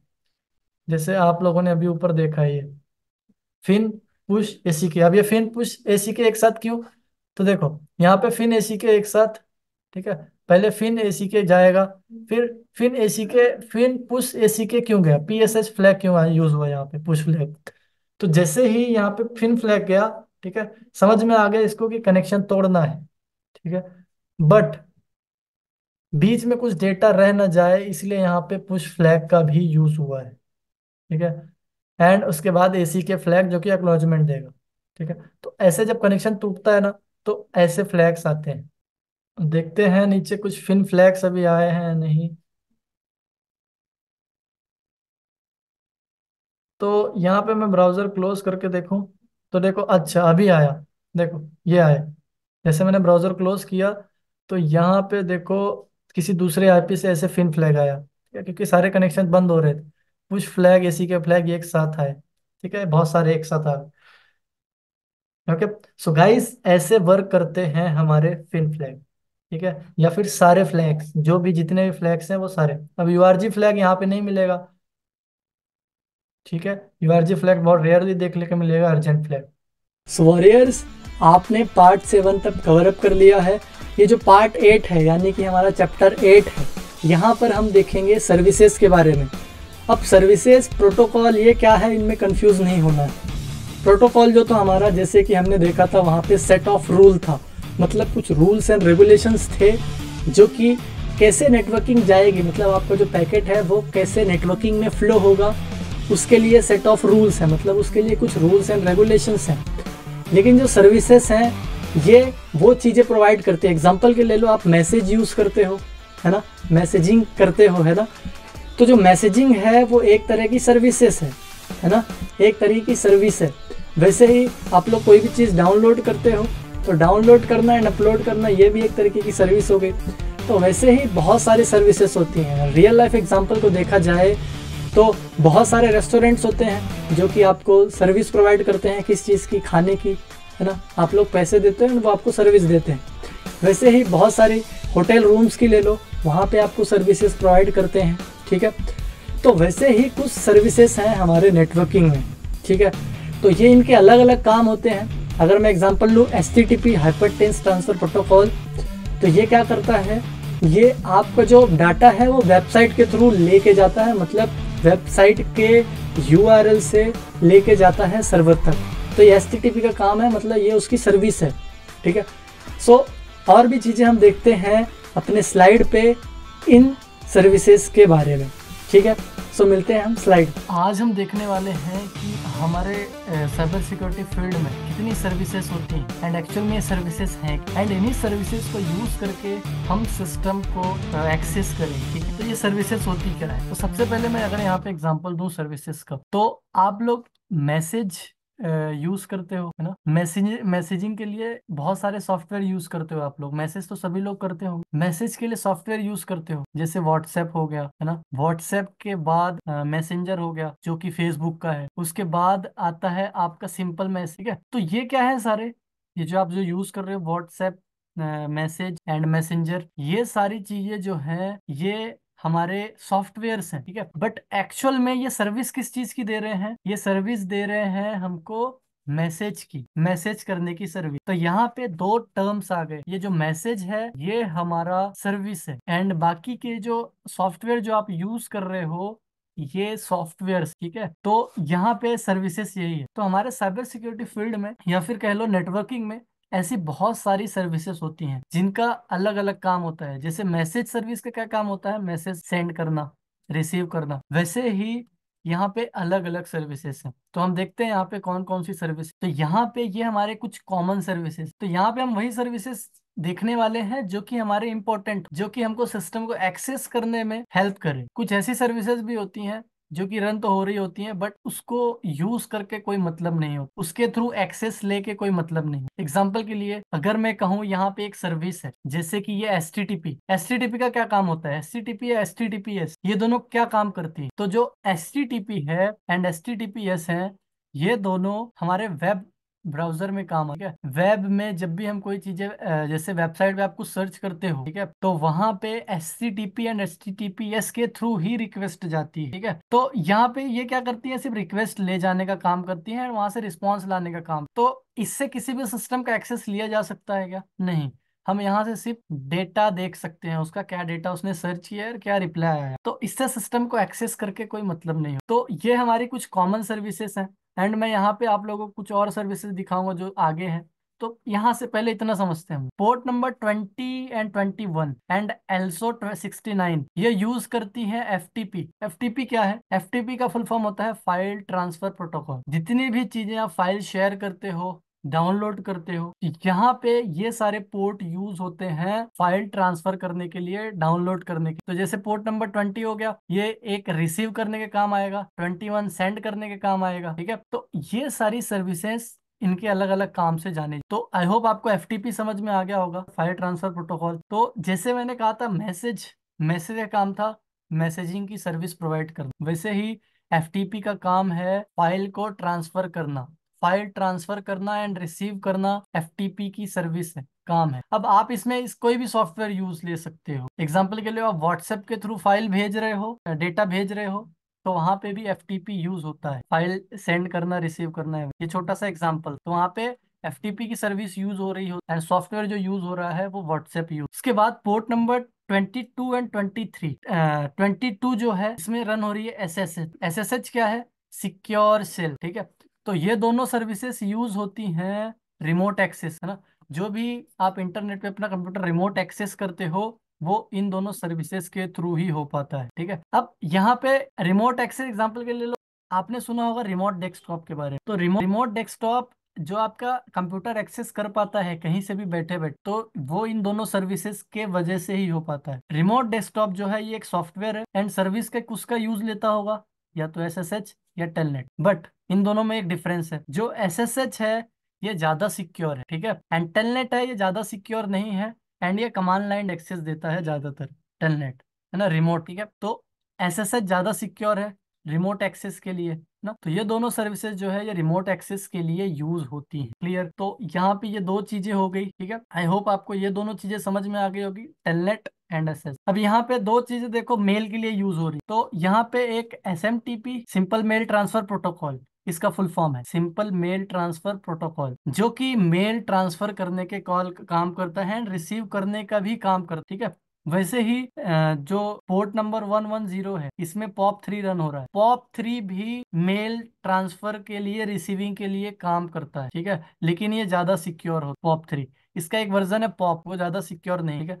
तो अभी हम लोग जो सर्विस यूज़ कर रहे हैं मेल के लिए, वो हम करते हैं एस जो पॉप थ्री है ये आई थिंक सो पहले यूज़ होता था, अब मुझे बहुत कम देखने के लिए मिलता है। ठीक है? एंड जैसे एस एम टी पी हम यूज़ लेते हैं, जैसे हमारा जीमेल है। जीमेल से हम अगर मेल भेज रहे हैं तो वहाँ पे S M T P use होगा। ठीक है? बट पॉप थ्री क्या काम करता है? पॉप थ्री हमारे मेल्स को, जो हम मेल रिसीव करेंगे, उसको हमारे लोकल स्टोर स्टोरेज पे सेव कराने का काम करे। ठीक है? Local storage S M T P से जब से हम सेव करते हैं तो वो ऑलरेडी जो सॉफ्टवेयर है, जैसे गूगल का सॉफ्टवेयर यूज़ करते हैं हम जीमेल ठीक है? तो उसके सर्वर पे स्टोर करा देता है एस एम टी ना? पॉप थ्री हमारे लोकल हार्ड डिस्क में सेव करा, ठीक है? तो ये दोनों जो है मेल सर्विसेज़ का ही काम करती है मेल की सर्विसेज़ देती है, ठीक है? पॉप थ्री का पोर्ट नंबर जो है, वो है one one zero port number भी हमने पढ़ा था, क्या होता है port and port number twenty five पे रन होता है एस एम आई होप आप सभी को क्लियर होगा। एंड हाँ एफ़ टी पी का पोर्ट नंबर ट्वेंटी है एंड ट्वेंटी वन भी है F T P data twenty one and S S H का जो पोर्ट नंबर है ट्वेंटी टू, टेलनेट का ट्वेंटी थ्री। ये पोर्ट नंबर जो कॉमन पोर्ट है, ये सारे याद रखना ज़रूरी है। अब उसके बाद यहाँ पे आता है ये दो मेल हो गए हमारे। उसके बाद हमारा डीएनएस डोमेन नेम अब डोमेन नेम सिस्टम क्या होता है, हमने देखा था। डोमेन नेम सिस्टम जो है, ये एग्ज़ाम्पल ले लो मुझे एक वेबसाइट कोई भी एग्ज़ाम्पल डॉट कॉम ठीक है? एग्ज़ाम्पल डॉट कॉम एक वेबसाइट है। एंड जब मैं इसको सर्च करूँगा, मुझे वो वेबसाइट अपने पीसी से एक्सेस करना है, ये वाली वेबसाइट ठीक है? एग्ज़ाम्पल डॉट क्या जैसे मैं सर्च करूँगा, क्या इसका एड्रेस मेरे पास होगा? पब्लिक एड्रेस मेरे पास होगा? जो भी इसका आईपी एड्रेस है इस वेबसाइट का, क्या वो आईपी एड्रेस मेरे पास होगा? नहीं होगा। तो एक्चुअल में वर्क कैसे होगा? ये मेरा राउटर है, मेरा पीसी से कनेक्टेड है। तो जब मैं पैकेट जनरेट करूँगा यहाँ से रिक्वेस्ट पैकेट वेबसाइट सर्च करने के लिए तो राउटर के पास जाऊँगा। क्या राउटर के पास इसका एड्रेस है? पब्लिक एड्रेस आईपी एड्रेस इसका है? नहीं है। तो यहाँ पे क्या होगा? यहाँ पे इसका एड्रेस लाने का काम कौन करेगा? डीएनएस डोमेन नेम सिस्टम इसका फुल फॉर्म होता है। डोमेन नेम सिस्टम इसका भी सर्वर होता है। हमने पढ़ा था डीएनएस के बारे में, जिसमें इसको एड्रेस बुक ऑफ़ इंटरनेट भी कहा जाता है, हा? जिसमें दुनिया की जितनी वेबसाइट है, सबका IP address and domain name लिखा हुआ है। तो यहाँ पे जैसे मैं सिस्टम पे सर्च करूँगा डीएनए मतलब सिस्टम से पैकेट में यहाँ पे सर्च करूँगा मेरे राउटर के पास जाएगा। एंड राउटर क्या करेगा? पहले उसको डीएनएस पे भेज देगा। Domain name system domain name system पे जब ये जाएगा तो डोमेन नेम पे चेक करेगा कि एग्ज़ाम्पल डॉट कॉम वेबसाइट की आईपी एड्रेस क्या है, ठीक है? उसके बाद वो यहाँ पर जाएगा, जब आईपी एड्रेस उसको पता चल जाएगा। प्रॉपरली वर्किंग ये होती है, ठीक है? पहले राउटर के पास जाएगा राउटर डीएनएस सर्वर पे भेजेगा। डीएनएस सर्वर से वो आईपी पता करेगा कि इसकी आईपी क्या है एंड देन वो आईपी कन्वर्ट होके जाएगी हमारे वेबसाइट के पास, ठीक है? तो डीएनएस का काम यही होता है कि वो आईपी को पता करे, ठीक है? डीएनएस सर्वर्स यही होते हैं। और ये हर सिस्टम में होता है डीएन जब आप कॉन्फ़िगरेशन सेटिंग में जाओगे या फिर अपने आईपी की सेटिंग में जाओगे तो वहाँ पे लिखा होता है प्रीफर्ड डीएनएस समथिंग तो वहाँ पे डीएनएस की आईपी बाय डिफ़ॉल्ट हर सिस्टम में होती है। Eight dot eight dot eight dot something होती है कुछ ठीक है? ओके तो डीएनएस का काम समझ में आ गया।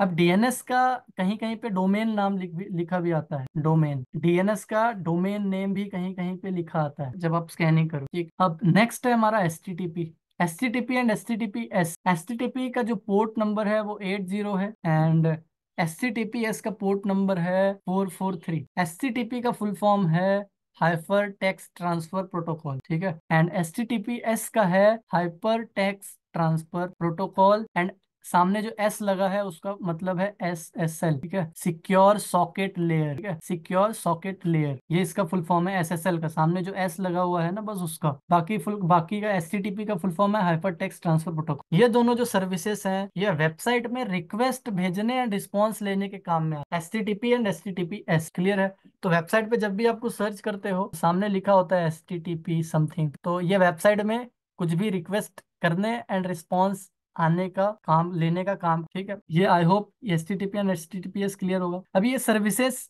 ये जो है, ये यूज़ हो रही है, ठीक है? ये सर्विसेस अपना अपना काम कर रही हैं। कोई रिमोट ले रहा है, कोई ईमेल एक्सेप्ट कर रहा है, कोई डीएनएस है, जिस जो IP to domain domain to IP translate कर रहा है।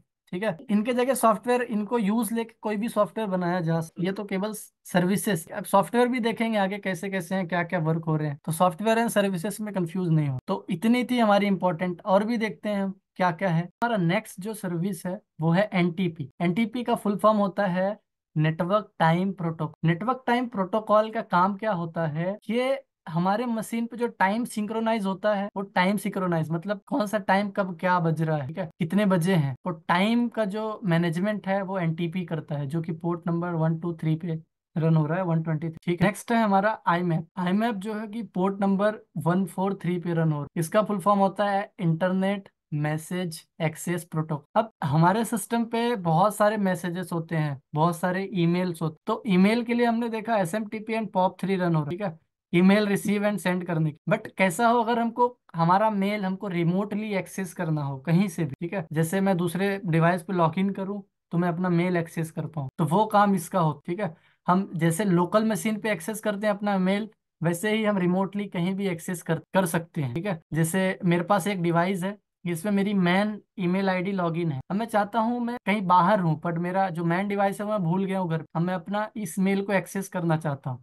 दूसरे पीसी पे ठीक है? तो उसको मुझे रिमोटली एक्सेस करना पड़ेगा इसमें हमारी हेल्प करेगा आई ठीक है? Internet messenger access protocol message access protocol ठीक है? जो कि पोर्ट नंबर 143 पे रन हो रहा है। तो आपको ये सारे पोर्ट नंबर याद कर लेने हैं ठीक है? अब हम देखते हैं कुछ और प्रो, प्रोटोकॉल्स जो कि हमारे आगे चल के एक्सप्लॉयटेशन में या फिर सिस्टम एक्सेस में काम आएगा यहाँ पर मैं इस वर्ड का यूज़ नहीं कर सकता ठीक है? यूट्यूब पे गाइडलाइंस की वजह से मैं ये वर्ड का यूज़ कर रहा हूँ इसके जगह। अब आप लोगों को इतना समझना पड़े ठीक है? ओके नेक्स्ट चलते हैं हम। सो so, यहाँ पे हमारी कुछ और सर्विसेज़ हैं जो कि एक्चुअल में जब हम स्कैनिंग करते हैं सामने वाले सिस्टम पे तब हमको कुछ ऐसी देखने के लिए मिल जाती है कुछ ऐसी सर्विस हमको देखने के लिए मिलती तो इनके बारे में देखते हैं क्या कह रही है ये। सो so, यहाँ पर देखो F T P S S H Telnet हमने देख लिया फ़ाइल ट्रांसफ़र प्रोटोकॉल है ना? एस एस एच देख लिया secure shell Telnet S M T P simple मेट्रा ये देखो ये डीएनएस है डोमेन के जगह पे आया हुआ है जिसका पोर्ट नंबर 53 है। डीएनएस का भी पोर्ट नंबर 53 ही है। एस सी टी पी ठीक है? आरपीसी बाइंड यहाँ पे ये नया है। अब आरपीसी बाइंड क्या होता है? इसके बारे में आरपी सबसे पहले हम आरपीसी समझते हैं। आरपीसी जो कि port number one one three पे ट्रिपल वन पे रन हो रहा है। ट्रिपल वन सो जो आरपीसी का फुल फॉर्म होता है, वो है रिमोट सीजर कॉल ठीक है? रिमोट प्रोसीजर कॉल ठीक है? ये फुल फॉर्म होता है आरपीसी का, ठीक है? आरपीसी का। अब ये क्या है आरपीसी ये हाई लेवल कम्युनिकेशन प्रोटोकॉल ठीक है? ये हाई लेवल कम्युनिकेशन करने में हेल्प करता है, जिससे हम हाई क्वालिटी कम्युनिकेशन कर पाते हैं जिससे हमको कम्युनिकेशन में कोई इशू नहीं हो। एंड आरपीसी बाइंड क्या है? तो आरपीसी बाइंड एक सर्वर है ठीक है? आरपीसी एक सर्विस है एंड आरपीसी बाइंड एक सर्वर है ठीक है? अब जैसे मुझे ए, कोई भी एक चीज़ एक्सेस करना है जैसे मेरा एक सिस्टम है यहाँ इस सिस्टम में मेरा एक प्रोग्राम पड़ा हुआ है कोई भी। अब मुझे दूसरे सिस्टम से इस सिस्टम के इस प्रोग्राम को कॉल करना है ठीक है? तो इस प्रोग्राम को कॉल करने में ये मेरी हेल्प करेगा। कौन? आरपीसी बाइंड ठीक है? क्योंकि एक सर्वर है ठीक है?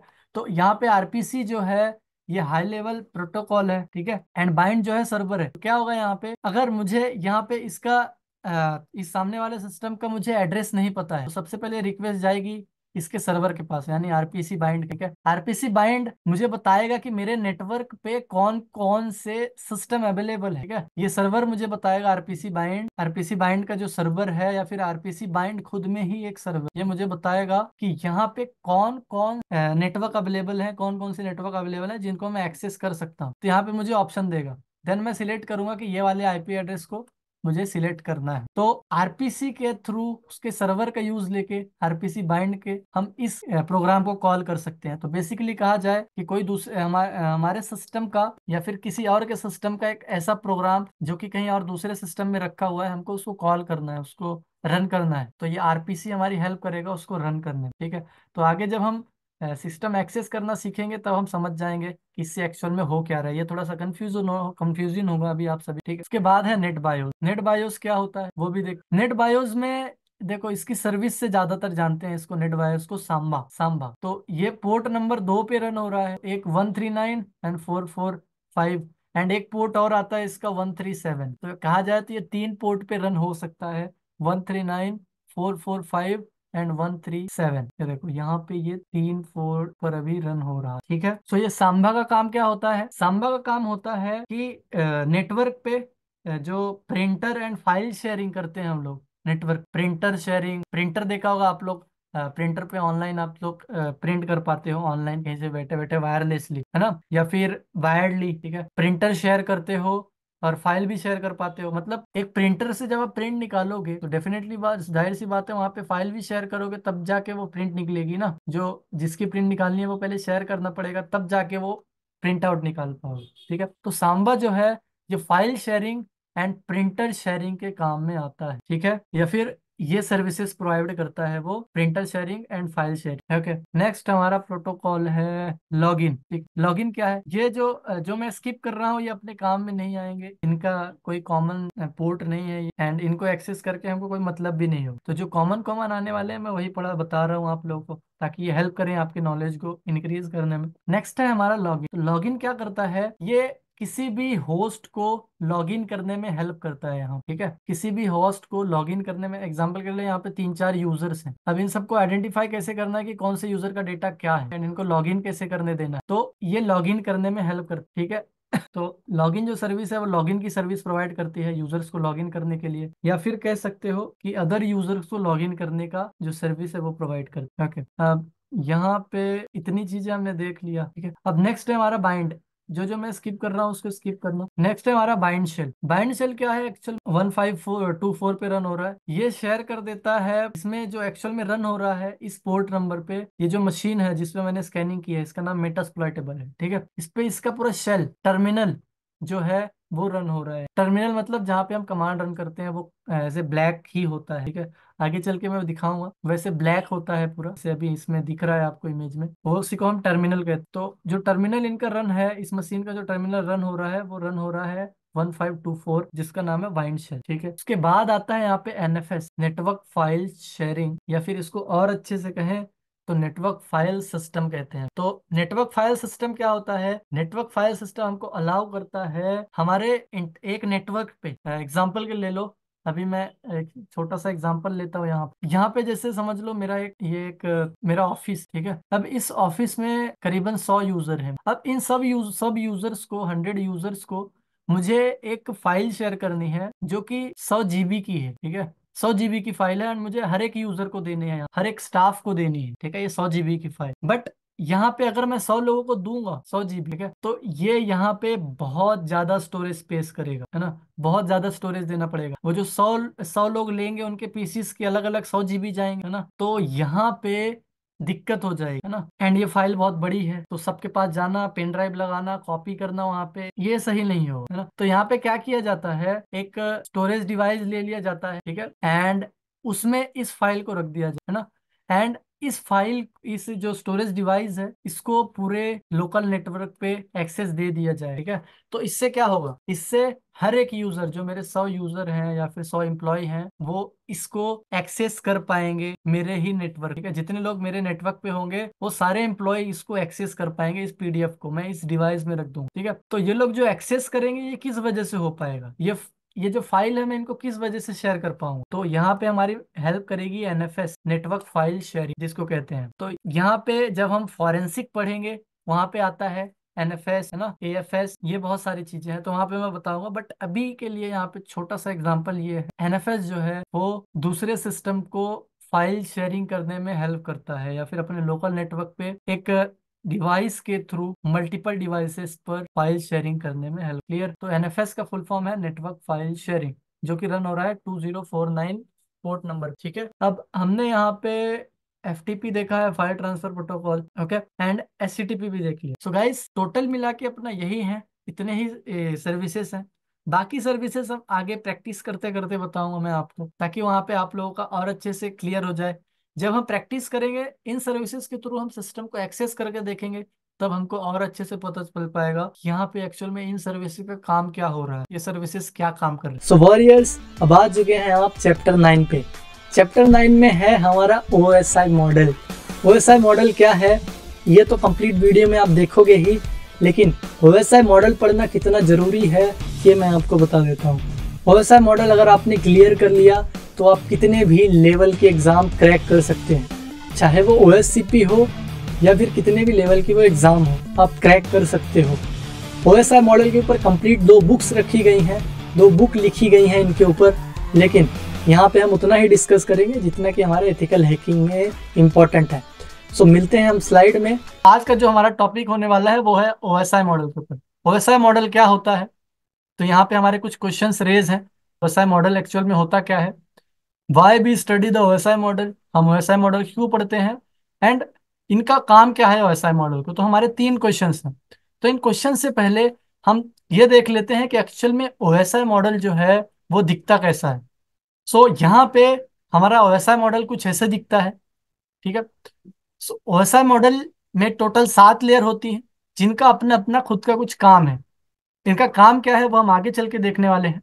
सो ओएसआई मॉडल में टोटल सात लेयर होती हैं, जिसको डाउन टू अप रीड किया जाता है। अब इसको डाउन टू अप कब रीड किया जाएगा up to up and up to down कब रीड किया जाएगा, वो भी हम देखने वाले हैं डेफिनेटली तो यहाँ पे टोटल सात लेयर है, जिसको मैं अभी डाउन टू अप रीड कर रहा हूँ। जिसमें से पहले लेयर है फ़िज़िकल लेयर उसके बाद है डेटा लिंक लेयर उसके बाद है network layer and then transport layer and session layer presentation layer and application layer तो यहाँ पे टोटल सात ऐसे लेयर है जिनका खुद का अपना अपना कुछ ना कुछ काम है कुछ ना कुछ इनका यूज़ है ठीक है?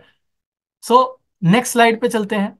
सो so, यहाँ पे हमारे वही क्वेश्चन के आंसर है जिसमें कि पहले क्वेश्चन का आंसर है कि ओएसआई मॉडल क्या होता है। तो ओएसआई मॉडल का जो फुल फॉर्म है वो है ओपन सिस्टम इंटरकनेक्शन मॉडल ये अपने फुल फॉर्म से कहना क्या चाह रहा है? ये अपने फुल फॉर्म से ये कहना चाह रहा है कि इस वर्ल्ड में जितने भी कंप्यूटर्स हैं जो आपस में बातचीत करते हैं कम्युनिकेशन करते हैं, वो कैसे कर रहे हैं? ये एक दूसरे से चीज़ें शेयर कैसे कर पा रहे हैं? हम किसी को हाई मैसेज टाइप करते हैं तो वो उनके तक पहुँच कैसे रहा है? ना? जबकि हमारे जो कंप्यूटर्स हैं, वो तो बाइनरी में बात करते हैं। हम लोग उस मैसेज को एग्जैक्ट वैसे कैसे पहुँचा पा रहे हैं? अपने ही लैंग्वेज ठीक है? तो यही काम है किसका? ओएसआई मॉडल का, ठीक है? तो ये जो कम्युनिकेशन हो पा रहा है, वो ओएसआई मॉडल की वजह से हो पा रहा है। नेक्स्ट है हमारे क्वेश्चन का आंसर कि हम ओएसआई मॉडल को क्यों स्टडी करते हैं? क्या नीड है हमको इसको स्टडी करने की? तो यहाँ पे इसका बहुत ही अच्छा सा डेफिनेशन दिया हुआ है। We study the OSI model to understand and standardize the communication process in computer network तो वही जैसे मैंने पहले बताया कि ये आपस में कंप्यूटर बात कैसे कर रहे हैं? एग्ज़ाम्पल के ले लो, मैं किसी को एक पीडीएफ भेजता हूँ। तो एग्जैक्ट पीडीएफ वो कैसे पहुँच जाती है? ठीक है, बीच में कुछ दिक्कत क्यों नहीं होती उसमें? कोई गड़बड़ क्यों नहीं होती? तो ये सारा प्रोसेस हो कैसे रहा है? इसी प्रोसेस को समझने के लिए हम ओएसआई मॉडल को अंडरस्टैंड करते हैं, समझते हैं, पढ़ते हैं रीड करते हैं स्टडी करते हैं उसके बारे में। ठीक है? तो चलते हैं हम अपने नेक्स्ट टॉपिक पे। अब यहाँ पे स्टार्ट होता है हमारे ओएसआई मॉडल का कॉन्सेप्ट तो ये है अभी सेंडर की तरफ़ से। कि सेंडर जब डेटा भेजेगा तो ओएसआई मॉडल को कैसे रीड किया जाएगा? तो जब भी सेंडर यहाँ पे किसी को भी मैसेज भेजेगा तो यहाँ पे इसको अप टू डाउन रीड किया जाएगा जैसे पहले एप्लीकेशन लेयर को रीड किया जाएगा यहाँ पे। तो यहाँ पे पहला डेटा जो है एप्लीकेशन लेयर से स्टार्ट होगा। अब किसी को मैसेज भेजना है तो सबसे पहले वहाँ पे एप्लीकेशन लेयर पे डेटा आएगा। यहाँ पे सारे पैकेट वैकेट जो है वो जनरेट हो गए एंड यहाँ पे सिलेक्ट होगा। कि मैसेज सबसे पहले किस सर्विस के थ्रू जाएगा? किस प्रोटोकॉल को यूज़ करके जाएगा? जैसे S C T P F T P S S H D N S इनमें से किसको यूज़ करके डेटा जाएगा? अब यहाँ पर अगर आपको वेबसाइट एक्सेस करना है तो डेटा सबसे पहले जाएगा एस टी टी पी से, ठीक है? या फिर अगर आपको वेबसाइट का एड्रेस नहीं पता वेबसाइट का एड्रेस पता करना है आईपी एड्रेस पता करना है तो वो जो है वो जाएगा डीएनएस पे, ठीक है? डीएनएस का यूज़ करेगा, डीएनएस का आईपी पे जाएगा, ठीक है? तो यहाँ पे सिलेक्ट होता है कि एक्चुअल में हमारा डेटा कहाँ पे जाएगा, ठीक है? एफ़ एफटीपी का जो काम है वो आप सभी को पता है, फ़ाइल ट्रांसफ़र का है। एफटीपी का काम ये भी है कि फ़ाइल डाउनलोड करना, रिसीव करना तो डेफिनेटली ये सारे काम भी एप्लीकेशन लेयर पे होते हैं। फ़ाइल को डाउनलोड करना, सेंड करना, वो भी एप्लीकेशन लेयर पे होता है। इतना ही नहीं इसमें मेल ट्रांसफ़र मेल रिसीविंग है ना? जैसे एसएमटीपी हो गया पॉप हो गया पॉप थ्री ये सारे प्रोटोकॉल्स हैं, वो भी एप्लीकेशन लेयर पे ही स्टार्ट होते हैं, ठीक है? तो ये है एप्लीकेशन लेयर का काम। सो हमारा नेक्स्ट लेयर है यहाँ पे प्रेजेंटेशन लेयर प्रेजेंटेशन लेयर में क्या होगा? प्रेजेंटेशन लेयर को ट्रांसलेशन लेयर के नाम से भी जाना जाता है। अब यहाँ पे होता क्या है? मैन काम यहाँ पे इंक्रिप्शन डिस्क्रिप्शन डेटा को कंप्रेस करना, जैसे कोई भी डेटा भेजना है, कहीं पे भी तो उसको ज़ाहिर सी बात है बाइनरी में कन्वर्ट करके भेजा जाएगा, ठीक है? तो यहाँ पे डेटा को पहले ट्रांसलेशन किया जाता है, उसके बाद ये बाइनरी में कन्वर्ट होता है, ठीक है? डायरेक्ट डेटा कभी भी बाइनरी में कन्वर्ट नहीं होता तो यहाँ पे डेटा को पहले ट्रांसलेशन किया जाएगा, ठीक है? प्रेजेंटेशन लेयर को ट्रांसलेशन लेयर से भी जाना जाता है, ठीक है? इसका नाम ट्रांसलेशन लेयर भी कहते हैं इसको, ठीक है? क्योंकि यहीं पे आके डेटा ट्रांसलेट होता है। अब ट्रांसलेट कैसे करता है वो? किस फॉर्म में करता है? आपने एस्काई के बारे में सुना होगा। तो एस्काई क्या है? American standard code for information interchange ठीक है? तो ये होता है एसकाई अब ये फॉर्म क्या होती है? तो इसको नंबर्स में कन्वर्ट किया जाता है। मतलब जैसे अगर मैं कोई नाम लिखूं यहाँ पे, जैसे मैं यहाँ पे एक नाम लिखता हूँ, ठीक है? जिसको अगर मुझे चेंज करना है ठीक है? तो यहाँ पे इसको अल्फाबेट्स में चेंज किया जाएगा। जैसे ई e को सिक्सटी सेवन कर देंगे, ठीक है? जैसे एस्काई में ए को करें तो इसको सिक्सटी फाइव कर देंगे, ठीक है? तो एस्काई के कुछ कोड्स होते हैं, जो कि इनको नंबर्स में ट्रांसलेट किया जाता है, ठीक है? जो भी लेटर लिखा जाएगा, उसको सबसे पहले नंबर्स में ट्रांसलेट किया जाएगा देन वो आगे जाके बाइनरी में कन्वर्ट होगा, ठीक है? तो ये है हमारे एस्काई तो जो भी हम लिखते हैं, उसको पहले नंबर्स में कन्वर्ट करते हैं, ठीक है? इसी को ट्रांसलेशन कहते हैं।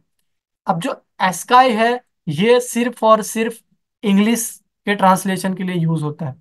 बाकी जो इंग्लिश से अलग है चाइनीज़ हो गया इटालियन हो गया अलग अलग लैंग्वेजेस है हमारे अलग अलग वर्ड में।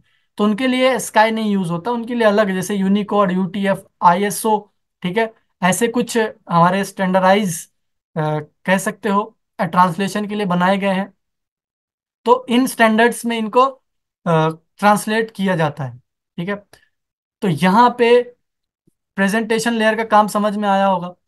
अब यहाँ पे कंप्रेशन डिक्रम्प्रेशन इंक्रिप्शन डिक्रिप्शन वो भी होता है प्रेजेंटेशन लेयर पे ही। जैसे आप लोग, आप लोगों ने आधार कार्ड डाउनलोड किया होगा तो वहाँ पे आप लोगों को एक पासवर्ड डालना पड़ता है है ना? आपका डेट ऑफ़ बर्थ जो भी पासवर्ड होता है डाउनलोड करते हो उस पीडीएफ को तो उसमें पासवर्ड डालते हैं उसको ओपन करने के लिए। तो वो जो पासवर्ड आप लोग डाल रहे हो ना, वो भी इस प्रेजेंटेशन लेयर का काम है। वो जो सिक्योर सिक्योर हो रहा है, जिस वजह से सिक्योर हो रहा है, वो प्रेजेंटेशन लेयर ही उसको सिक्योर कर रहा है, ठीक है? और डेटा को इनक्रिप्ट करना, जैसे आपने एस देखा है है ना? एस जो है, वो ज़्यादा सिक्योर नहीं होता, ठीक है?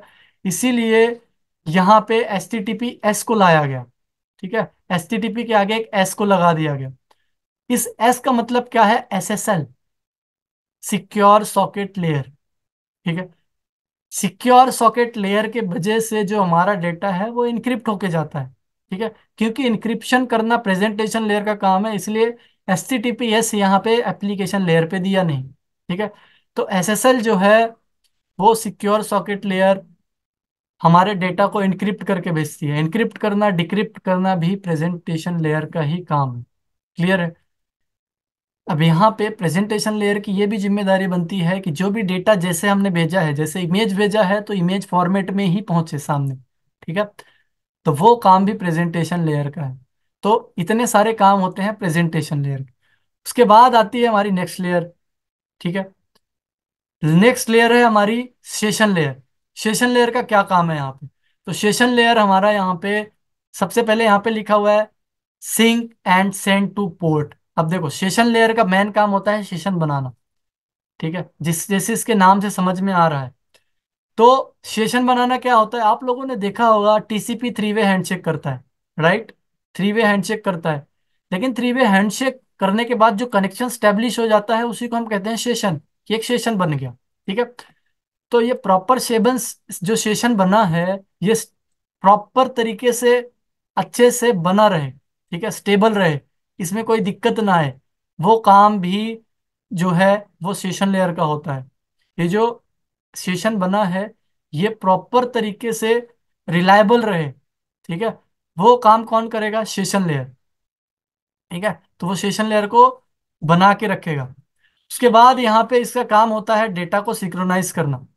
डेटा को सिंक्रोनाइज करना मतलब हर एक अपडेट सर्वर को देते रहना, सिंक्रोनाइजेशन होता है। अब जैसे सिंक्रोनाइजेशन का सबसे अच्छा एग्जांपल देखें, सभी ने गूगल ड्राइव यूज़ किया होगा। गूगल ड्राइव में क्या होता है कि आप यहाँ पे कोई भी डेटा अपलोड करो तो जाके कहीं से भी एक्सेस कर सकते हो। है ना? दूसरे कंप्यूटर में कहीं भी लॉगिन करोगे तो वो डेटा आप वहीं से एक्सेस कर सकते हो। कैसे?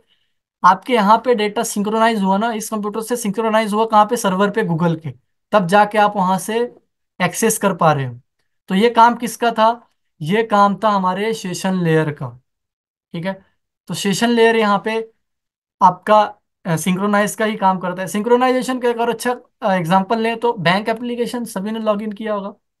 तो वहाँ पे आप लोगों ने देखा होगा, जब तक आप क्लिक करते रहते हो, तब तक वो लॉग आउट नहीं होता बैंक एप्लीकेशन लेकिन आप पाँच या दो मिनट के लिए उसको क्लिक करना बंद कर दो तो वहाँ पे वो खुद को ऑफ़ कर देता है। आपको लॉग आउट कर देगा वहाँ से, ठीक है? तो उसको पता कैसे चल रहा है कि अब यूज़र यहाँ पे अच्छे से ध्यान नहीं दे रहा है फिर एप्लीकेशन खोल के नहीं बैठा है। क्योंकि वहाँ पे आप क्लिक नहीं कर रहे हो।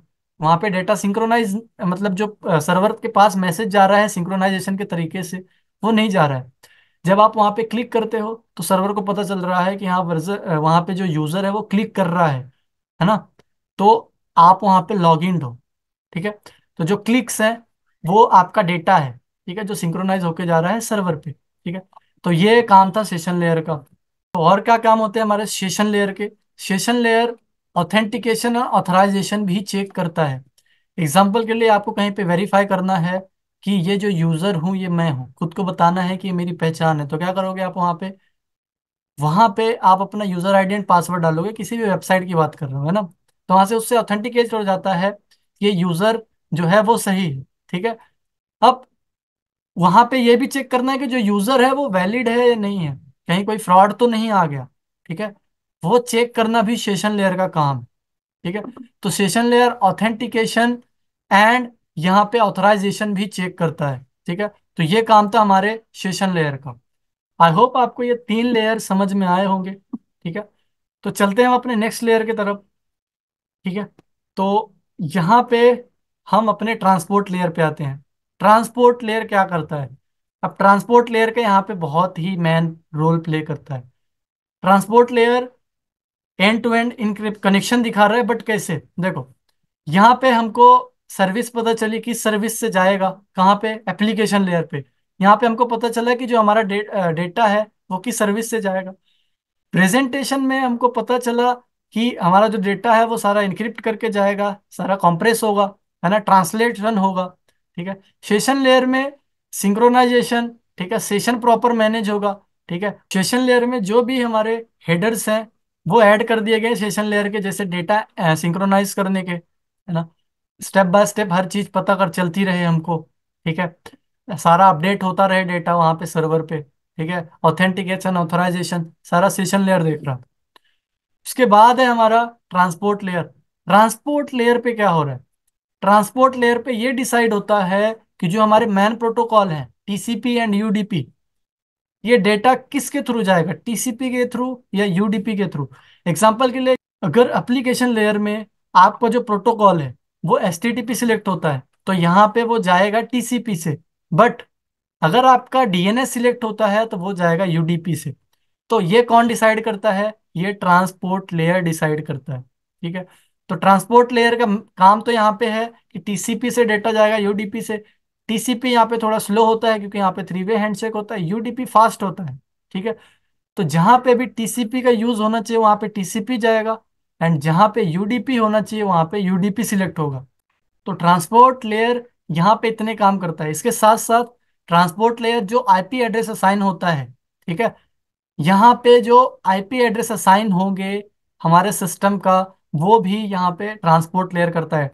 आईपी एड्रेसेस एंड पोर्ट्स ये हमारा ट्रांसपोर्ट लेयर करता है। ट्रांसपोर्ट का मतलब ही है ट्रांसपोर्ट डेटा को ट्रांसपोर्ट करना, ठीक है?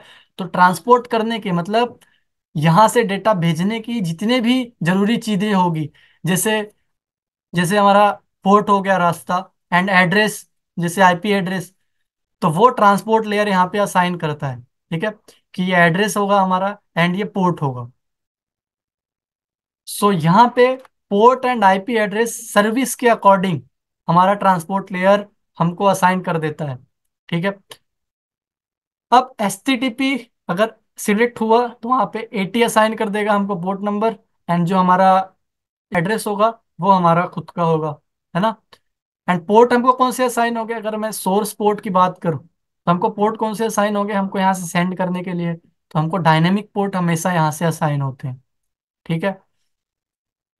और क्या काम होते हैं हमारे ट्रांसपोर्ट लेयर के? तो ट्रांसपोर्ट लेयर यहाँ पे आपका एरर कंट्रोल भी करता है कनेक्शन कंट्रोल भी करता है।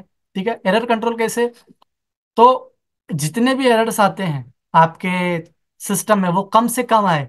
डेटा ट्रांसफ़र करते समय जो एरर आते हैं, वो कम से कम आए, वो ट्रांसपोर्ट लेयर कंट्रोल करता है, ठीक है? और यहाँ पे एरर कंट्रोल में सबसे अच्छा यूज़ लेता है वो चेकसम वैल्यू का। चेकसम क्या होता है? तो जो चेकसम होता है, वो एक तरह से कह सकते हो एक हैश वैल्यू होती है। जैसे मैंने यहाँ पे एक पैकेट बनाया, ठीक है? मैंने एक पैकेट यहाँ पे जनरेट किया एंड ये पैकेट मुझे आगे भेजना है, ठीक है? तो मैं चाहता हूँ बीच में कोई भी इस पैकेट को छेड़छाड़ ना करे इस पैकेट में। तो मैं क्या करूँगा? इस पैकेट का चेकसम वैल्यू निकाल दूँगा, यानी कि hash value, one, two, three, something, ठीक है? ऐसी एक हैश वैल्यू निकाल दूँगा, जिससे ये हैश वैल्यू जो है, ये इसकी आइडेंटिटी बन जाएगी, है ना? हमारी आइडेंटिटी जैसे आधार कार्ड होती है, वैसे ये चेकसम वैल्यू जो है, हैश वैल्यू जो है, इस पैकेट का जो है, वो आइडेंटिटी बन जाएगी, ठीक है? तो अब जब ये डेटा पैकेट सर्वर पे जाएगा तो सर्वर फिर से इसकी हैश वैल्यू निकालेगा, ठीक है? एंड यहाँ पे अगर वापस से वन टू थ्री आया तो समझ लेगा यहाँ पे कि जो हैश वैल्यू है करेक्ट है। अगर वन टू थ्री नहीं आया तो यहाँ पे कुछ चेंजेस है। तो वहाँ पे बैड रिक्वेस्ट का जो है एरर दे देगा वो, कि आपने जो एक्सेस किया है, जो रिक्वेस्ट पैकेट मुझे मिला है, वो सही नहीं है। तो वहाँ पे आपको एरर आ जाएगा, ठीक है? तो बीच में डेटा में छेड़छाड़ ना हो, वो भी काम यहाँ पे हमारा ट्रांसपोर्ट लेयर करता है, ठीक है? ये पता करना कि डेटा में छेड़छाड़ हुआ है या नहीं हुआ है, ये सारी चीज़ें जो है वो ट्रांसपोर्ट लेयर करता है। ओके, ट्रांसपोर्ट लेयर हमारा बफर ओवरफ्लो भी कंट्रोल करता है। बफर ओवरफ्लो मतलब कि जो भी डेटा जैसे हम लोग कहीं से भी हमको कोई डेटा रिसीव होता है, ठीक है? तो वो हमको कभी भी इस फॉर्म में रिसीव नहीं होता जिस फॉर्म में हम रीड करते हैं। एग्ज़ाम्पल के लिए इंग्लिश में, ये कभी भी रिसीव नहीं होता। जैसे हम लोग इंग्लिश में रीड करते हैं, वो रिसीव नहीं होता। वो हमको रिसीव किसमें होता है? बाइनरी में ज़ीरो वन ज़ीरो वन ठीक है? तो ज़ीरो वन ज़ीरो वन में हमको वो रिसीव होता है data and zero one zero one में रिसीव होता है तो हमारा हमारा जो सिस्टम है, वो उसको ट्रांसलेट करता है। ठीक है? लेकिन ये जो पैकेट्स हैं, समझ लो एक जीबी अगर रिसीव हुआ तो हमारा सिस्टम उसको एक जीबी कभी भी ट्रांसलेट नहीं करता। एक साथ। ये स्टेप बाय स्टेप करता है। मतलब पहला पैकेट उसके पास जाएगा 512 बाइट्स का। ठीक है? 512 बाइट्स का जाएगा। हमारी बफर मेमोरी होती है हमारे सिस्टम में, पहले उसमें जाके वो प्रोसेस होगा, उसके बाद वो ट्रांसलेट होगा। ठीक है? ओरिजिनल फॉर्म में आएगा। ठीक है? तो यहाँ पे कभी भी ये डेटा नहीं आएगा। ठीक है? तो ये जो स्टेप बाय स्टेप किसके बाद कौन सा पैकेट आएगा ट्रांसलेट होने के लिए, ये भी कौन यहाँ पे ट्रांसपोर्ट लेयर जो है, वो यहाँ पे हैंडल करता है। पता चला एक साथ पाँच छह आगे ट्रांसलेट होने के लिए तो यहाँ पे डेटा करप्ट हो जाएगा। प्रॉपर तरीके से जो है ट्रांसलेट नहीं होगा, पाएगा। ठीक है? तो डेटा करप्ट जब होता है, वो इसी के वजह से होता है। तो इसको जो ट्रांसपोर्ट लेयर है, वो हैंडल करता है। ठीक है? तो जो बफर ओवरफ्लो कंट्रोल है, वो भी हमारा ट्रांसपोर्ट लेयर देखता है। ओके सो इसके बाद चलते हैं अपने नेक्स्ट लेयर पे जो कि है नेटवर्क लेयर अब नेटवर्क लेयर का क्या काम है? देखते हैं. नेटवर्क लेयर के यहाँ पे मेन काम है सोर्स एंड डेस्टिनेशन डिसाइड करना. कि सोर्स क्या होगा डेस्टिनेशन क्या होगा? एग्ज़ाम्पल के ले लो. अगर मैं यहाँ पे, मेरा एक सिस्टम है, ठीक है? ये मेरा सिस्टम है एंड इसका आईपी एड्रेस है one dot one dot one example के ले रहा हूँ, ऐसे ये होता नहीं है, ठीक है? डेस्टिनेशन है मेरा गूगल का सर्वर। मैं उसका IP address eight dot eight dot eight dot ले लेता हूँ एग्ज़ाम्पल के लिए। ठीक है? अब यहाँ पे ये जो नेटवर्क लेयर है वो डिसाइड करेगा हमारे पैकेट में कि हमारा सोर्स आईपी कौन सा होगा। तो यहाँ पे सोर्स आईपी में हमारा वन डॉट वन डॉट आ जाएगा। डेस्टिनेशन आईपी में एट डॉट एट डॉट आ जाएगा गूगल का आईपी एड्रेस। ठीक है? अब यहाँ पे पोर्ट की बारी आएगी। तो पोर्ट जो है हमारे जब सोर्स से डिसाइड होगा तो हमने देखा था port well known dynamic registered port तो जो भी डायनेमिक पोर्ट होते हैं, वो डायनेमिक पोर्ट में से कोई भी पोर्ट यहाँ पे हमको असाइन हो जाएँगे। किसमें? सोर्स में। ठीक है? जब भी हमारे सिस्टम से कोई भी पैकेट जाता है तो वहाँ पे डायनेमिक पोर्ट हमको मिलता है। ठीक है?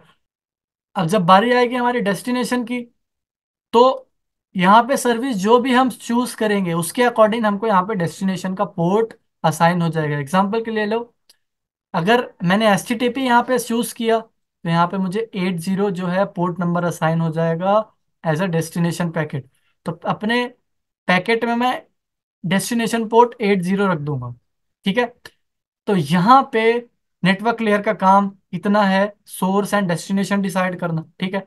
इसके बाद जो हमारा काम है नेटवर्क लेयर का वो होता है बेस्ट राउट डिसाइड करना। बेस्ट राउट डिसाइड करना मतलब यहाँ पे अगर मेरे पैकेट पीसी से निकल रहा है मेरा पैकेट तो ज़ाहिर सी बात है हमारे राउटर के पास जाएगा सबसे पहले, है ना? उसके बाद जाएगा आईएसपी के राउटर पे, ठीक है?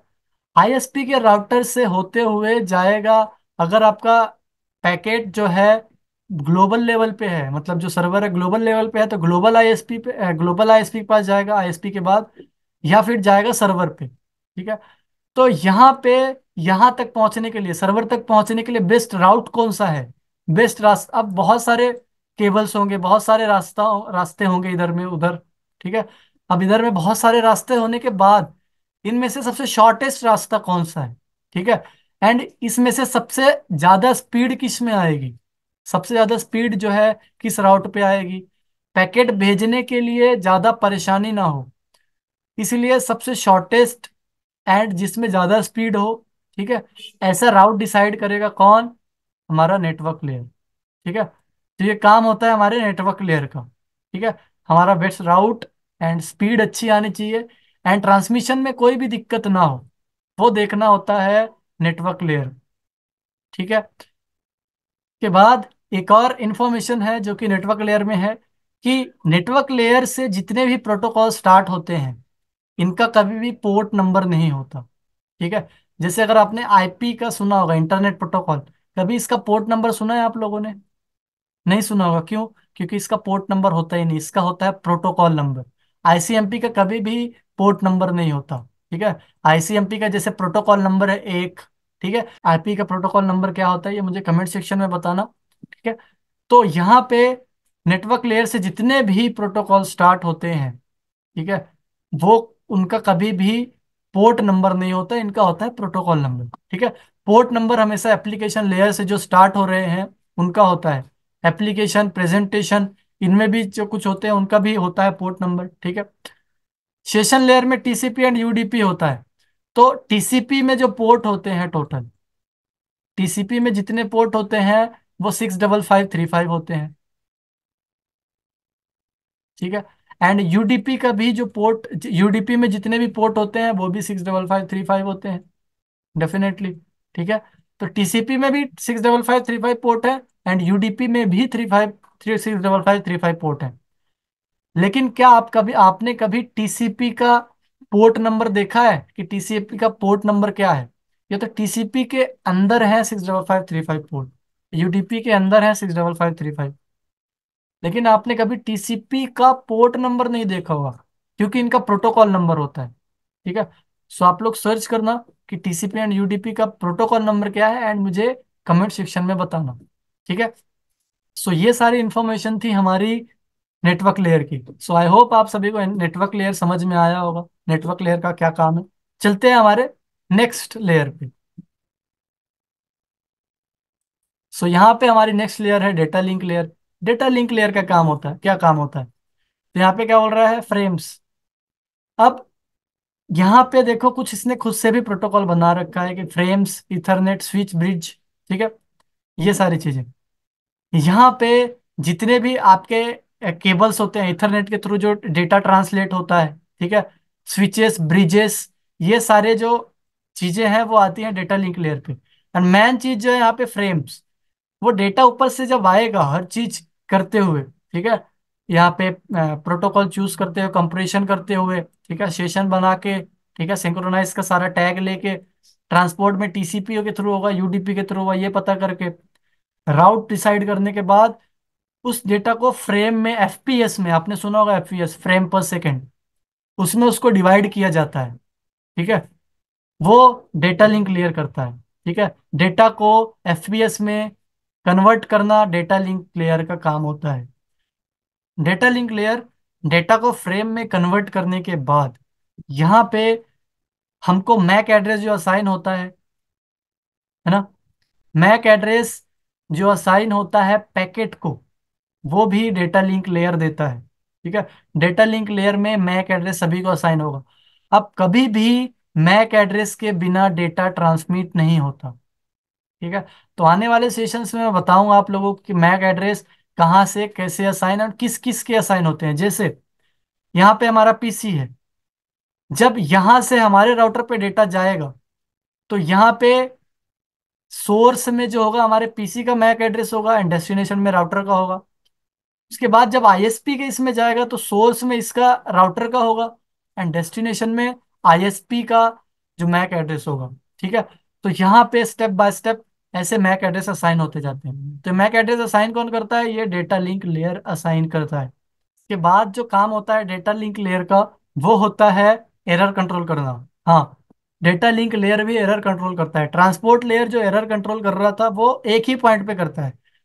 लेकिन जो डेटा लिंक लेयर करता है, वो होप टू होप करता है। मतलब हमारे पीसी एंड राउटर के बीच में करेगा। उसके बाद राउटर हमारे राउटर एंड आईएसपी के राउटर के बीच में करेगा and then router and server के बीच में करेगा। तो ये होप टू होप यहाँ पे एरर कंट्रोल करता है। ऐसे ही hop to hop session manage करता है एंड वैसे hop to hop access manage करेगा। ठीक है? तो डेटा लिंक लेयर यहाँ पे सारी चीज़ें होप टू होप करता है। जैसे ये लोग एक सेशन मैनेज कर रहा था, एक एरर कंट्रोल कर रहा था बट डेटा ये सारे जो थे, ये एक पॉइंट पे ही कर रहे थे। But data link hop to hop करेगा मतलब पॉइंट टू पॉइंट तो ये काम थे हमारे डेटा लिंक लेयर की। मैक एड्रेस असाइन करना। हाँ मैक एड्रेस को हम फ़िज़िकल एड्रेसिंग भी कहते हैं, क्योंकि वो फ़िज़िकल एड्रेस होता है हमारे सिस्टम्स का। तो फ़िज़िकल एड्रेसिंग करना, ठीक है, यानी मैक एड्रेस देना। Hop to hop error control करना, है ना फ्लो कंट्रोल करना एंड सेशन मैनेज करना, है ना। ये सारी चीज़ें होती है डेटा लिंक लेयर की। Data link layer full data एक बार सारा रीड करता है कहीं उसमें कोई एरर भी तो नहीं हो। तो पूरा डेटा का एरर चेक करना भी डेटा लिंक लेयर का काम है। पूरा जितने भी पैकेट्स हैं उनका फुल डेटा स्कैनिंग करना डेटा लिंक लेयर का काम होता है। ओके सो चलते हैं अपने नेक्स्ट लेयर पे। आई होप आप सभी को डेटा लिंक लेयर समझ में आया हो ठीक है? सो so, यहाँ पे हमारा पैकेट आते आते लास्ट में आ जाता है फ़िज़िकल लेयर पे। अब फ़िज़िकल लेयर पे क्या होता है? तो ये हमारी लास्ट लेयर है फ़िज़िकल लेयर जब हम डेटा सेंड करते हैं तब, ठीक है सेंडर की तरफ़ से। फ़िज़िकल लेयर हमारे यहाँ पे पता करता है कि ट्रांसमिशन मोड क्या होगा।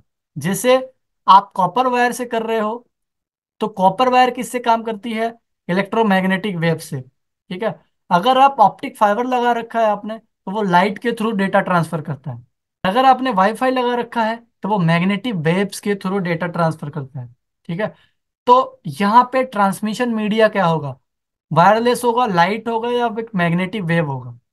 ठीक है? तो ये सारी चीज़ें जो है, वो फ़िज़िकल लेयर डिसाइड करता है। ठीक है? कि आगे ट्रांसमिट करने के लिए वायरलेस नेटवर्क है, क्या है? एवरीथिंग यहाँ पे नीचे दे भी रखा होगा कि वायरलेस हब फाइबर ऑप्टिक्स ठीक है? तो डेटा किस वे से ट्रांसफ़र होगा आगे, वो सारी चीज़ें डिसाइड करता है कौन? फ़िज़िकल लेयर मैनेज भी फ़िज़िकल लेयर ही करता है, ठीक है? एंड यहाँ पे एक चीज़ और ये पता करता है कि बिट रेट कंट्रोल करना। बिट रेट कंट्रोल करना मतलब कि जो भी डेटा आ रहा है, जो डाउनलोड करते हो आप लोग, वहाँ पे जो भी डेटा, एग्ज़ाम्पल के ले लो, बिट रेट कंट्रोल का मतलब सिंपल सा है कि जब भी आप डेटा डाउनलोड करते हो, आपको वहाँ पे परसेंटेज दिखाता है।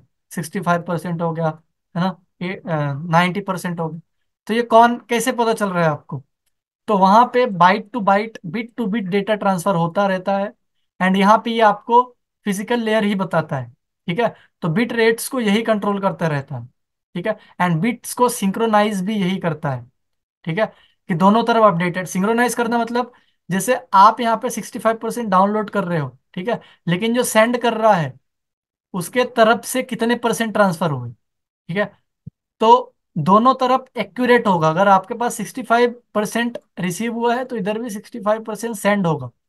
तो जो सिंक्रोनाइजेशन हो रहा है, यहाँ पे डेटा सिंक्रोनाइज हो रहा है है ना? दोनों तरफ़ सेम हुआ है।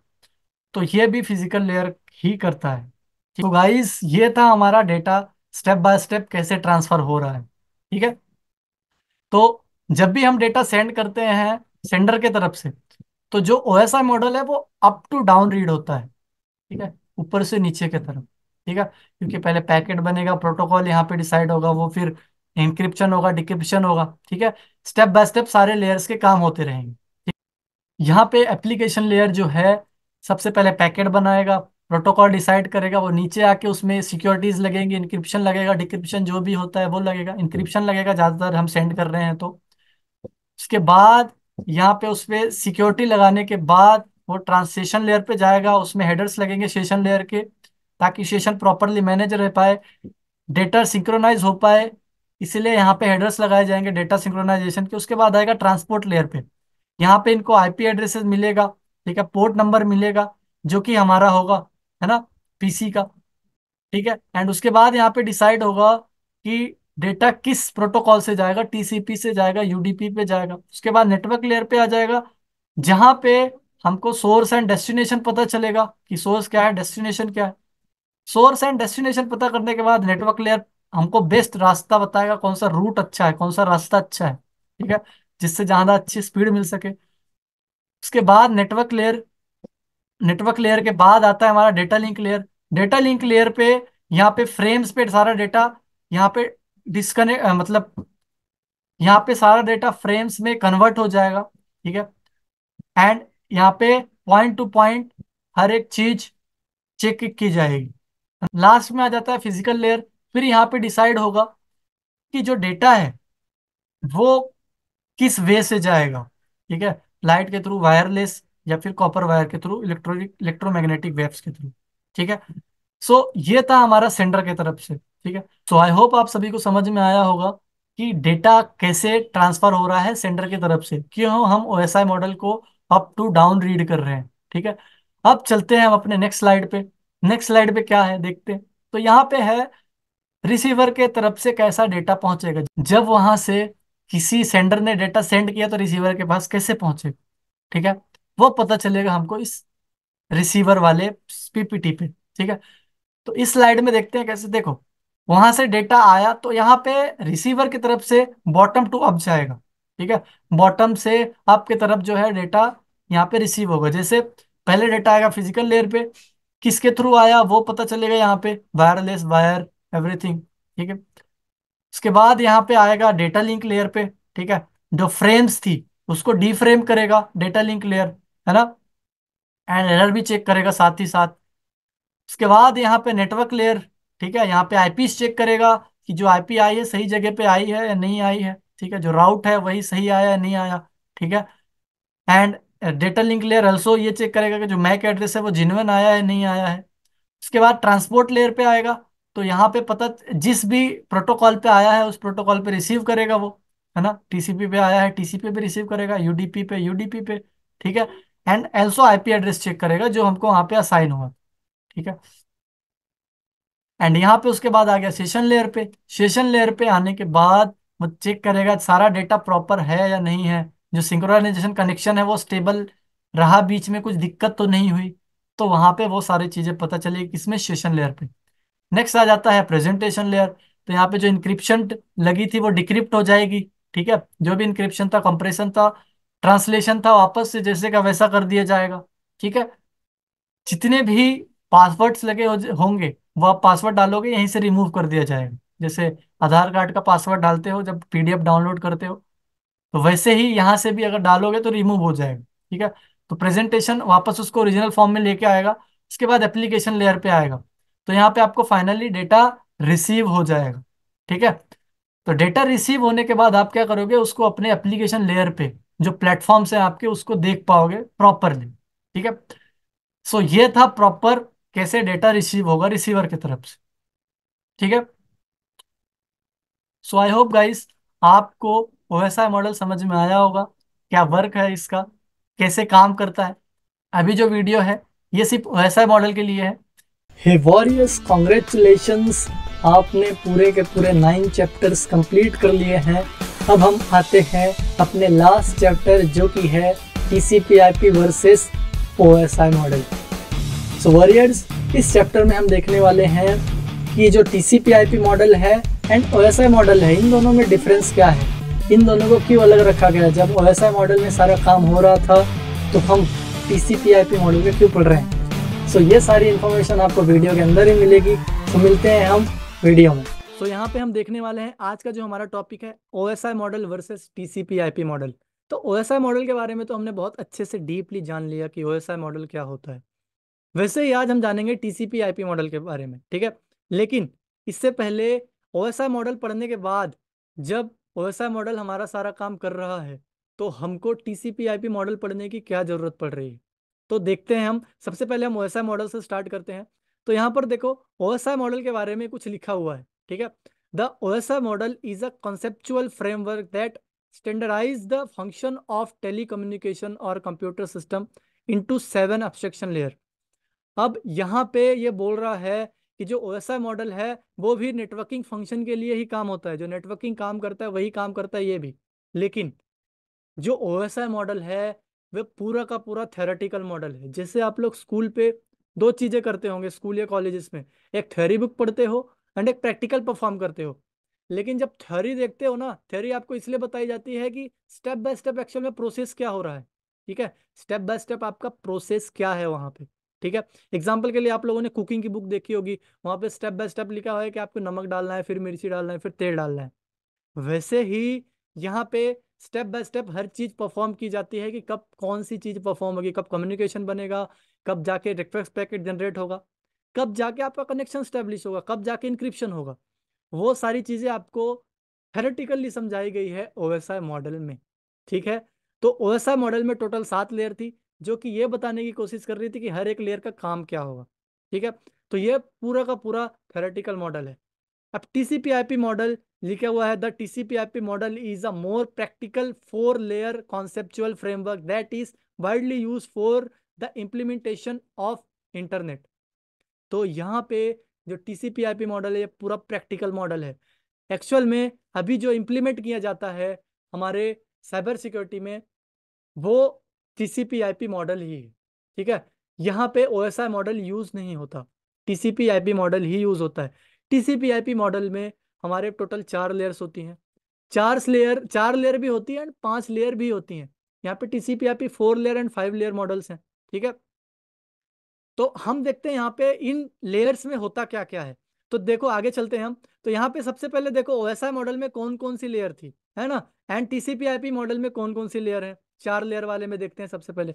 तो ऐसा मॉडल में देखो application presentation session transport and network and data link and उसके बाद फ़िज़िकल लेयर यहाँ पे टोटल सात लेयर ऐसी थी ओएसआई मॉडल की।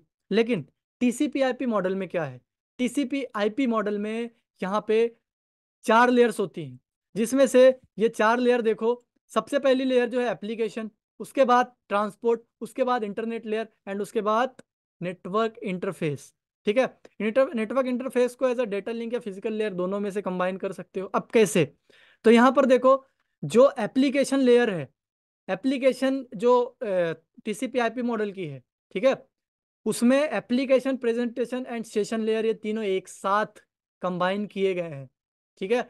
तो यहाँ पे जो application presentation and session layer है, ये तीनों एक साथ जा रहे हैं किसमें?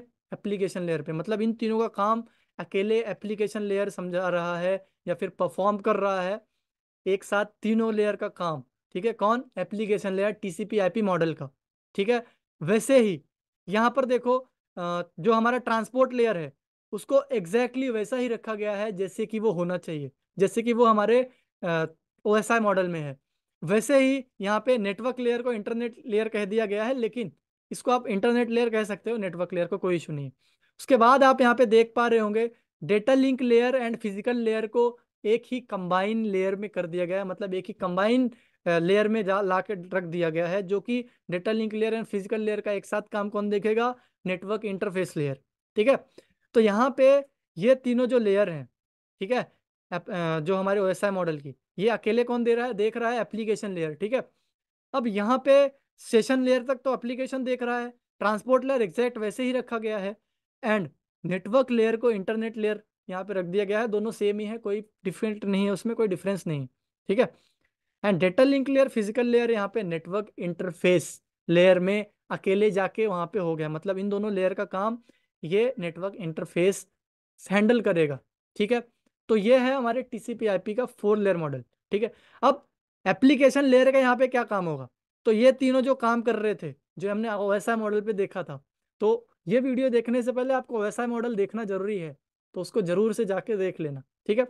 तो यहाँ पे देखो, इन तीनों का काम एक साथ जो है, वो ये करेगा मतलब पहले S C T P S C T P S S M T P जो सारी चीज़ें हमारे प्रोटोकॉल थे, वो सारा यही जनरेट करेगा, एप्लीकेशन लेयर, फिर इंक्रिप्शन भी यही लगाएगा, फिर सेशन मैनेज भी एप्लीकेशन लेयर ही करेगा, ठीक है? ट्रांसपोर्ट लेयर, यहाँ पे पोर्ट असाइन भी यही करेगा, ठीक है? एंड जो बाकी सारी चीज़ का चेकअप थी जो ट्रांसपोर्ट लेयर कर रहा था वो भी यहाँ पे ट्रांसपोर्ट लेयर, ही करेगा। इंटरनेट लेयर ठीक है? इंटरनेट लेयर यहाँ पे आईपी असाइन करेगा ठीक है? जैसे यहाँ पे नेटवर्क लेयर कर रहा था वही काम करेगा ठीक है? उसके बाद physical layer and data link layer ये दोनों फ़िज़िकल लेयर का तो काम आपको पता है वो वहाँ पे ये डिसाइड करता है कि डेटा किस मीडियम से जाएगा वायरलेस जाएगा वायर्ड जाएगा लाइट के थ्रू जाएगा ये भी मैंने वैसा मॉडल में एक्सप्लेन किया था ठीक है? तो ये हो गई सारी लेयर्स का काम। तो data link layer and physical layer इन दोनों का काम कौन देखेगा? नेटवर्क लेयर तो यहाँ पे डेटा लिंक लेयर का काम ये होता है कि स्टेप बाय स्टेप सारी चीज़ें चेक करेगा जाके मतलब पॉइंट टू पॉइंट पहले राउटर पे फिर आईएसपी के राउटर पे फिर उसके आगे जाके point to point data link layer check करेगा। ठीक है? इसके और भी काम है जो कि ओ मॉडल पे बहुत अच्छे से एक्सप्लेन किया गया है। तो उसको जाके चेकआउट कर लेना। ठीक है? सो so, अब चलते हैं हम अपने नेक्स्ट लेयर की तरफ़, जो कि फाइव लेयर भी है, उसको भी देखते हैं एक बार कंपेयर करके। तो यहाँ पर देखो, ये ओ मॉडल का सारा लेयर है, ठीक है? एंड उसके बाद यहाँ पे टीसीपी आईपी लेयर, सारे उसके सारे लेयर्स आ गए चार लेयर टीसीपी आईपी के, एंड उसके बाद ये फाइव लेयर मॉडल है टीसीपी आईपी का, ठीक है? अब ये जो मॉडल है टीसीपी आईपी का, ये अपडेटेड है, ठीक है? ये अपडेटेड टीसीपी आईपी है, इसमें फाइव लेयर है। अब देखो, यहाँ पे एग्जैक्ट वही काम है, यहाँ पे भी सेम है। अब यहाँ पर देखो यहाँ पर तीनों काम ये अकेले संभाल रहा है ये लेयर वैसे ही एग्जैक्ट ये भी वही है, ठीक है? अब यहाँ पे ट्रांसपोर्ट लेयर तीनों में सेम है, ठीक है? तीनों में ट्रांसपोर्ट लेयर एग्जैक्ट है। Network layer internet layer and internet layer तीनों सेम एक ही है, ठीक है? इसमें कोई फ़र्क नहीं हुआ है। लेकिन यहाँ पे सबसे बड़ा चेंज क्या हुआ है? यहाँ पर ये दोनों एक साथ थे पहले फोर लेयर वाले में, लेकिन अपडेटेड वाले में उनको वापस अलग कर दिया गया है। मतलब ओएसआई मॉडल जैसा, ठीक है? तो यहाँ पे बस इतना सा फ़र्क है। इन दोनों को अलग कर दिया है। हो सकता है कम्युनिकेशन में कोई दिक्कत हो रही हो, है ना? हो सकता है उनको डेटा हैंडल करने में कोई इशू हो रहा हो, इसलिए उन्होंने इन दोनों लेयर्स को अलग कर दिया। यानी अपडेटेड मॉडल है कौन सा ये? टीसीपीआईपी का फाइव लेयर मॉडल ठीक है? तो ये फोर लेयर मॉडल ये ओएसआई मॉडल ये हमारा थेरी होता है पूरा। ये दोनों प्रैक्टिकली इंप्लीमेंट होते हैं मतलब रियल लाइफ में यही काम कर रहे होते हैं हमारे इंटरनेट पे, हर जगह पे, ठीक है?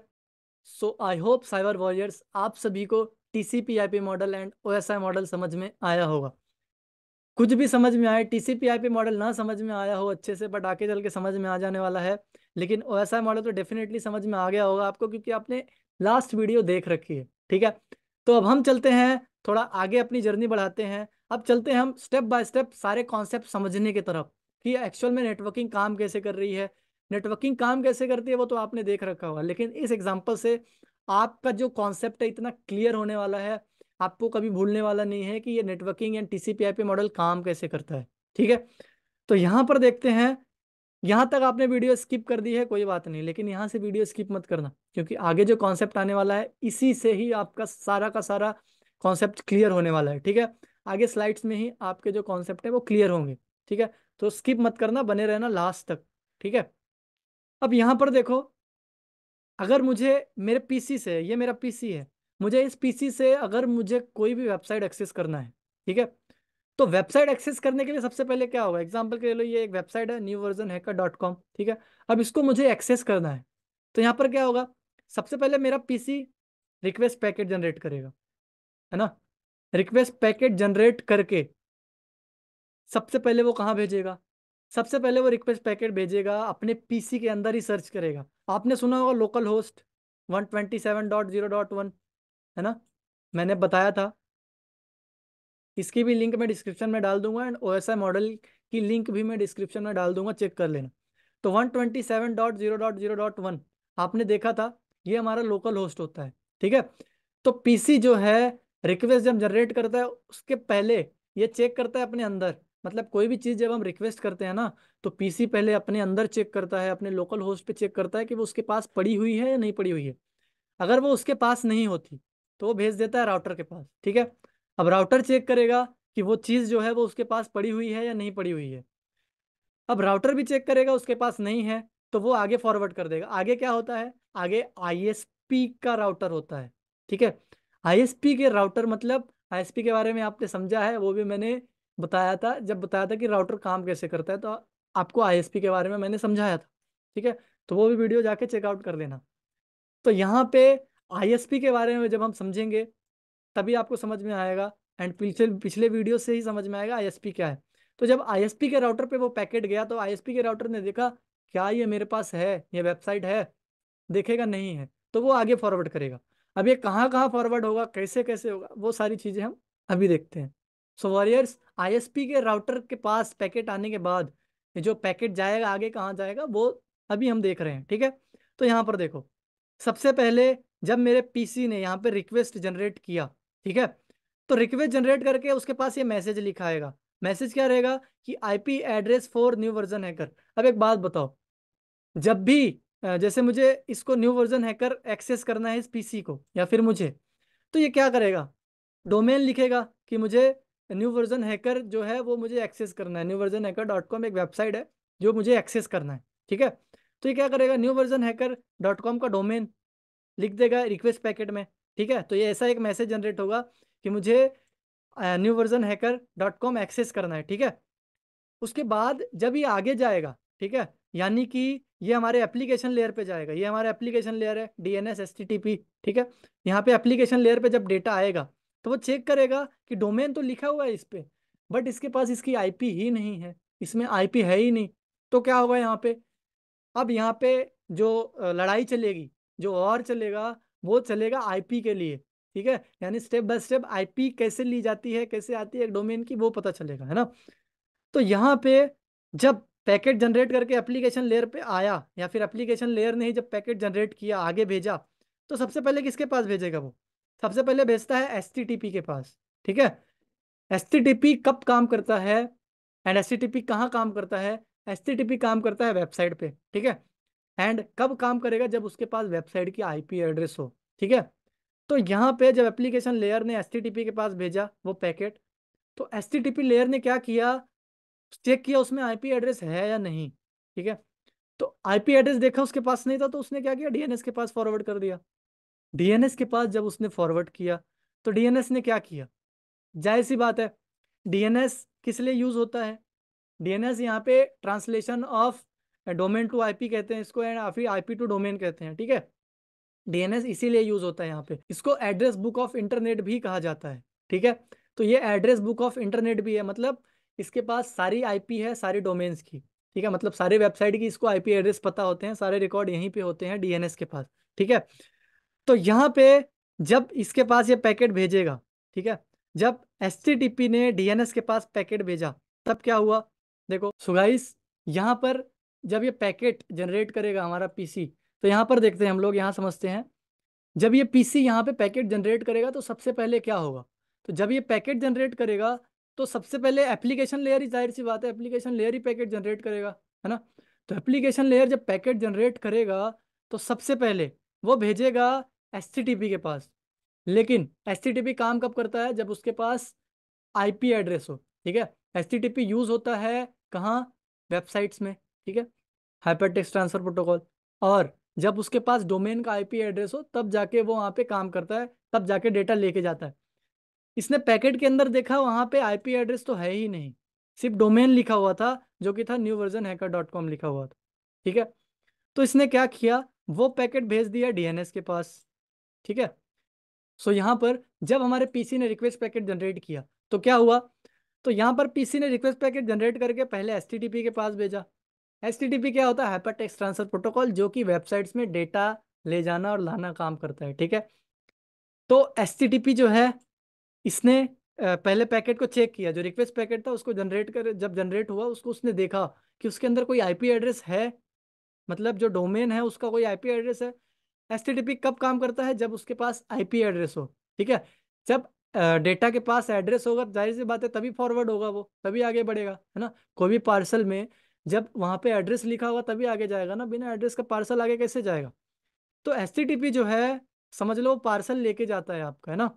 तो यहाँ पर आईपी एड्रेस इस जो रिक्वेस्ट पैकेट जनरेट हुई थी, वहाँ पे आईपी एड्रेस नहीं था वो, ठीक है? तो एस ने क्या किया?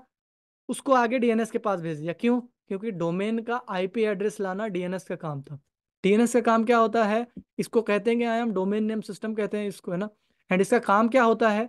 इसका काम होता है डोमेन्स को आईपी में कन्वर्ट करना एंड आईपी को डोमेन्स में कन्वर्ट करना या फिर डोमेन की आईपी प्रोवाइड करना। ठीक है? ये हमारे डीएनएस का काम होता है। तो ये पैकेट डीएनएस के पास इसने भेज दिया। ठीक है? अब जब पैकेट डीएनएस के पास पहुँच चुका है तो डीएनएस क्या करेगा? उसमें अपने हेडर सेट करेगा। एंड उसको भेज देगा नेक्स्ट लेयर पे, जो कि है ट्रांसपोर्ट लेयर ठीक है? अब ट्रांसपोर्ट लेयर क्या करेगा? ट्रांसपोर्ट लेयर यहाँ पे पोर्ट नंबर ऐड करेगा, ठीक है? पोर्ट नंबर कैसे?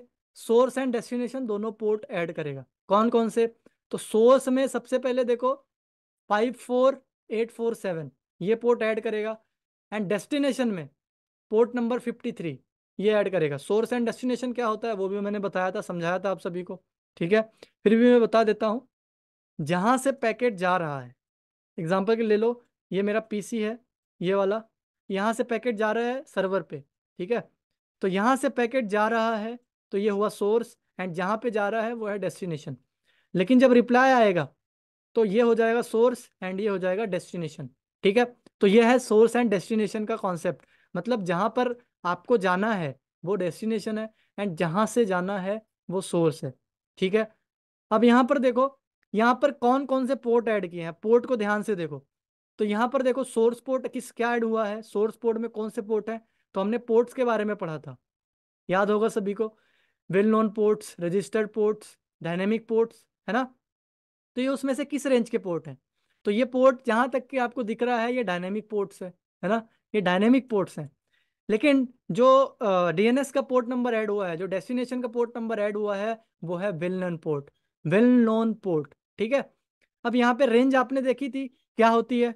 डायनेमिक पोर्ट की तो four nine one five two से लेके four nine one five two से लेके six double five three five तक होती है, ठीक है? राइटिंग समझ में ना आ रही हो, फिर भी मैं बोल के बता रहा हूँ फोर नाइन वन फाइव से लेके six double five three five तक हमारे डायनेमिक पोर्ट्स होते हैं। वैसे ही वेल नोन पोर्ट्स होते हैं, ठीक है? वेल नोन पोर्ट ज़ीरो से लेके वन ज़ीरो टू थ्री तक होते हैं, है ना? वन ज़ीरो टू फोर से लेके वन फाइव वन तक हमारे रजिस्टर्ड पोर्ट होते हैं। ये पोर्ट्स की अच्छी सी डिटेल्स मैंने दी है, इसमें भी डिटेल्स वीडियो बनाया है, जाके एक बार चेकआउट कर लेना लिंक मैं डिस्क्रिप्शन में उसका भी डाल दूँगा, ठीक है? आपको सर्च करने की ज़रूरत नहीं है, ठीक है? तो यहाँ पर जब इसने पोर्ट ऐड कर दिया, कौन से लेयर ने? ट्रांसपोर्ट लेयर ने। ट्रांसपोर्ट एप्लीकेशन से होके वो ट्रांसपोर्ट लेयर पे आया, है ना? एप्लीकेशन लेयर पे रिक्वेस्ट पैकेट जनरेट हुआ, कहाँ पे कैसे पैकेट जाएगा वो पता चला, ठीक है? या फिर वो डिसाइड हुआ। उसके बाद डिसाइड हुआ कि डीएनएस पे पैकेट जाएगा तो डीएनएस डीएनएस ने यहाँ पे ट्रांसपोर्ट लेयर पे भेज दिया। ट्रांसपोर्ट लेयर ने वहाँ पे पोर्ट ऐड किया source and destination port and still message अभी वही जनरेट हो रहा होगा कि ये मैसेज किस लिए जनरेट हो रहा है, ये पैकेट किस लिए जनरेट किया जा रहा है? तो ये जनरेट किया जा रहा है new version hacker dot com मतलब इस वेबसाइट के आईपी एड्रेस के लिए, ठीक है?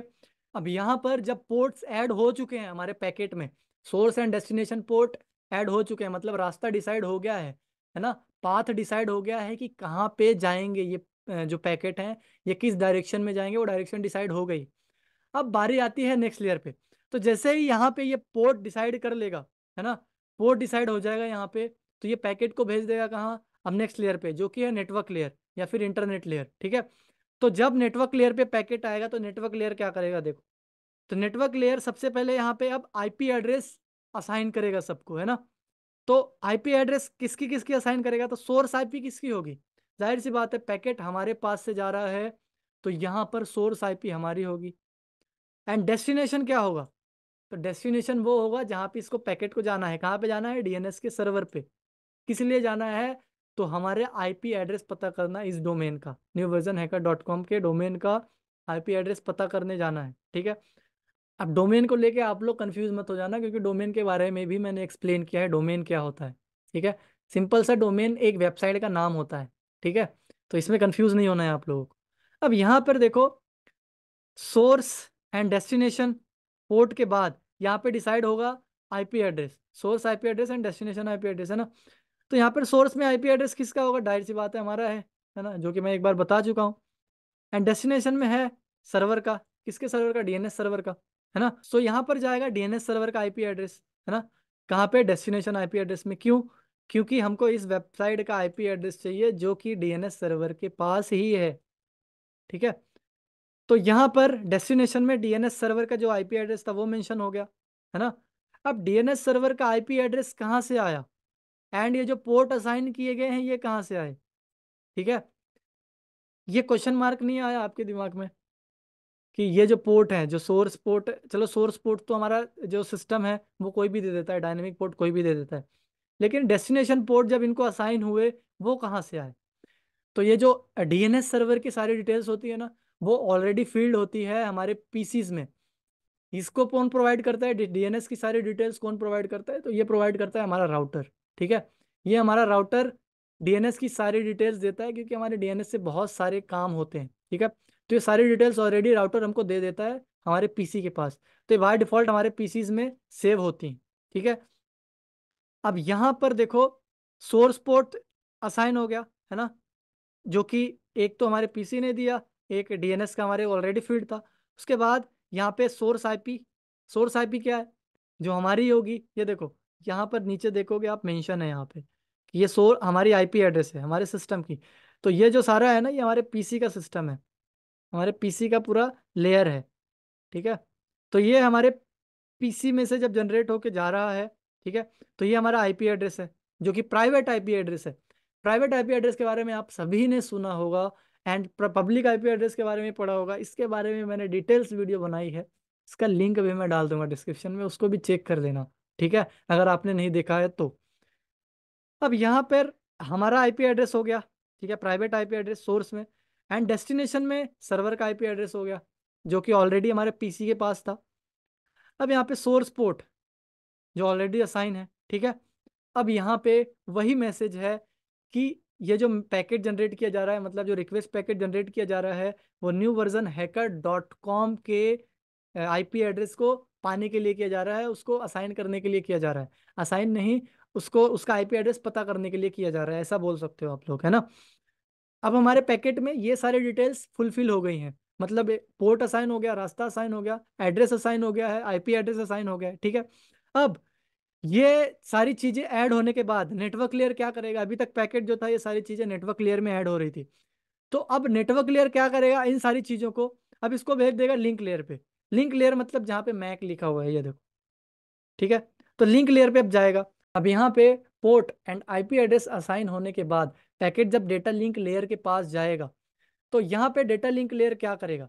तो डेटा लिंक लेयर का क्या काम होता है? मैक एड्रेस असाइन करना, है ना?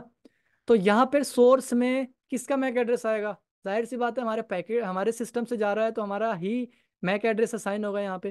तो यहाँ पर देखो ये जो मेरे पीसी का या फिर इस पीसी का जो सिस्टम का मैक एड्रेस है, वो असाइन हो चुका है ऑलरेडी है ना सोर्स में। तो सोर्स में ये मैक एड्रेस असाइन हो गया। अब डेस्टिनेशन का क्या? डेस्टिनेशन में किसका मैक एड्रेस असाइन होगा? क्या डेस्टिनेशन में डीएनएस का मैक एड्रेस असाइन होगा? नहीं, क्योंकि डीएनएस का मैक एड्रेस तो हमारे पास होता ही नहीं है। वो हमारे रेंज के बाहर का नेटवर्क है। डीएनएस जो है हमारे रेंज में है ही नहीं। हमारे पास मैक एड्रेस किसका होता है? जो हमारी रेंज में हो, ठीक है? जो सिस्टम हमारी रेंज में होते हैं, उनका ही मैक एड्रेस होता है हमारे पास, ठीक है? तो यहाँ पर किसका मैक एड्रेस असाइन होगा? जब यहाँ पे हमारे सिस्टम का मैक एड्रेस असाइन हो गया सोर्स में, ठीक है? लेकिन डेस्टिनेशन का असाइन ही नहीं हुआ। तो जब इसने सोर्स का यहाँ पे मैक एड्रेस असाइन किया ना तो इसने फ्रेम जनरेट करने की कोशिश की। लेकिन उसने चेक किया कि डेस्टिनेशन का मैक एड्रेस है ही नहीं। सो यहाँ पे जब सोर्स में मैक एड्रेस असाइन हो गया तो इसने क्या किया? फ्रेम में कन्वर्ट करने की कोशिश की एफपीएस में, यानी एफपीएस पे ही डेटा ट्रांसफ़र होता है आगे, ठीक है? किसी भी मीडियम के थ्रू हो, लेकिन डेटा जो है एफपीएस में आगे फॉरवर्ड होता है, ठीक है? तो यहाँ पे जब मैक एड्रेस इसको असाइन हो गया सोर्स वाला, ठीक है? तो इसने फ्रेम में कन्वर्ट करने की कोशिश की, लेकिन वो पैकेट कन्वर्ट हुआ ही नहीं। क्यों? क्योंकि डेस्टिनेशन का मैक एड्रेस तो था ही नहीं। तो डेस्टिनेशन के मैक एड्रेस के बिना डेटा फ्रेम में कैसे कन्वर्ट हो सकता है? तो यहाँ पर सबसे पहले मैक एड्रेस किसका देंगे हम? तो सबसे पहले यही सबसे बड़ी दिक्कत थी कि यहाँ पे मैक एड्रेस किसका देंगे? तो यहाँ पर अब डीएनएस का दे नहीं सकते, आउट ऑफ़ रेंज है। तो यहाँ पर मैक एड्रेस किसका जाएगा? यहाँ पर मैक एड्रेस जाएगा हमारे राउटर का, ठीक है? राउटर का मैक एड्रेस कहाँ से होता है? कहाँ पे होता है? एआरपी के थ्रू पता किया जाता है या फिर एआरपी टेबल में मेंशन होती है। एआरपी टेबल के बारे में आपने सुना होगा, मैंने पढ़ाया भी है, राउटर कैसे काम करता है उसके बारे में। तो एआरपी का मतलब होता है एड्रेस रिजोल्यूशन प्रोटोकॉल, है ना? अब एड्रेस रिजोल्यूशन प्रोटोकॉल क्या करता है कि सारे जितने भी सिस्टम आपस में रेंज में कनेक्टेड है हमारे, उन पे ब्रॉडकास्ट भेज के उनका IP address and MAC address. ज़्यादा से ज़्यादा मैक एड्रेस पता करना ही काम है इसका, किसका? एआरपी का। तो जो आईपी एड्रेस है, जैसे वन डॉट वन डॉट, किसका आईपी एड्रेस है ये? ये हमारे राउटर का आईपी एड्रेस, ठीक है? ये मैंने बताया था। एंड ये मैक एड्रेस, ये राउटर से लिया गया है। मतलब एआरपी की रिक्वेस्ट भेज के राउटर का भी मैक एड्रेस लिख दिया जाता है। हालाँकि राउटर के लिए एआरपी की ज़रूरत नहीं होती, ठीक है? एंड उसके बाद, ये देखो हमारे पीसी की आईपी एड्रेस 101 ठीक है? 101 का मैक एड्रेस यहाँ पे लिखा होगा, ठीक है? तो यहाँ पे 102 का लिखा हुआ है। 101 का तो ऑलरेडी यहाँ पे आई थिंक इन्होंने हटा दिया है, ठीक है? 101 समझ लो यहाँ पे। तो 101 का यहाँ पे लिखा रहेगा, ठीक है? तो यहाँ पे ऐसे सारे सिस्टम्स का MAC address and IP address उसके आमने सामने लिखे होते हैं, ठीक है? तो जब भी मैक एड्रेस की नीड होती है तो यहाँ से पैकेट्स उठा लेते हैं या फिर यहाँ से राउटर उठा लेता है, ठीक है? हमारे सिस्टम को बताने के लिए या फिर हमारे सिस्टम कम्युनिकेशन करने के लिए मैक एड्रेस का यूज़ ले लेते हैं इन मैक एड्रेसेस का, ठीक है? सिर्फ़ आईपी एड्रेस एंड पोर्ट से ही हमारे पैकेट्स आगे नहीं भेजे जाते। यहाँ पर हमको मैक एड्रेस की भी ज़रूरत पड़ती है, जो कि बहुत अच्छा रोल प्ले करता है, ठीक है? अब जब यहाँ पे दोनों को source and destination MAC address assign हो गए, सोर्स में हमारे पीसी का मैक एड्रेस एंड डेस्टिनेशन में हमारे राउटर का मैक एड्रेस असाइन हो गए। अब पैकेट रेडी है फ्रेम में कन्वर्ट होने के लिए एंड आगे जाने के लिए। तो यहाँ पे डेटा लिंक लेयर ने क्या किया? डेटा लिंक लेयर ने यहाँ पर इस पैकेट को भेज दिया फ़िज़िकल लेयर के पास। ठीक है? फ़िज़िकल लेयर क्या करेगा? फ़िज़िकल लेयर यहाँ पे डिसाइड करेगा कि जो पैकेट है वो किस मीडियम से आगे जाएगा? मतलब कौन सा मीडियम है जो यहाँ पे पैकेट ट्रांसफ़र किया जाएगा? जैसे वायरलेस जाएगा, वायर्ड जाएगा या फिर लाइट के थ्रू जाएगा, ऑप्टिकल फाइबर से जाएगा। तो फ़िज़िकल लेयर यहाँ पे डिसाइड करेगा। जो भी आपके यहाँ राउटर है तो ज़ाहिर सी बात है, यहाँ पे जो वायरलेस टेक्नोलॉजी है तो यहाँ पे वायरलेसली पैकेट को फॉरवर्ड कर दिया जाएगा। ठीक है? अब पैकेट चला जाएगा किसके पास? राउटर के पास। ठीक है? अब यहाँ पे जब पैकेट हमारे राउटर के पास पहुंचेगा तो राउटर क्या करेगा? तो राउटर यहाँ पे सबसे पहले जो सोर्स एंड डेस्टिनेशन है, वो कुछ चीज़ें चेंज करेगा। क्या क्या चेंज करेगा यहाँ पे? सबसे पहले सोर्स मैक एड्रेस चेंज करेगा। तो राउटर के पास दो मैक एड्रेस होते हैं। मैक एड्रेस कौन कौन से दो हैं? एक है लोकल राउटर मतलब लोकल राउटर का जो अंदर यूज़ होता है लोकल नेटवर्क पे, वो मतलब प्राइवेट एरिया नेटवर्क के लिए एक मैक एड्रेस होता है एंड एक मैक एड्रेस होता है वाइड एरिया नेटवर्क के लिए। ठीक है, जो वैन में यूज़ करते हैं। तो अभी तक जो हमारे अंदर कम्युनिकेशन हो रहा था, जैसे कि हमारे पीसीस के पास तो वहाँ पे यूज़ हो रहा था इसका प्राइवेट मैक एड्रेस जो कि अंदर के लिए यूज़ होता है। एंड वैन के लिए एक अलग मैक एड्रेस होता है इसका। तो जो सोर्स है, वहाँ पे जो राउटर ऐड करेगा, अपना खुद का मैक एड्रेस करेगा, मै वैन वाला, जो वाइड एरिया नेटवर्क में यूज़ होता है। एंड डेस्टिनेशन में किसका ऐड करेगा? आईएसपी का। तो आईएसपी के पास भी दो मैक एड्रेस है, ठीक है? तो यहाँ पे हैश वन मतलब एक रिसीव करने के लिए, एक आगे फॉरवर्ड करने के लिए दो मैक एड्रेस हैं, ठीक है?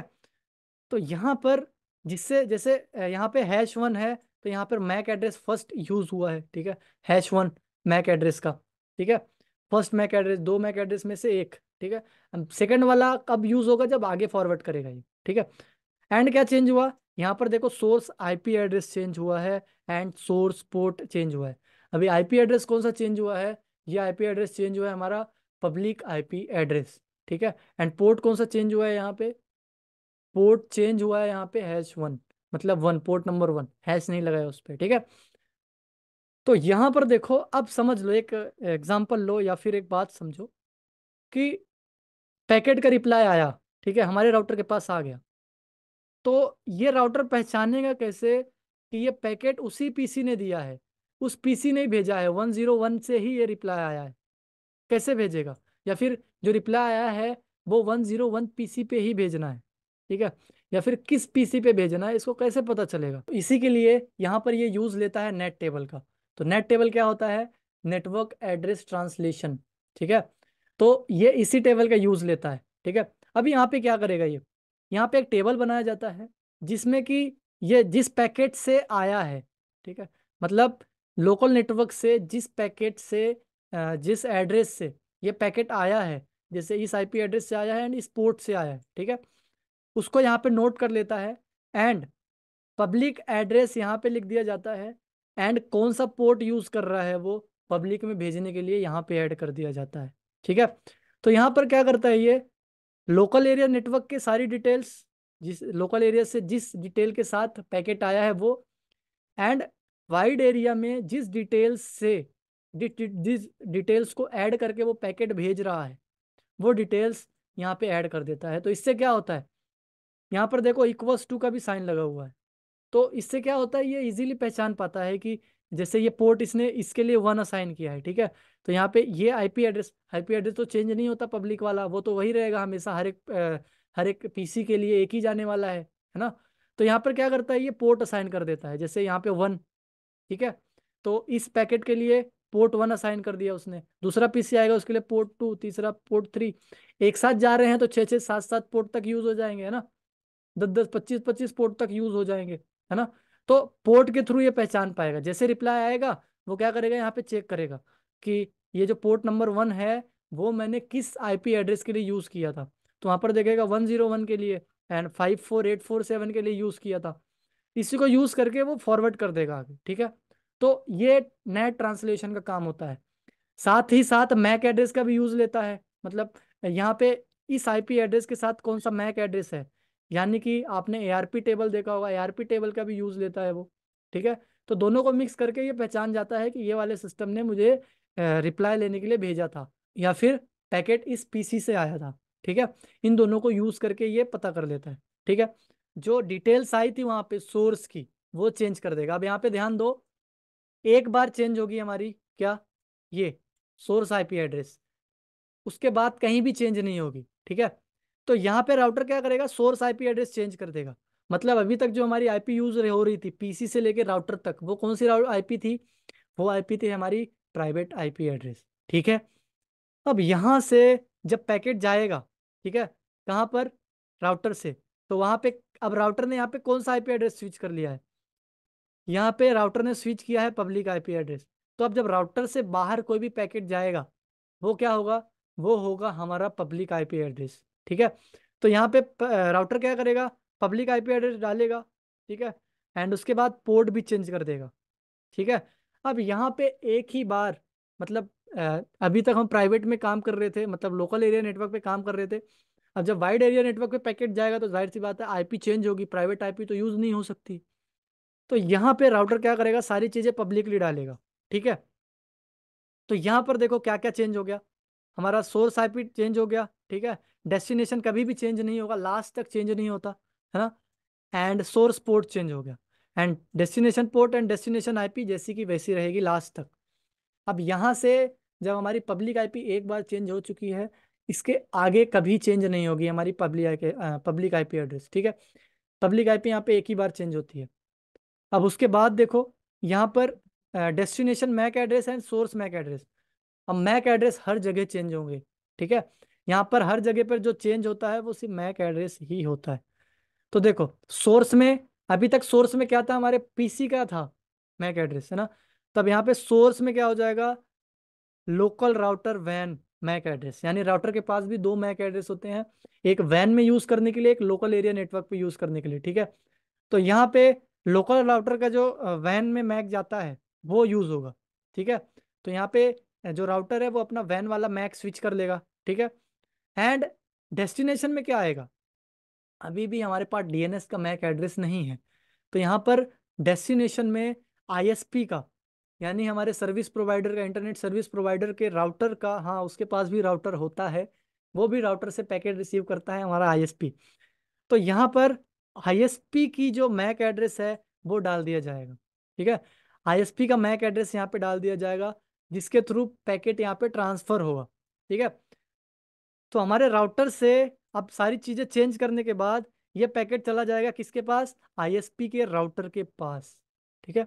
अब जब पैकेट आईएसपी के राउटर के पास पहुँच चुका है तो आईएसपी का पैकेट क्या करेगा? अब देखो, जो राउटर है, इन, ये भी वैसे ही काम करते हैं, जैसे हमारे सिस्टम इनमें भी टीसीपी आईपी मॉडल होगा, इनमें भी तीन चार लेयर होगी, है ना?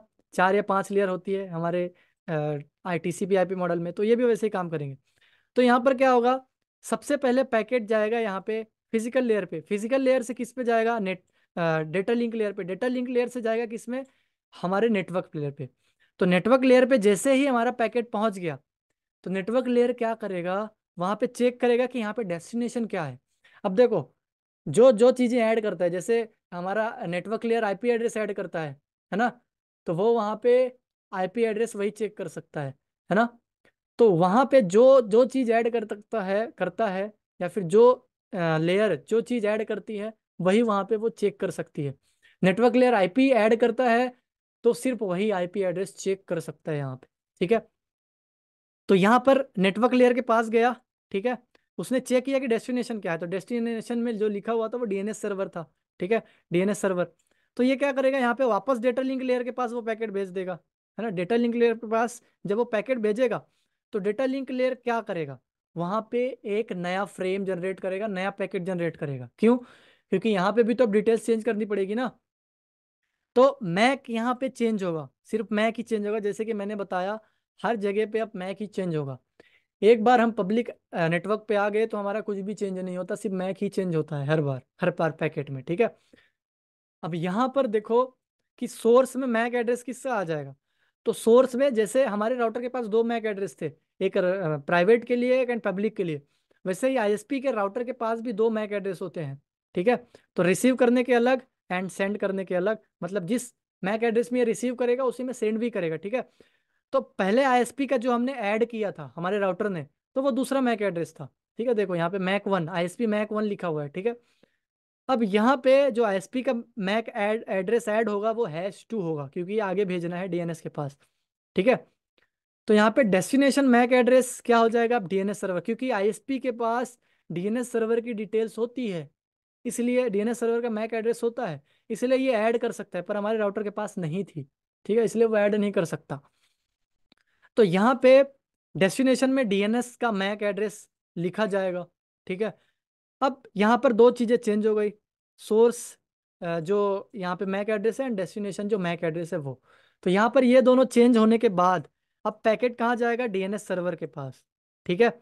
जब पैकेट डीएनएस सर्वर के पास पहुँच जाएगा, तब देखो क्या होता है। अब देखो पैकेट पहुँच चुका है डीएनएस सर्वर के पास।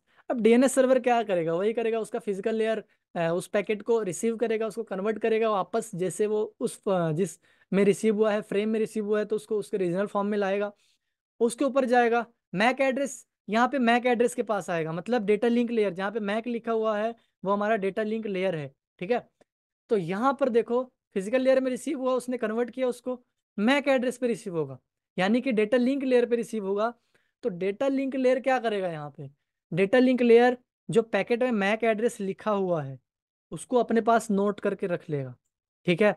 अब नेक्स्ट लेयर पे जब जाएगा, किसमें? हमारे नेटवर्क लेयर पे।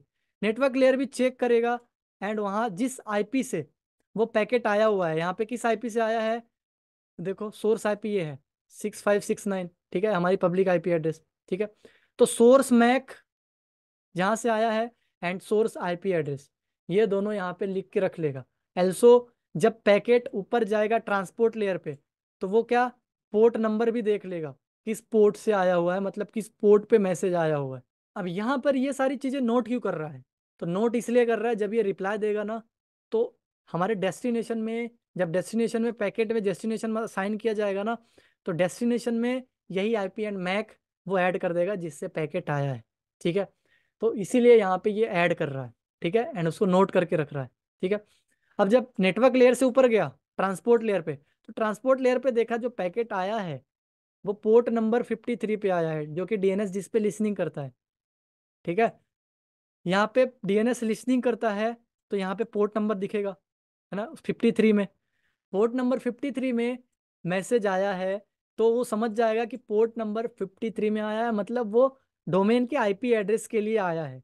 ठीक है? क्योंकि जो डीएनएस सर्वर है वो पोर्ट नंबर 53 पे ही लिसनिंग करता है ठीक है? अब यहाँ पे जब इसको पोर्ट नंबर पता चल गया अब ऊपर गया ये ठीक है? एप्लीकेशन लेयर पे तो उसने इस मैसेज को पढ़ा होगा ठीक है? एंड उसने देखा होगा कि यहाँ पे जो आ, मांगा जा रहा है मतलब जो चीज़ मांगी जा रही है वो address for new version hacker dot com के लिए मांगी जा रही है मतलब इस डोमेन के लिए आईपी एड्रेस मांगी जा रही है ठीक है? तो अब क्या करेगा ये? उस आईपी एड्रेस को देखेगा उसके पास है या नहीं? ज़ाहिर सी बात है डीएनएस है एंड ये वेबसाइट रजिस्टर्ड है तो उसके पास वो आईपी एड्रेस होगा। तो वो आईपी एड्रेस पैकेट में ऐड करेगा। अब देखते हैं इसके आगे का क्या प्रोसेस है। अब जब इसने न्यू वर्जन हैकर के लिए आईपी एड्रेस देख लिया, पता चल गया तो यहाँ पर क्या करेगा वो? वो नया पैकेट जनरेट करेगा, है ना? नया पैकेट जनरेट करेगा। अब उस पैकेट में क्या क्या लिखेगा? देखो, अब यहाँ पे बहुत सारे चेंजेस होंगे। सोर्स में डीएनएस का मैक एड्रेस आ जाएगा, यानी मैक में। ठीक है? सोर्स मैक एड्रेस में डीएनएस का मैक एड्रेस आ जाएगा। डेस्टिनेशन मैक एड्रेस में क्या आएगा? जिस मैक एड्रेस से, जो वो नोट कर रहा था, जैसे कि मैंने कहा, यहाँ पे ये नोट कर रहा था कि मैक किससे रिप्लाई आया है, ठीक है? यानी मैसेज किससे आया है? रिप्लाई की बात छोड़ दो। यहाँ पे मैसेज किससे आया है? किस मैक एड्रेस से जो पैकेट है रिक्वेस्ट पैकेट आया है? वो देखेगा, जिसने यहाँ पे नोट कर रखा था। तो वही वापस ऐड कर देगा यहाँ पे डेस्टिनेशन में, ठीक है? अब सोर्स में आईपी ऐड करेगा ये। है ना? अब सोर्स में ये खुद की आईपी एड्रेस ऐड कर देगा, ठीक है? एंड डेस्टिनेशन में जो आईपी एड्रेस ने यहाँ पे नोट किया था, वो, जिससे पैकेट आया था, ठीक है? तो डेस्टिनेशन में किसकी आईपी एड्रेस है? हमारी आईपी एड्रेस है। लेकिन मैक किसका होगा? राउटर का होगा, ठीक है? एंड सोर्स में पोर्ट कौन सा होगा? 53 ठीक है? जिससे डीएनएस रिप्लाई देता है, ठीक है? एंड डेस्टिनेशन पोर्ट वही होगा जिससे आया था, जिससे वो पैकेट आया था, वो चेंज नहीं होगा यहाँ पे। ठीक है? तो इस पूरी जर्नी में आपने देखा होगा, जहाँ तक अभी तक पैकेट आया है, यहाँ पर सिर्फ़ मैक एड्रेस ही चेंज हो रहा है, बाकी कुछ चेंज नहीं हो रहा है है ना? हर जगह पे मैक एड्रेस चेंज हो रहा है। तो तो हमारे नेटवर्किंग में यही होता है कि हर जगह पे सिर्फ़ मैक एड्रेस चेंज होते हैं। पब्लिक आईपी एड्रेस के बाद यहाँ पे कोई भी चीज़ चेंज नहीं होती। एक बार हमारे राउटर पब्लिक में हमारा नेटवर्क चला गया, हमारा पैकेट पब्लिक में चला गया तो उसके बाद सिर्फ़ मैक एड्रेस ही हर जगह पे चेंज होते हैं, ठीक है? तो यहाँ पर आप देख सकते हो, इसने कुछ ऐसा पैकेट जनरेट किया। अब देखो, यहाँ पर कुछ मिस्टेक है, यहाँ पे टाइपिंग मिस्टेक है। यहाँ पर आईपी एड्रेस भी मेंशन है, ठीक है, जो कि मैं आगे वाले स्लाइड में दिखाने वाला हूँ। तो यहाँ पर इस पैकेट में कंप्लीट एक आईपी एड्रेस डाल देगा, जैसे कि यहाँ पर देखो, यहाँ पर ऐसे, ठीक है, ये कंप्लीट पैकेट ऐसे जनरेट हुआ था, ठीक है, यहाँ पे सिर्फ़ आईपी एड्रेस है, ठीक है, इस पैकेट में यहाँ पे आईपी एड्रेस आ गया था, one three zero two seven dot four five dot six nine तो यहाँ पे इस पे, इस आईपी एड्रेस को यहाँ पे डाल लेना तुम लोग ठीक है? तो यहाँ पे मिस प्रिंटिंग हो गई है। तो यहाँ पर इस आईपी एड्रेस को ऐड कर लेना ठीक है? तो यहाँ पे आईपी एड्रेस भी उसने मेंशन कर दिया है। अब ये पैकेट कंप्लीट जनरेट हो चुका है ठीक है? जनरेट हो गया है तो अब इस पैकेट को सेंड किया जाएगा कहाँ? इसको सेंड किया जाएगा आईएसपी के राउटर पे। तो अब देखो यहाँ पे सारी चीज़ें हो गई। अब आईएसपी के राउटर पे जब उसने सेंड कर दिया ठीक है? किसने डीएनएस के सर्वर ने? तो आईएसपी का राउटर क्या करेगा? वापस से मैक चेंज करेगा, क्योंकि यहाँ पे सिर्फ़ तो मैक ही चेंज हो रही है, बाकी कोई चीज़ चेंज नहीं हो रही। तो यहाँ पे आईएसपी का राउटर मैक चेंज किया मतलब अपना पहले दो था यहाँ पे, जो डीएनएस सर्वर की तरफ़ जा रहा था। बट यहाँ पर जो मैक एड्रेस होगा अब, वो आईएसपी का फ़र्स्ट वाला मैक एड्रेस होगा, है ना? तो यहाँ पे आपने देखा होगा दो मैक एड्रेस हैं, आईएसपी के hash one and hash two. तो यहाँ पे हैश वन वाला मैक एड्रेस असाइन हो जाएगा, एंड डेस्टिनेशन में हमारे लोकल राउटर का जो वैन वाला मैक एड्रेस है, जो वाइड एरिया में यूज़ होता है, जैसे कि मैंने कहा था, हमारे मैक एड्रेस के पास, हमारे राउटर के पास दो मैक एड्रेस होते हैं, एक लोकल एरिया के लिए, एक वाइड एरिया नेटवर्क के लिए, यानी वर्ल्ड वाइड के लिए। तो वहाँ पे डेस्टिनेशन में हमारा मैक एड्रेस कौन सा साइन होगा? लोकल राउटर का, जो कि वैन वाला है, ठीक है? बाकी सारी चीज़ें एग्जैक्ट जैसे कि डीएनएस सर्वर ने डाली थी एंड साथ में यहाँ पे आईपी एड्रेस भी भेज दिया उसने new version hacker dot com के लिए, ठीक है? अब आगे जब हमारे राउटर के पास ये पैकेट पहुँच गया, ठीक है? ये पैकेट जब हमारे लोकल राउटर के पास पहुँचा, जो हमारा राउटर है उसके पास पहुँचा तो यहाँ पे राउटर क्या करता है? अब जब आईएसपी के राउटर ने हमारे लोकल राउटर में ये पैकेट भेज दिया है तो क्या होगा? तो यहाँ पर पैकेट रिसीव होगा सबसे पहले, है ना? पब्लिक आईपी में ही आएगा सबसे पहले। अब पब्लिक आईपी में आने के बाद ये क्या करेगा? जैसे कि हमने देखा था, नेट टेबल को वापस से यूज़ करेगा। नेट ट्रांसलेशन का नेटवर्क एड्रेस ट्रांसलेशन यहाँ पे इसका है, वो यूज़ करेगा एंड पता करेगा कि पोर्ट नंबर वन मैंने किसके लिए यूज़ किया तो इसको पता चल जाएगा वन ज़ीरो वन के लिए ऐड किया था, ठीक है? तो अब ये फिर से पैकेट यहाँ पे चेंज करेगा। पैकेट चेंज करेगा तो यहाँ पे सोर्स आईपी किसकी डालेगा? उस राउटर की आएगी मतलब डीएनएस की आएगी डीएनएस के राउटर की, जो वहाँ से ऐड करके भेजा गया था, ठीक है? डीएनएस के पास भी राउटर होता है। तो ये डीएनएस के राउटर की आएगी, ठीक है? जहाँ से पैकेट आया है। डेस्टिनेशन में वन ज़ीरो वन ऐड कर देगा ये, जो हमारे लोकल नेटवर्क की आईपी है, ठीक है? एंड यहाँ पे सोर्स पोर्ट में भाई fifty three and destination port में वापस वही पोर्ट ऐड कर देगा, जिससे ये रिप्लाई आया था। यानी कि हमारा डायनेमिक पोर्ट, ठीक है? यहाँ पे इस पैकेट में ऐड कर देगा। एंड साथ ही साथ ये वाला मैसेज जो इसके साथ रिसीव हुआ था कि जिस चीज़ के लिए हमने इसको एक्सेस किया था, या फिर जिस चीज़ के लिए पैकेट हमने भेजा था आगे, वो पैकेट ये रहा, ठीक है, वो चीज़ ये रही, क्या है ये? New version hacker dot com का आईपी एड्रेस, ठीक है तो वो भी यहाँ पे ऐड करके हमारे पीसी में आगे फॉरवर्ड किया जाएगा, लेकिन उससे पहले यहाँ पे मैक एड्रेस भी पता किया जाएगा, क्योंकि सिर्फ़ हमारे आईपी एड्रेस से यहाँ पे चीज़ें आगे फॉरवर्ड नहीं होती, यहाँ पे मैक एड्रेस भी लगता है तो देखो, यहाँ पर मैक एड्रेस जब यहाँ पे असाइन होगा मतलब मैक एड्रेस की बारी आएगी, जब मैक एड्रेस देखा जाएगा तो क्या होगा? एआरपी टेबल का यूज़ लिया जाएगा अब एआरपी टेबल के पास तो सारी डिटेल्स है कि किस आईपी के साथ कौन सा मैक एड्रेस यहाँ पे अटैच्ड है। तो यहाँ पर देखो, ये मैक एड्रेस जो है, इस आईपी के साथ अटैच्ड है। है ना?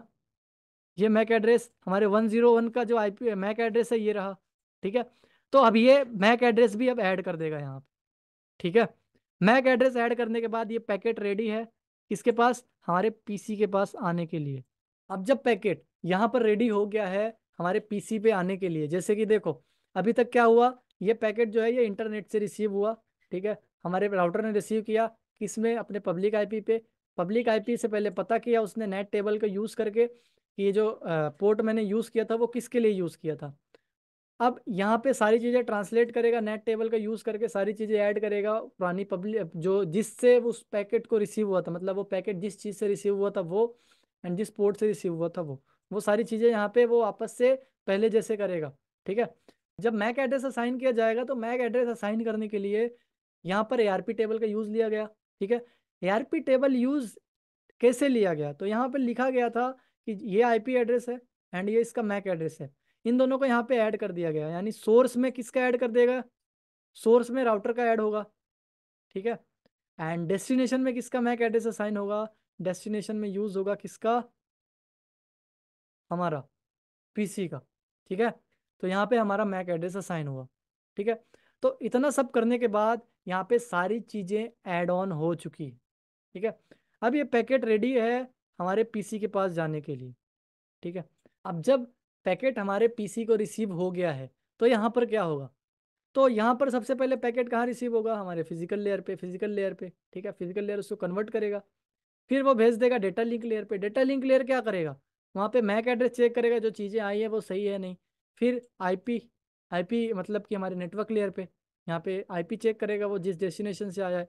अब यहाँ पे ये चेक करेगा कि जो रिप्लाई आया है, वो आया है इस आईपी से, जो कि है डीएनएस की, एंड पोर्ट 53 जो कि डीएनएस का ही है। तो रिप्लाई किसके पास जाएगा?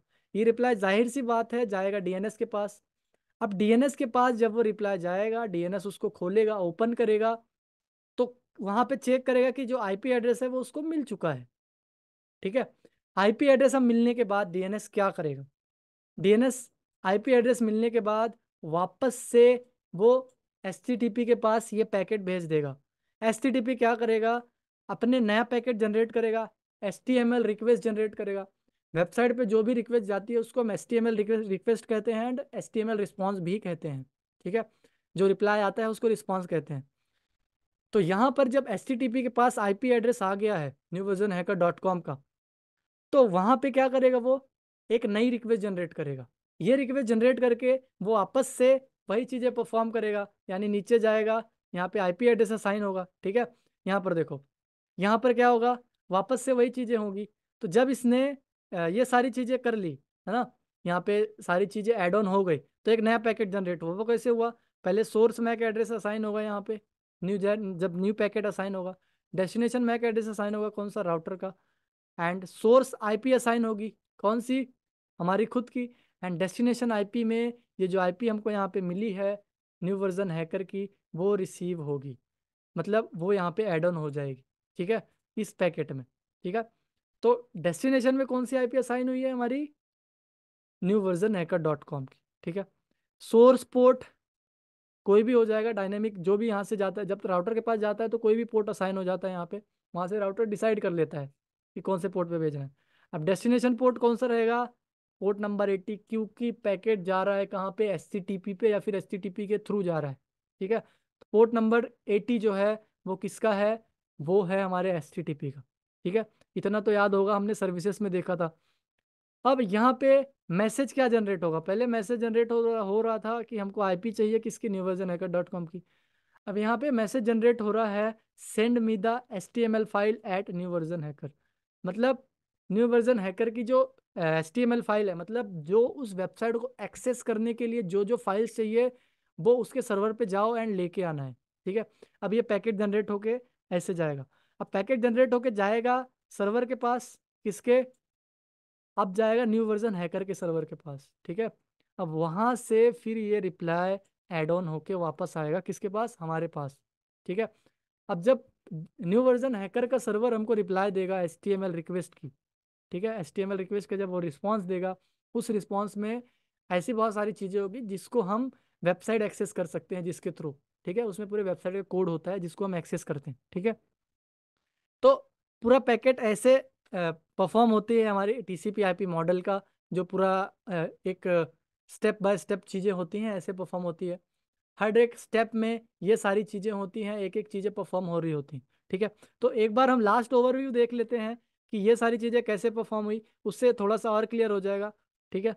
तो यहाँ पर चलते हैं वापस से अपने वही फ़र्स्ट स्लाइड पे। सो यहाँ पर हम आ चुके हैं अपनी वापस से वही फ़र्स्ट स्लाइड पे। तो यहाँ पर इस स्लाइड में हमको समझाया जाएगा या फिर हम समझ जाएँगे कि कैसे ये हुआ? शॉर्ट में पूरा, है ना? तो ये देखो, ये पीसी है, जिसने यहाँ पे पैकेट जनरेट किया सबसे पहले एप्लीकेशन लेयर पे, ठीक है? एप्लीकेशन लेयर पे पैकेट जनरेट हुआ, ठीक है? एप्लीकेशन लेयर में पैकेट जनरेट करने के बाद वो गया एस के पास बट एस कब काम करता है? जब उसके पास आईपी एड्रेस हो, किसका? डोमेन का, ठीक है? अब एस के पास आईपी एड्रेस नहीं था तो आईपी एड्रेस कौन ला सकता था? हमारा डीएनएस तो डीएनएस ने क्या किया? एस ने वो पैकेट डीएनएस के पास भेज दिया। डीएनएस ने क्या किया? नीचे ट्रांसपोर्ट लेयर के पास वो पैकेट भेज दिया। ट्रांसपोर्ट लेयर ने क्या किया? उसमें पोर्ट नंबर ऐड किया, source port and destination port, यानी खुद का पोर्ट मतलब डीएनएस का पोर्ट, एंड जहाँ पे वो पैकेट जाना है मतलब जहाँ से वो पैकेट जा रहा है वो। सोर्स में आएगा हमारा पोर्ट एंड डेस्टिनेशन पे आएगा किसका पोर्ट? डीएनएस सर्वर का, ठीक है? तो यहाँ पर ट्रांसपोर्ट लेयर से जब पैकेट जा रहा है नेटवर्क लेयर पे तो नेटवर्क लेयर क्या करेगा? वहाँ पे आईपी एड्रेस ऐड करेगा source IP address and destination IP address. और उसके बाद जाएगा पैकेट डेटा लिंक लेयर के पास। डेटा लिंक लेयर क्या करेगा? यहाँ पे मैक एड्रेस असाइन करेगा, source MAC address and destination MAC address. Starting में सोर्स मैक एड्रेस हमारा होगा, है ना? एंड डेस्टिनेशन मैक एड्रेस होगा राउटर का, क्योंकि डीएनएस का मैक एड्रेस हमारे पास स्टार्टिंग में होता नहीं है। उसके बाद फ़िज़िकल लेयर पे जाएगा, फ़िज़िकल लेयर उसको सेंड कर देगा, ठीक है? अब जब पैकेट यहाँ पर गया राउटर के पास सेंड हो गया तो राउटर ने उस पैकेट को रिसीव किया। ठीक है? अब यहाँ पे वो सारी चीज़ें चेंज करेगा सोर्स खुद का डालेगा, है ना? सोर्स में सोर्स आईपी में वो जो पब्लिक आईपी एड्रेस होता है वो डाल देगा एंड सोर्स मैक एड्रेस में अपना वैन का मैक एड्रेस डाल देगा, है ना? एंड पोर्ट नंबर चेंज कर देगा, है ना? नेट टेबल का यूज़ करके। वैसे ही जब पैकेट जाएगा आईएसपी के पास, ठीक है? अब जब यहाँ से पैकेट राउटर के, हमारे राउटर से काम खत्म हो गया, वो आईएसपी का पास गया पैकेट। आईएसपी के पैकेट ने उसमें अपनी डिटेल्स ऐड की एंड यहाँ पे आगे फॉरवर्ड कर दिया डीएनएस पैकेट के पास, ठीक है? या फिर डीएनएस सर्वर के पास। डीएनएस सर्वर के पास जैसे पैकेट आया डीएनएस सर्वर में सारी चीज़ें चेक की, पोर्ट कहाँ से आया मतलब किस पोर्ट में आया, किस आईपी एड्रेस में आई चीज़ें। अब उसने जिस, जो चीज़ मांगी गई थी उस पैकेट में new version hacker dot com का आईपी एड्रेस, वो आईपी एड्रेस चेक किया एंड वापस से सारा पैकेट बनाया, सोर्स, डेस्टिनेशन एंड वो आईपी एड्रेस ऐड करके जो हमने मांगा था। वो आईपी एड्रेस सारी चीज़ें ऐड करके वापस से पैकेट वो भेजेगा आईएसपी के राउटर के पास। आईएसपी के राउटर से जाएगा हमारे राउटर पे, ठीक है? हमारे राउटर से जाएगा हमारे पीसी में, ठीक है? अब हमारा पीसी यहाँ पे वो सारा पैकेट रीड करेगा एंड वहाँ से आईपी एड्रेस उठा लेगा new version hacker dot com का। New version hacker dot com का आईपी एड्रेस मिलने के बाद हमारा पीसी एक नया रिक्वेस्ट जनरेट करेगा, जो कि होगी एस रिक्वेस्ट। अब ये एस रिक्वेस्ट वापस से वही सारी चीज़ें परफॉर्म करेगी। पहले वो जाएगी राउटर के पास, राउटर से आईएसपी के पास। अब यहाँ पे ये पैकेट डीएनएस के पास नहीं जाएगा, यहाँ से ये मुड़ जाएगा वेबसाइट के राउटर के पास, वेबसाइट के सर्वर के पास। क्योंकि वो भी इंटरनेट यूज़ करता है तो उसके पास भी एक राउटर होता है। सो so, ये पैकेट गया अब किसके राउटर के पास? वेबसाइट के राउटर के पास। अब ये पैकेट पहुँचा सर्वर के पास। कौन से server? New version hacker dot com के सर्वर के पास ठीक है? अब सर्वर रिप्लाई देगा फिर यहाँ पे हमारे पास वो पैकेट पहुंचेगा। जो रिस्पॉन्स पैकेट होता है उसमें सारी चीज़ें होगी वेबसाइट कैसे एक्सेस करना है वो सारी कोडिंग होगी। देन उसके बाद हम वो वेबसाइट एक्सेस कर पाएँगे। तो ऐसे परफॉर्म होती हैं सारी चीज़ें। सो आई होप गाइस आप सभी को आज के जो कॉन्सेप्ट है टीसीपीआईपी मॉडल का समझ में आया होगा एंड एल्सो ओएसआई मॉडल समझ में आया होगा। स्टेप बाय स्टेप कैसे वर्किंग हो रही है, ये सारी चीज़ें समझ में आया होगा। अब बहुत सारे लोगों का ये कंसर्न होता है कि हम नेटवर्किंग क्यों पढ़ रहे हैं। देखो, जब आपका नेटवर्किंग का कॉन्सेप्ट क्लियर होगा ना तो आप कितनी भी लेवल की जो सर्टिफिकेशन है या फिर कितने भी लेवल का एग्ज़ाम है, वो आप क्रैक कर सकते हो बहुत ईजीली चाहे वो इथिकल ई एच का हो, ठीक है इसी काउंसिल का, या फिर ओएससीपी हो, या फिर कोई भी हायर एग्ज़ाम हो, जब तक आपका नेटवर्क का कॉन्सेप्ट या फिर नेटवर्किंग का कॉन्सेप्ट क्लियर नहीं होगा, आप वो एग्ज़ाम्स क्रैक नहीं कर सकते या फिर आप कोई भी चीज़ परफॉर्म नहीं कर सकते। तो बेसिकली आपका जो नेटवर्किंग का कॉन्सेप्ट है, वो क्लियर होना बहुत ज़रूरी है, ठीक है? अब, यहाँ पे आप सभी से लास्ट में एक रिक्वेस्ट है कि देखो, हमारे कंट्री में आपके आसपास बहुत सारे ऐसे बच्चे होंगे जो कि इथिकल हैकिंग या फिर बहुत बड़ी इंस्टीट्यूट्स की जो फ़ीस है वो अफोर्ड नहीं कर सकते। है ना? क्योंकि थोड़ी महँगी महँगी होते हैं सर्टिफिकेशन जो कि वो लोग अफोर्ड नहीं कर सकते। तो मेरा ये चैनल ओपन करने का यही कंसर्न था कि हर वो बंदा, हर वो बच्चा जो पढ़ना चाहता है साइबर सिक्योरिटी इथिकल हैकिंग वो पढ़ सके, ठीक है? तो हमारा चैनल अभी इतना फ़ेमस नहीं है, इसलिए ये हमारी वीडियोस हर जगह पे नहीं पहुँच पा रही। तो ये वीडियो हर जगह पे पहुंचाना आप लोग जो देख रहे हो, वो आपके आसपास कोई भी ऐसा बच्चा हो जो सीखना चाहता है, उसके पास शेयर कर देना। इससे क्या होगा? हमारे चैनल की भी हेल्प होगी एंड उस बच्चे की भी हेल्प होगी जिसको ये वीडियो की नीड है। या फिर जो पढ़ना चाहता है। अब ओवरऑल जब हर एक इंसान या फिर हर एक बच्चा साइबर सिक्योरिटी कॉन्सेप्ट से अवेयर रहेगा, ठीक है? उसको हर एक चीज़ समझ में आने लगेगी तो साइबर क्राइम रेट ऑटोमेटिक कम हो जाएगा। क्योंकि देखो, आपको पता नहीं है कि कैसे कैसे क्राइम्स हो रहे हैं। लिंक भेज दो तो वो क्राइम कैसे हो जाता है? लिंक भेजने से पैसे कैसे कट रहे हैं? ठीक है? ओटीपी देने से पैसे कैसे कट रहे हैं? ये कॉन्सेप्ट अगर उन सबका क्लियर हो जाएगा तो क्राइम रेट ऑटोमेटिक कम हो जाएगा।